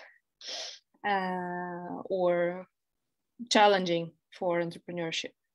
Uh, we will go, uh, I see that we've used already uh, half of the time, it just flew away. Uh, so I would like to go through the uh, financing at hand, what is coming first in the priority, those fancy words of effectuation and bricolage and bootstrapping. This is probably something that you already do as entrepreneurs without reflecting upon it. And I don't say that you need to study literature and learn how to do it but just know that it's very important too and you actually can uh, often breach this gap that Milo talked about also this gray zone between being too old for the incubator as a company as a person too old for the incubator and too young for the venture capital. So financing at hand we start with effectuation. There are some tools that you can apply uh, and the first is the bird in the hand. You remember when we when we talked about resources just a couple slides back, uh, there was human and social resources highlighted in bold. This is absolutely, even if you have a rich uncle, uh, even if you have, uh, if you are spinning off from another company that is quite resource rich, this is your first go, human and social resources. Who I am, what I know and who I know. Uh, so I'm not gonna, uh, as I said, I think I think there is a lot of information that we will not be able to go in depth on. So I will share the slides with the organizers, and if you have an interest, you can uh, you can get them later. Uh, so just know that whatever path to finance you choose, uh, you probably have much more at hand than you realize. As I said, in Ukraine, I would not think of, um, as here in Sweden, preparing a, a, very rough, quite ugly prototype of a product and go knocking. It's a good, it's a good way to get insights, but I would know for sure that I will not uh, start selling this way. I would go to uh, networks and incubators, for example, or communities uh, affordable loss, you know, it's like with investments, with the day trading, you know, cryptocurrency, whatever that people now buy massively. Uh, what's the difference between a gambler and a smart investor? Is that you never uh, you calculate your affordable loss. You think, what is it I'm actually ready to lose in the process, and you never invest more than you're ready to lose. So when you pick the source of finance, you also can think like this, okay, um, now maybe the time is more most important because the technology is developing very fast, that technology that I thought of, or not I, the entrepreneur in question. And maybe if I uh, start financing the firm by own money or raising grants, I will lose that competitiveness. I will lose that market niche. And then the loss of time is greater than the loss of 50% of the company if you go and try to raise um, uh, business angel financing. So calculate affordable loss and be ready to to risk because you you will only risk that what you invest. You will never risk more than that. Um, yes, the lemonade, uh, you know, life gives you lemons. And here it's also very important to be quite flexible with your goals. Uh, the way to think in entrepreneurial way is that you can have multiple outcomes that each and every depend, depending on what you have depending on what you have at hand and each and every of those outcomes might be quite satisfactory in my practice, uh, I met an entrepreneur, for example, I met uh, one entrepreneur who is very successful, quite old now, uh, experienced in age also, uh, has a lot of um, successful companies behind, who said, when I first started with my first entrepreneurial project, my goal was to build a career where I can work six months a year and take a vacation for the remaining six months. This is a very concrete goal, but it's not related to the um, specific product or service, right? Uh, and this, it can be achieved, this particular goal can be achieved in, in many different ways, depending on what kind of means you have at hand. Uh, partnerships, partnerships, partnerships. Again, to the point that you cannot do this alone. Think never say no to someone stretching you a hand. I'm thinking, okay, if you have an environmental uh, environmental idea of reducing plastics and you get a business offer from them, you, you perhaps not get it served, but there is a potential opportunity to collaborate on something with a plastic producer. Mm, maybe quite controversial, but uh, don't reject it immediately. Don't act on emotion, there might be still a, a, a great opportunity to, uh, yes, to benefit, for both sides to benefit. Uh, so crazy quilt basically means that you take patches, you take parts that first seemingly do not fit together, but you put them together and it turns out in a quite cool I should have put a picture, but imagine like some carpet that is consisting of different shapes and, and colors. And the pilot on the plane, uh, you cannot be, uh, as a pilot on a plane, you cannot be sure of, you cannot control externalities, you cannot uh, be sure that will not be uh, like a crazy wind or crazy storm up there, but you have your controls and that you have at hand you are steering from A to uh, to Y to Z. yes, to Z. Uh, so accept the things you, you can't control. Try to make the lemonade out of them, but really take charge of what you, um, yeah, your skills, abilities, your networks, and, and um, take control of that. There is bricolage. Uh, so always look around for, um, bricolage actually is a form of art. It comes from a French uh, word for, maybe someone speaks French. I don't remember. I think it's improvisation, some form of improvisational art where you turn the trash to value, basically. Create forms of art from the resources that others discarded or neglected. See if you can use a resource that you did not at first consider as a resource. Again, your uncle with a conference room or with, with a successful business where they don't utilize a garage. Why should you use your own garage? You can do that instead. Yes, I will provide the slides. Yes, absolutely. I got a question here. Um, yes, we cannot, so it's basically do it yourself, uh, turn trash to value. And this is a, a bricolage is particularly important for eco-social innovation, eco-social entrepreneurship. Uh, yeah, so basically what we touched upon before, uh, we should not take, we should preferably not take, we should not fall into that fallacy thinking that there is one big goal and I should spend a lot of time assembling the money, assembling the means to achieve that goal. That's what we have on the left part, yeah.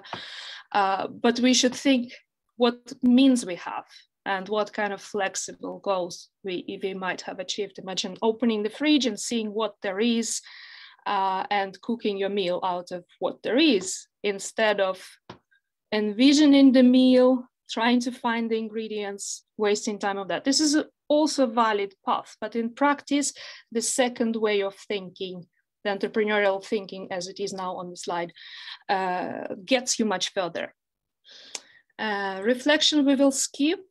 Uh, you are very welcome to reflect afterwards. This is my um, dearest topic. the, the, dissertation that I defended yesterday was exactly on bootstrapping. And to be very, very now pedagogical, I hope you will uh, allow me this liberty. This is the shoe, mm, my shoe. Um, and this is not very good example because it's missing the bootstrap, but think the strap that is on the back of the shoe, especially the boot that you use to pull the boot up. Mm?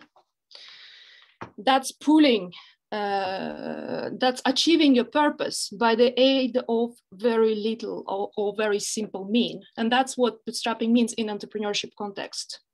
You're pulling yourself up with very little help or very simple means. Uh, yes, I also like do it yourself, absolutely. Uh, you can you can uh, do much more than you think you can actually. Um, yes, and there are different. Uh, this is a again uncle.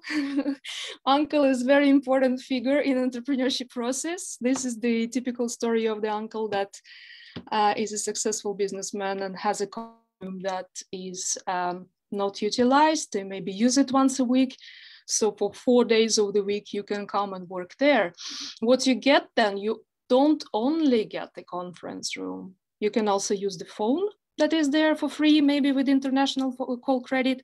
You can also come and drop a couple of questions to the company accountant, just like this over coffee. Uh, you can also participate in some uh, after work uh, where you meet your first customer. So this is very important to not discard that uncle that could be of help for you. There's also the way, um, the classic way of bootstrapping. Uh, and there are different kinds of uh, forms. Uh, this is also priority order. You would usually bootstrap with the financing from your own pocket first, then you would go for subsidy financing. This is not very linear. It can work uh, in, in waves and circles. You can come back to one or another, or they can interlap, uh, overlap. But this is the normal, um, uh, normal way of reasoning for bootstrap resources. Um, but what's important to understand that all of them are relationship oriented. So whatever you do out of those behaviors, you, you have a stakeholder that is dependent on you and that you are dependent on. Uh, so take care of your relationships, whatever you do out of bootstrapping. So that uncle should be so appreciated. He should be invited to your wedding. Uh, he should be always get the prettiest uh, post uh, postcards for Christmas um, and so on. Um, yes, so we go we go very quickly through these uh, different ways to bootstrap. Um, if it's owner financing, what is meant here, uh, evaluate the costs and rewards, evaluate the affordable cost, uh, affordable loss maybe you should not mortgage your house at the first hand, even if it's very beneficial for your uh, business because your family is affected badly by that situation. Maybe it's less, uh, maybe it's less uh, risky if your partner is working somewhere else, uh, has a good salary and you don't mortgage so much. So evaluate that. Don't just kind of dive into it without uh, thinking twice. Uh, grants and subsidy financing, I of course don't have a very good um, outlook at what is available in uh, um, Albania and Balkans. Uh, this is what I personally used, um, and this is what we also uh, look at with our startups that are being born and raised here at, at the master program and at the Ideon Science Park. Uh, look at European funding. What is important here to consider though is that you probably shouldn't, probably it's not a good idea to look directly, to go directly into the uh, European Union for funding, but there are usually some middlemen available locally. In Sweden, there is an organization called Vinnova, which is basically a governmental unit for entrepreneurship support. They have, they receive money, so they are middlemen. They receive those money from European Union, and then they uh, have some applications uh, that they can uh, divide in a smaller chunks to to local companies. And there is a question in the chat. Almi is great in Sweden. Absolutely, Almi is awesome, and um, that is uh, not only uh, that's also investment capital. Uh, that is very easily. It's much more easily attainable than your any professional venture capital firm.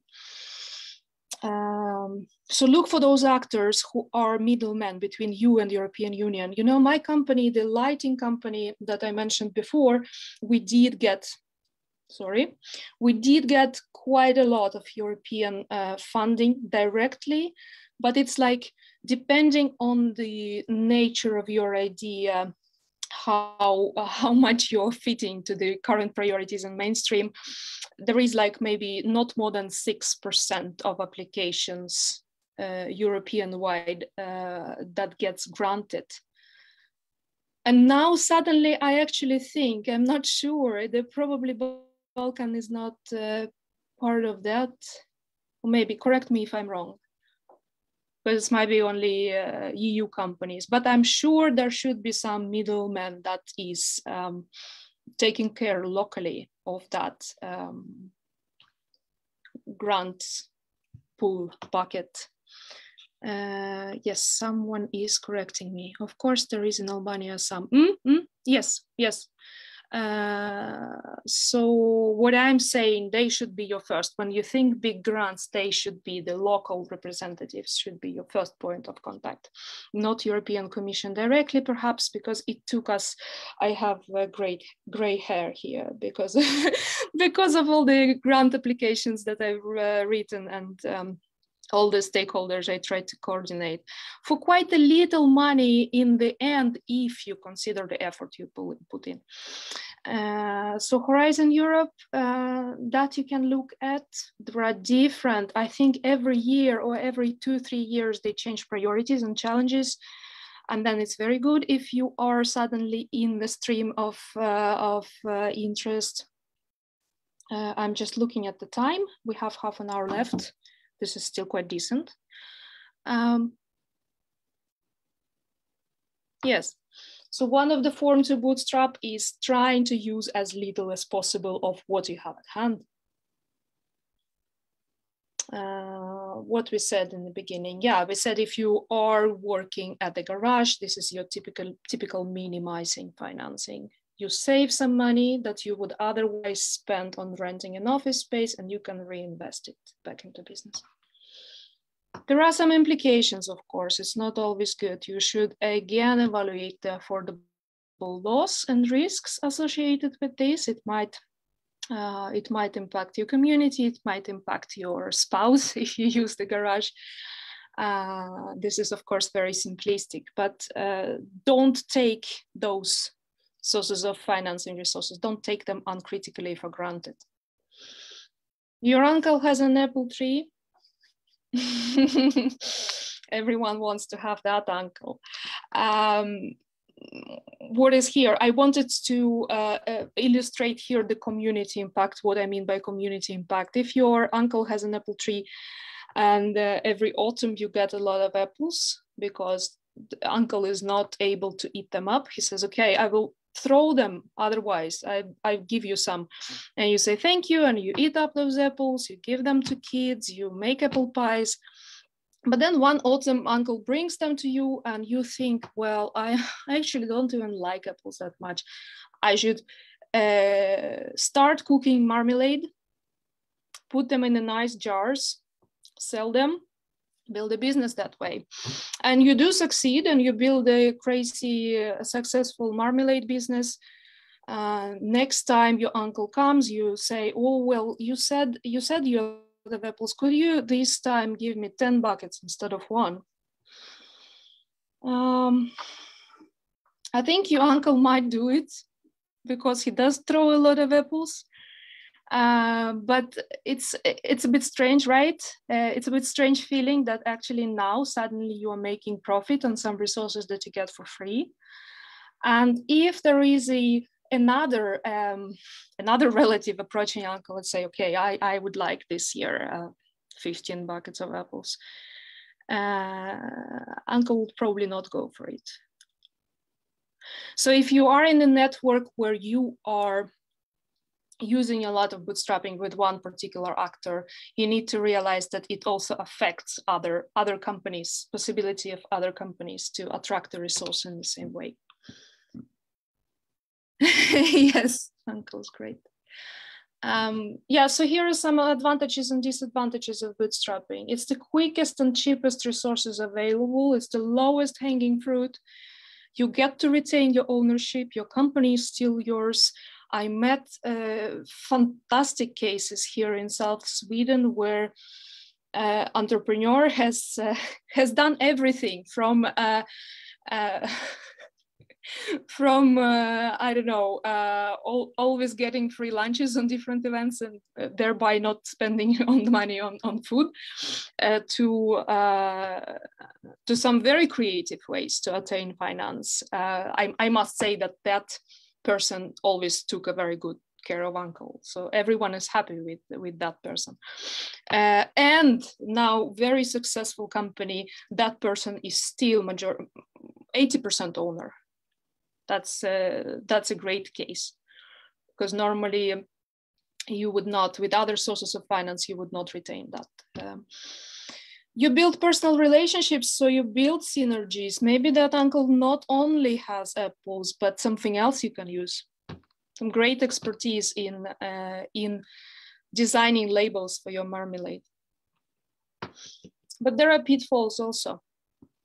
By bootstrapping in semi-ethical way by not giving back at least in some in some way to, to the community that you draw resources from. You compromise your legitimacy, you compromise the opportunities for neighboring companies to, to use the resources.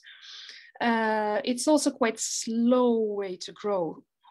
Yes, so scalability, scalability of your company can be also compromised if you only rely on resources at hand. Uh, and there can be, of course, uh, dependency challenges, even if, even if um, there is no formal agreement that I need to give back. There might be. I've seen cases where there were actually uh, uh um, ownership know-how claims in the end when the company used um, an expert, um, an expert in the field to do some work uh, without paying that person and um, for a very prolonged time and they used the result. It was kind of acceptable, but then uh, the, the, the, person claimed um, actually protected the, the designs that, that the person did for the company, which was very costly in the long run. Uh, so that was bootstrapping. Take a couple of minutes. We will not going to do if you have some immediate reflections that you would like to share or you would like me to comment on, you can throw them in the chat now.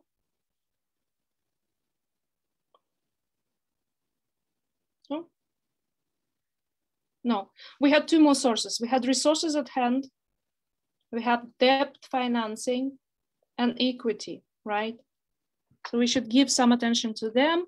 And we have fair amount of time, 23 minutes. Uh, ah, yeah, ah, yeah, this is something I really love. uh, avoiding the pitfalls, those pitfalls that we just mentioned, legitimacy, scalability, dependency, they will always be there. They will always be hanging out there. You cannot completely avoid them. You can manage them smartly.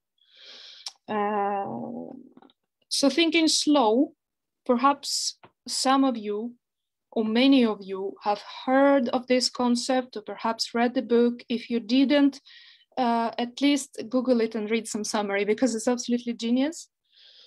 Uh, and it's quite connected to the second point, to the two marshmallows. Two marshmallows is um, quite an ethical experiment on the preschoolers, on little kids uh, that psychologists uh, somewhere in the US uh, done in 60s. Uh, you put a kid in a room and uh, give him or her um, a marshmallow, one, and say, okay, now I go out uh, if when I come back, if you did not eat up that marshmallow, I will give you two. Um, what happens to the kid at that point? the kid doesn't know if that adult tells the truth. Uh, if um, when when the adult comes back, will it really be two marshmallow? And that marshmallow that is in front of the kid is so extremely attractive it it becomes almost like a survival mechanism i take it now i don't care what happens later. Uh, so that was the experiment. There were some kids that actually waited for the second one and somehow they traced also in the 20 30 years that those kids who waited they were generally more successful in lives in the careers and all that. Uh, so let's skip for ourselves. We are not kids, we're not preschoolers, we're quite smart people here with our experiences, with our ways of uh, reasoning. Let's skip the part of the experiment, but just think that, you know, the second marshmallow might be coming, has very high probability if I'm thinking slow, if I'm thinking ahead. and not uh, driven by instinct of self-preservation, but um, by long-term thinking. Yeah, I got I got a question here from uh, from Milo. Bootstrapping is great, but as you said, it slows your scalability. In our case, I'm still the only one working full time, and I can't wait that other co-founders and teammates join me from full time. Absolutely. I can say um, and this is actually a very interesting insight from uh, Kauffman Research Foundation. That's uh, one of the iconic entrepreneurs of our time, right? Uh, where uh, it's a quite famous quote uh, saying, you continue to bootstrap until the bootstrapping outlives its utility, its usefulness. And at some point, it becomes an inverse U curve. You bootstrap here, you bootstrap here, you bootstrap here. It has a lot of utility and actually external actors also appreciate it. They see that you're taking risks, they see that you're investing, but somewhere it halts, becomes very unproductive for your firm, and then it starts going down. You should stop us. You should be very careful sensing that point. It's very individual for every company. But when you can stop and think and evaluate, uh, stop and think slow about the second marshmallow and see, well, maybe this is now making, doing more harm. Then I'm not saying that you are going to be able to just go out and raise capital immediately, but you should start thinking on doing something else than bootstrapping. I've done a lot of mistakes with my company uh, by relying on bootstrapping for too long. And here we will come, uh, here we will come next on debt financing, and you will see that it's not necessarily going to the banks, uh, which might be quite quite difficult, quite challenging. Uh, there are other ways to uh, to take on the debt. Uh, do not ask mom. Um,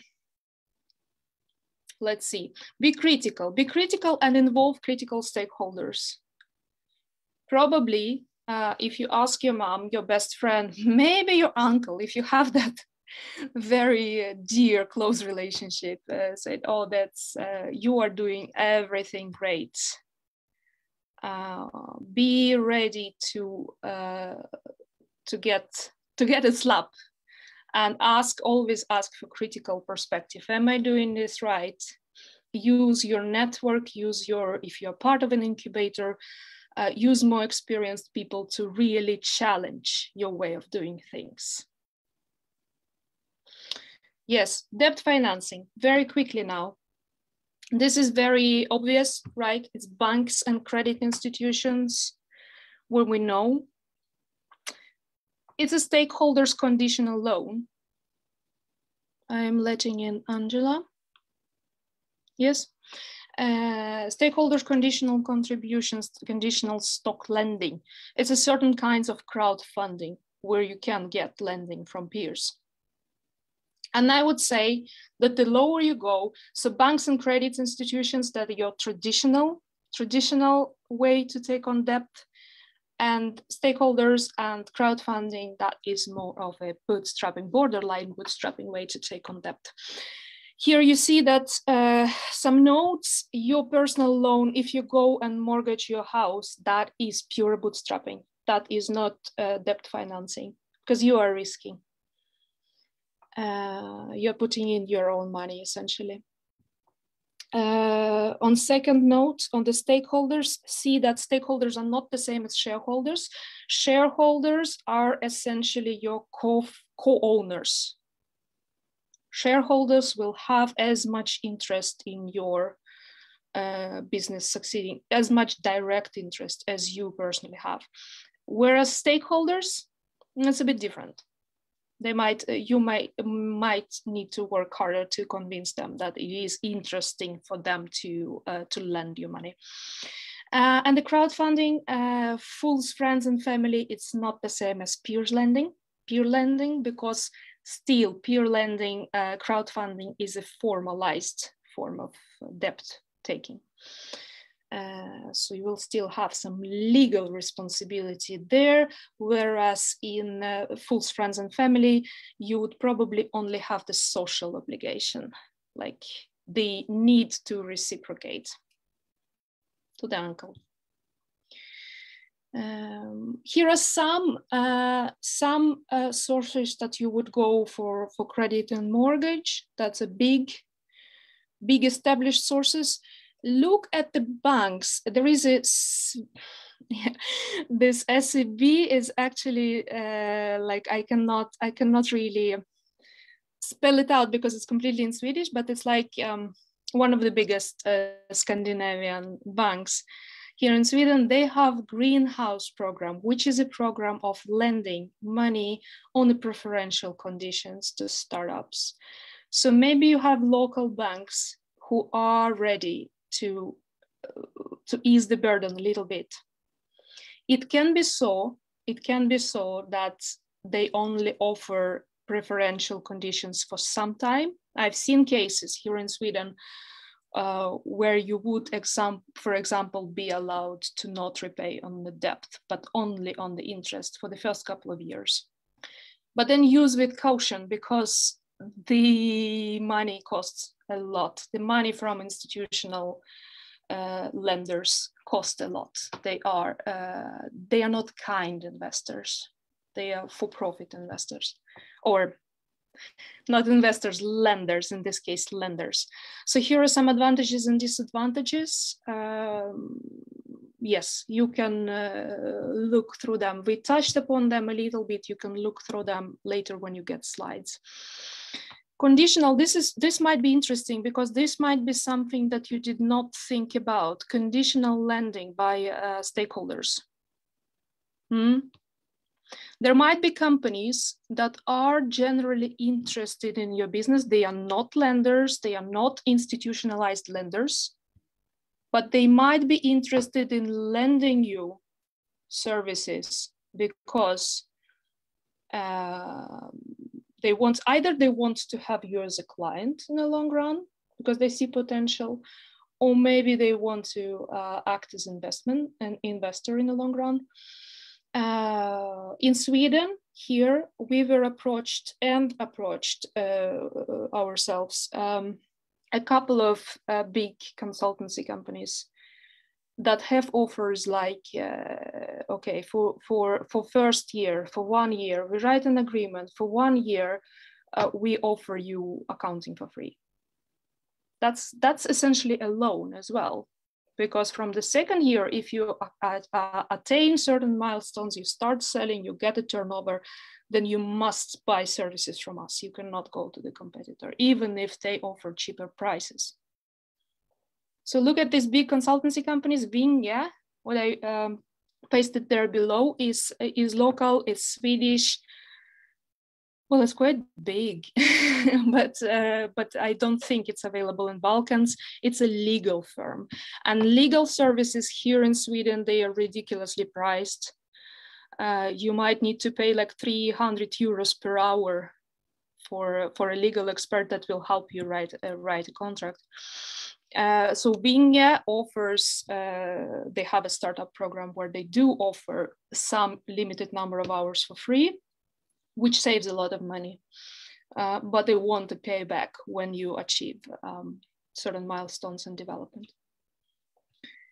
Uh, advantages and disadvantages. Um, yes, you uh, what what is here what is here i would like to on the advantages side you see legitimacy for big money essentially the more you remember the pecking order right the finances at hand debt equity uh, the more successful you are on the steps, the more legitimate you become to the stakeholders at the next step. If the venture capital firm sees that you bootstrapped successfully, you managed to pull off a lot on your own uh, hand without support, if that venture capitalist sees that you managed to involve, attract some strong lenders, you have much better chances to get that venture capital firm interested. Uh, crowdfunding for uh, lending, peer-to-peer lending. Uh, check if you have um, if you have those applications available in Balkans. Perhaps you, you've already checked. Uh, this is a borderline lending borderline bootstrapping i would say if you do not if the if the bank loan is too costly for you or if you don't have the right stakeholders who would lend you um, conditionally, uh, crowdfunding is a way to go. Uh, the thing with crowdfunding, you have to really be a salesman to crowdfund successfully. You have to really be that charismatic personality that is um, interesting for the crowd. We have actually one, just, just a second, I will take a question, I see the question, uh, but uh, just like I remembered now, we have a case here I don't know if I should. Uh, it was internationally actually famous, a company from Lund that crowdfunded for debt and for equity extensively and was a, comp a company developing uh, a smart a smart uh, mobility uh, not mobility a vehicle electric vehicle for for for cities very small car that is um, environmental and looking very cool and all that.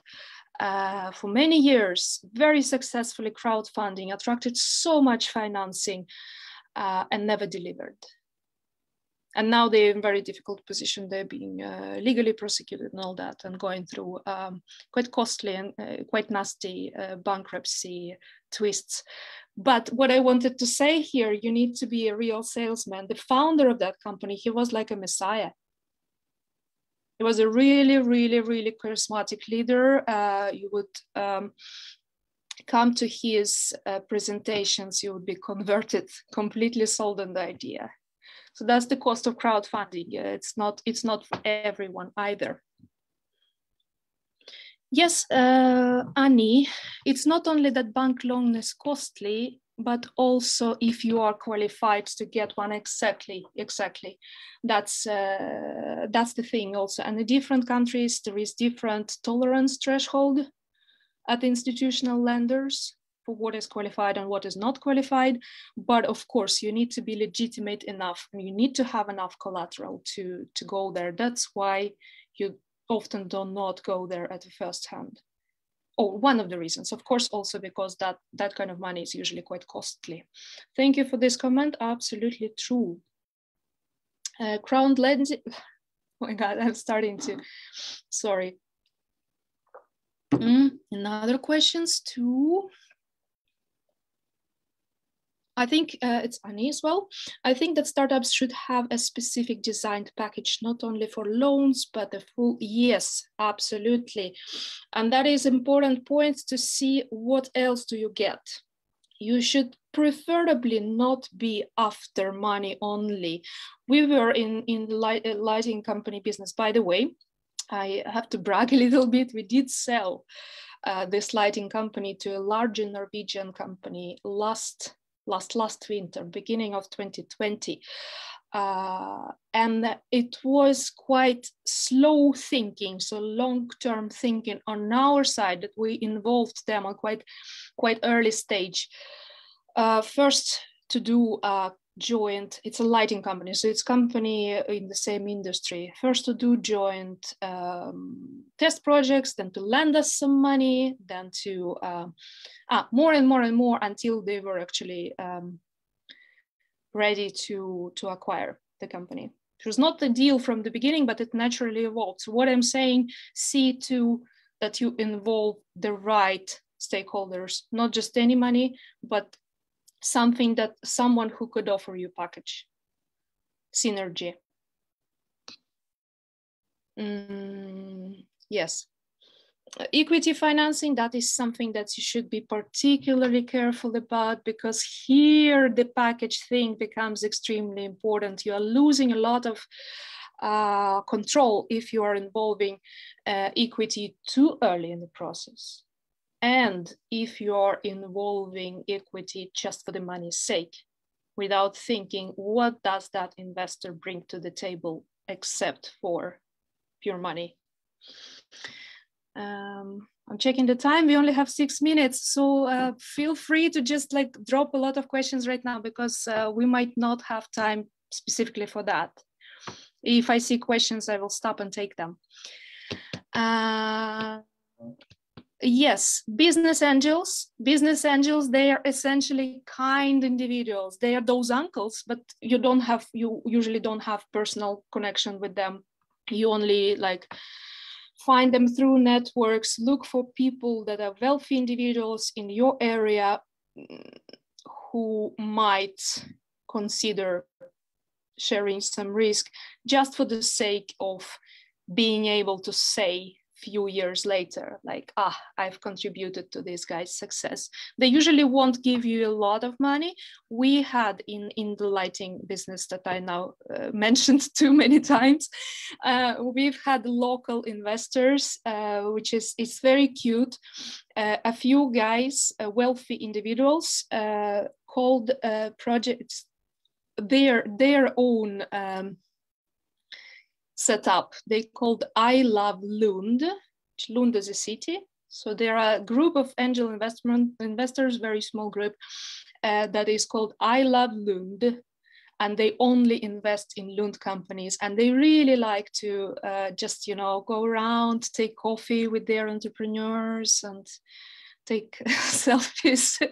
Uh, so they take really pride in contributing to the local community. So it might be a good, uh, good idea to look for those individuals if you if you want to start with equity. Of course, they don't just give you money; they want some share uh, in the business formally. Uh, yes, some types of crowdfunding can also be considered crowdfunding for equity.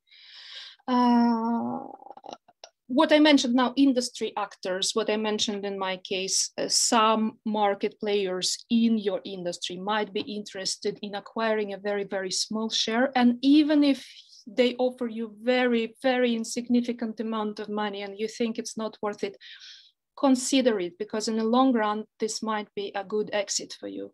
This might be the way to uh, uh, to make this this actor interested in acquiring you later. Um,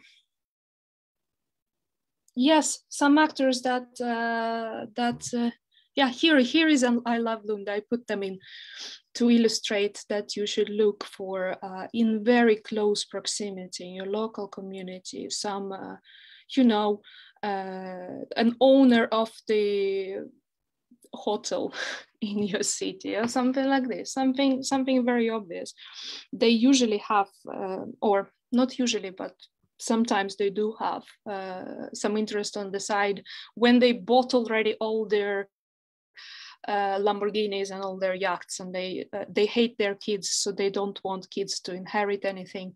then they have some money that they could invest in you, some little money. Um, yes, advantages and pitfalls. Uh, this is actually this is actually it. There are a couple two slides. I wanted to once again encourage you to approach raising finance strategically it's not necessarily that the lowest hanging fruit is the best one or appropriate for you just at this point. Mm. And in the beginning, I mentioned that it good, it's good to, when, when one has these kinds of workshops, it's good to have post-it notes in hand and just like brainstorm and write different things. And then you would have ideally uh, some kind of um, organized way to to to uh, think about your resources. You could have columns with um, with the uh, oh my god, I sh- I I'm really trying to avoid saying Swedish words uh, to think about your part part goals. Um, so you can have some columns and you can move your post-it notes between them uh, depending on what's working what's not. And then you can also or you should i would encourage you to have an action plan that is very very very concrete very concrete a lot of entrepreneurs disregard that when i just joined the scene here in lund I was also like, no, no, no, no, no. I will not be spending time on writing 40 pages business plan. And actually, I do think that you should not spend time on writing 40 pages business plan, but some simple, lean, agile ways to, to, to track, uh, to test, uh, to see what you have done and what worked, what didn't work can, can bring you tremendous learning. Uh, I think this is it. There is a link. Um, I will convert my presentation into PDF for those who want. So probably the link will not work from a PDF, but just copy the, uh, the name and put it in a YouTube. It's just a three minutes video. It's, um, it's fantastic, I think. It's uh, about uh, investment, the first investment into the Alibaba, or not the first investment, but uh, the one that really made them take off. And the investor this um, wealthy individual that that put this money in, he explains why he did that, uh, and it's very interesting. He basically says in the end he had he had a passion in his eyes. Um, so, yes, some some seed of thought there. Um, yes, I'm done. I don't know, we do not have, it's exactly 2.30. So I hope you managed to ask the most critical questions in, in the process. Um, yes, you, Tanya. Uh, we're still open for any questions that the attendees might have during the time. Mm -hmm.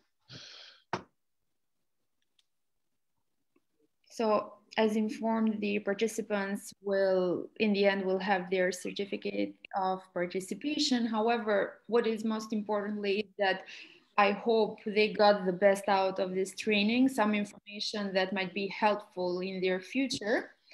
But since we are still here, we can have a kind of discussion with each other, interaction.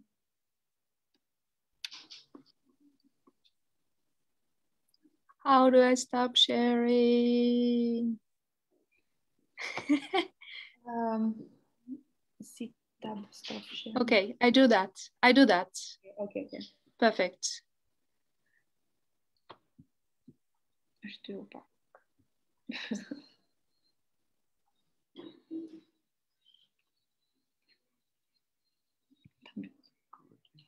okay.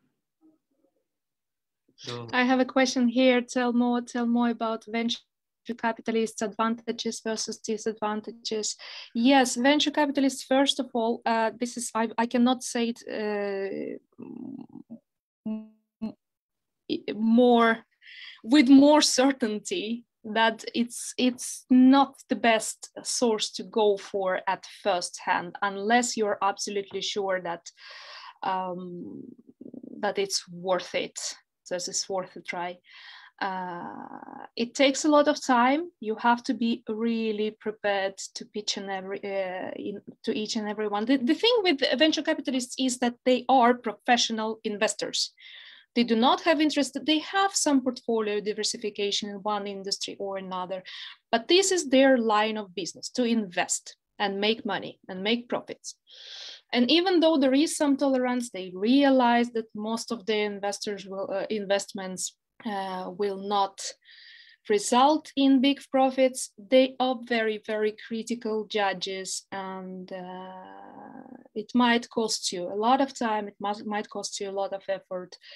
Uh, and uh, if you are lucky enough, you probably have to give up so much of your company at early stage. So take it with caution. Um, unless you are given an opportunity that is very yes another thing it's it's if you go for venture capital quite early in the process i would advise advise that you combine it with some other source of finance that you then diversify diversify your financiers we've had uh, uh, considered, we never got venture capital actually, uh, but we've considered involving uh, a venture capital investment together for uh, with the European grant. Even, even in this way, it could work. Uh, but don't rely solely, I would say, or don't expect to um, to get that soon enough and enough um, on, on the on the attractive conditions enough because as I said, they are professional uh, professional investors. They are not necessarily good for your company in terms of expertise. They will put a person on your board that will not that will only care about you uh, providing the hockey stick, and that can be quite quite destructive for a small firm. Hmm? Thank you. If there are no more questions, then I'd like to thank you all, the ones that stayed until the end. I really hope that you enjoyed this event and workshop. We tried to, to make a kind of uh, meetup for all the entrepreneurs in the uh, Western Balkan countries, also make a kind of comparison with a developed country like Sweden. Um, we really hope that we got our, I mean, we achieved our objectives and we're really happy for that. Thank you. Thank you very much. It was a Thank pleasure.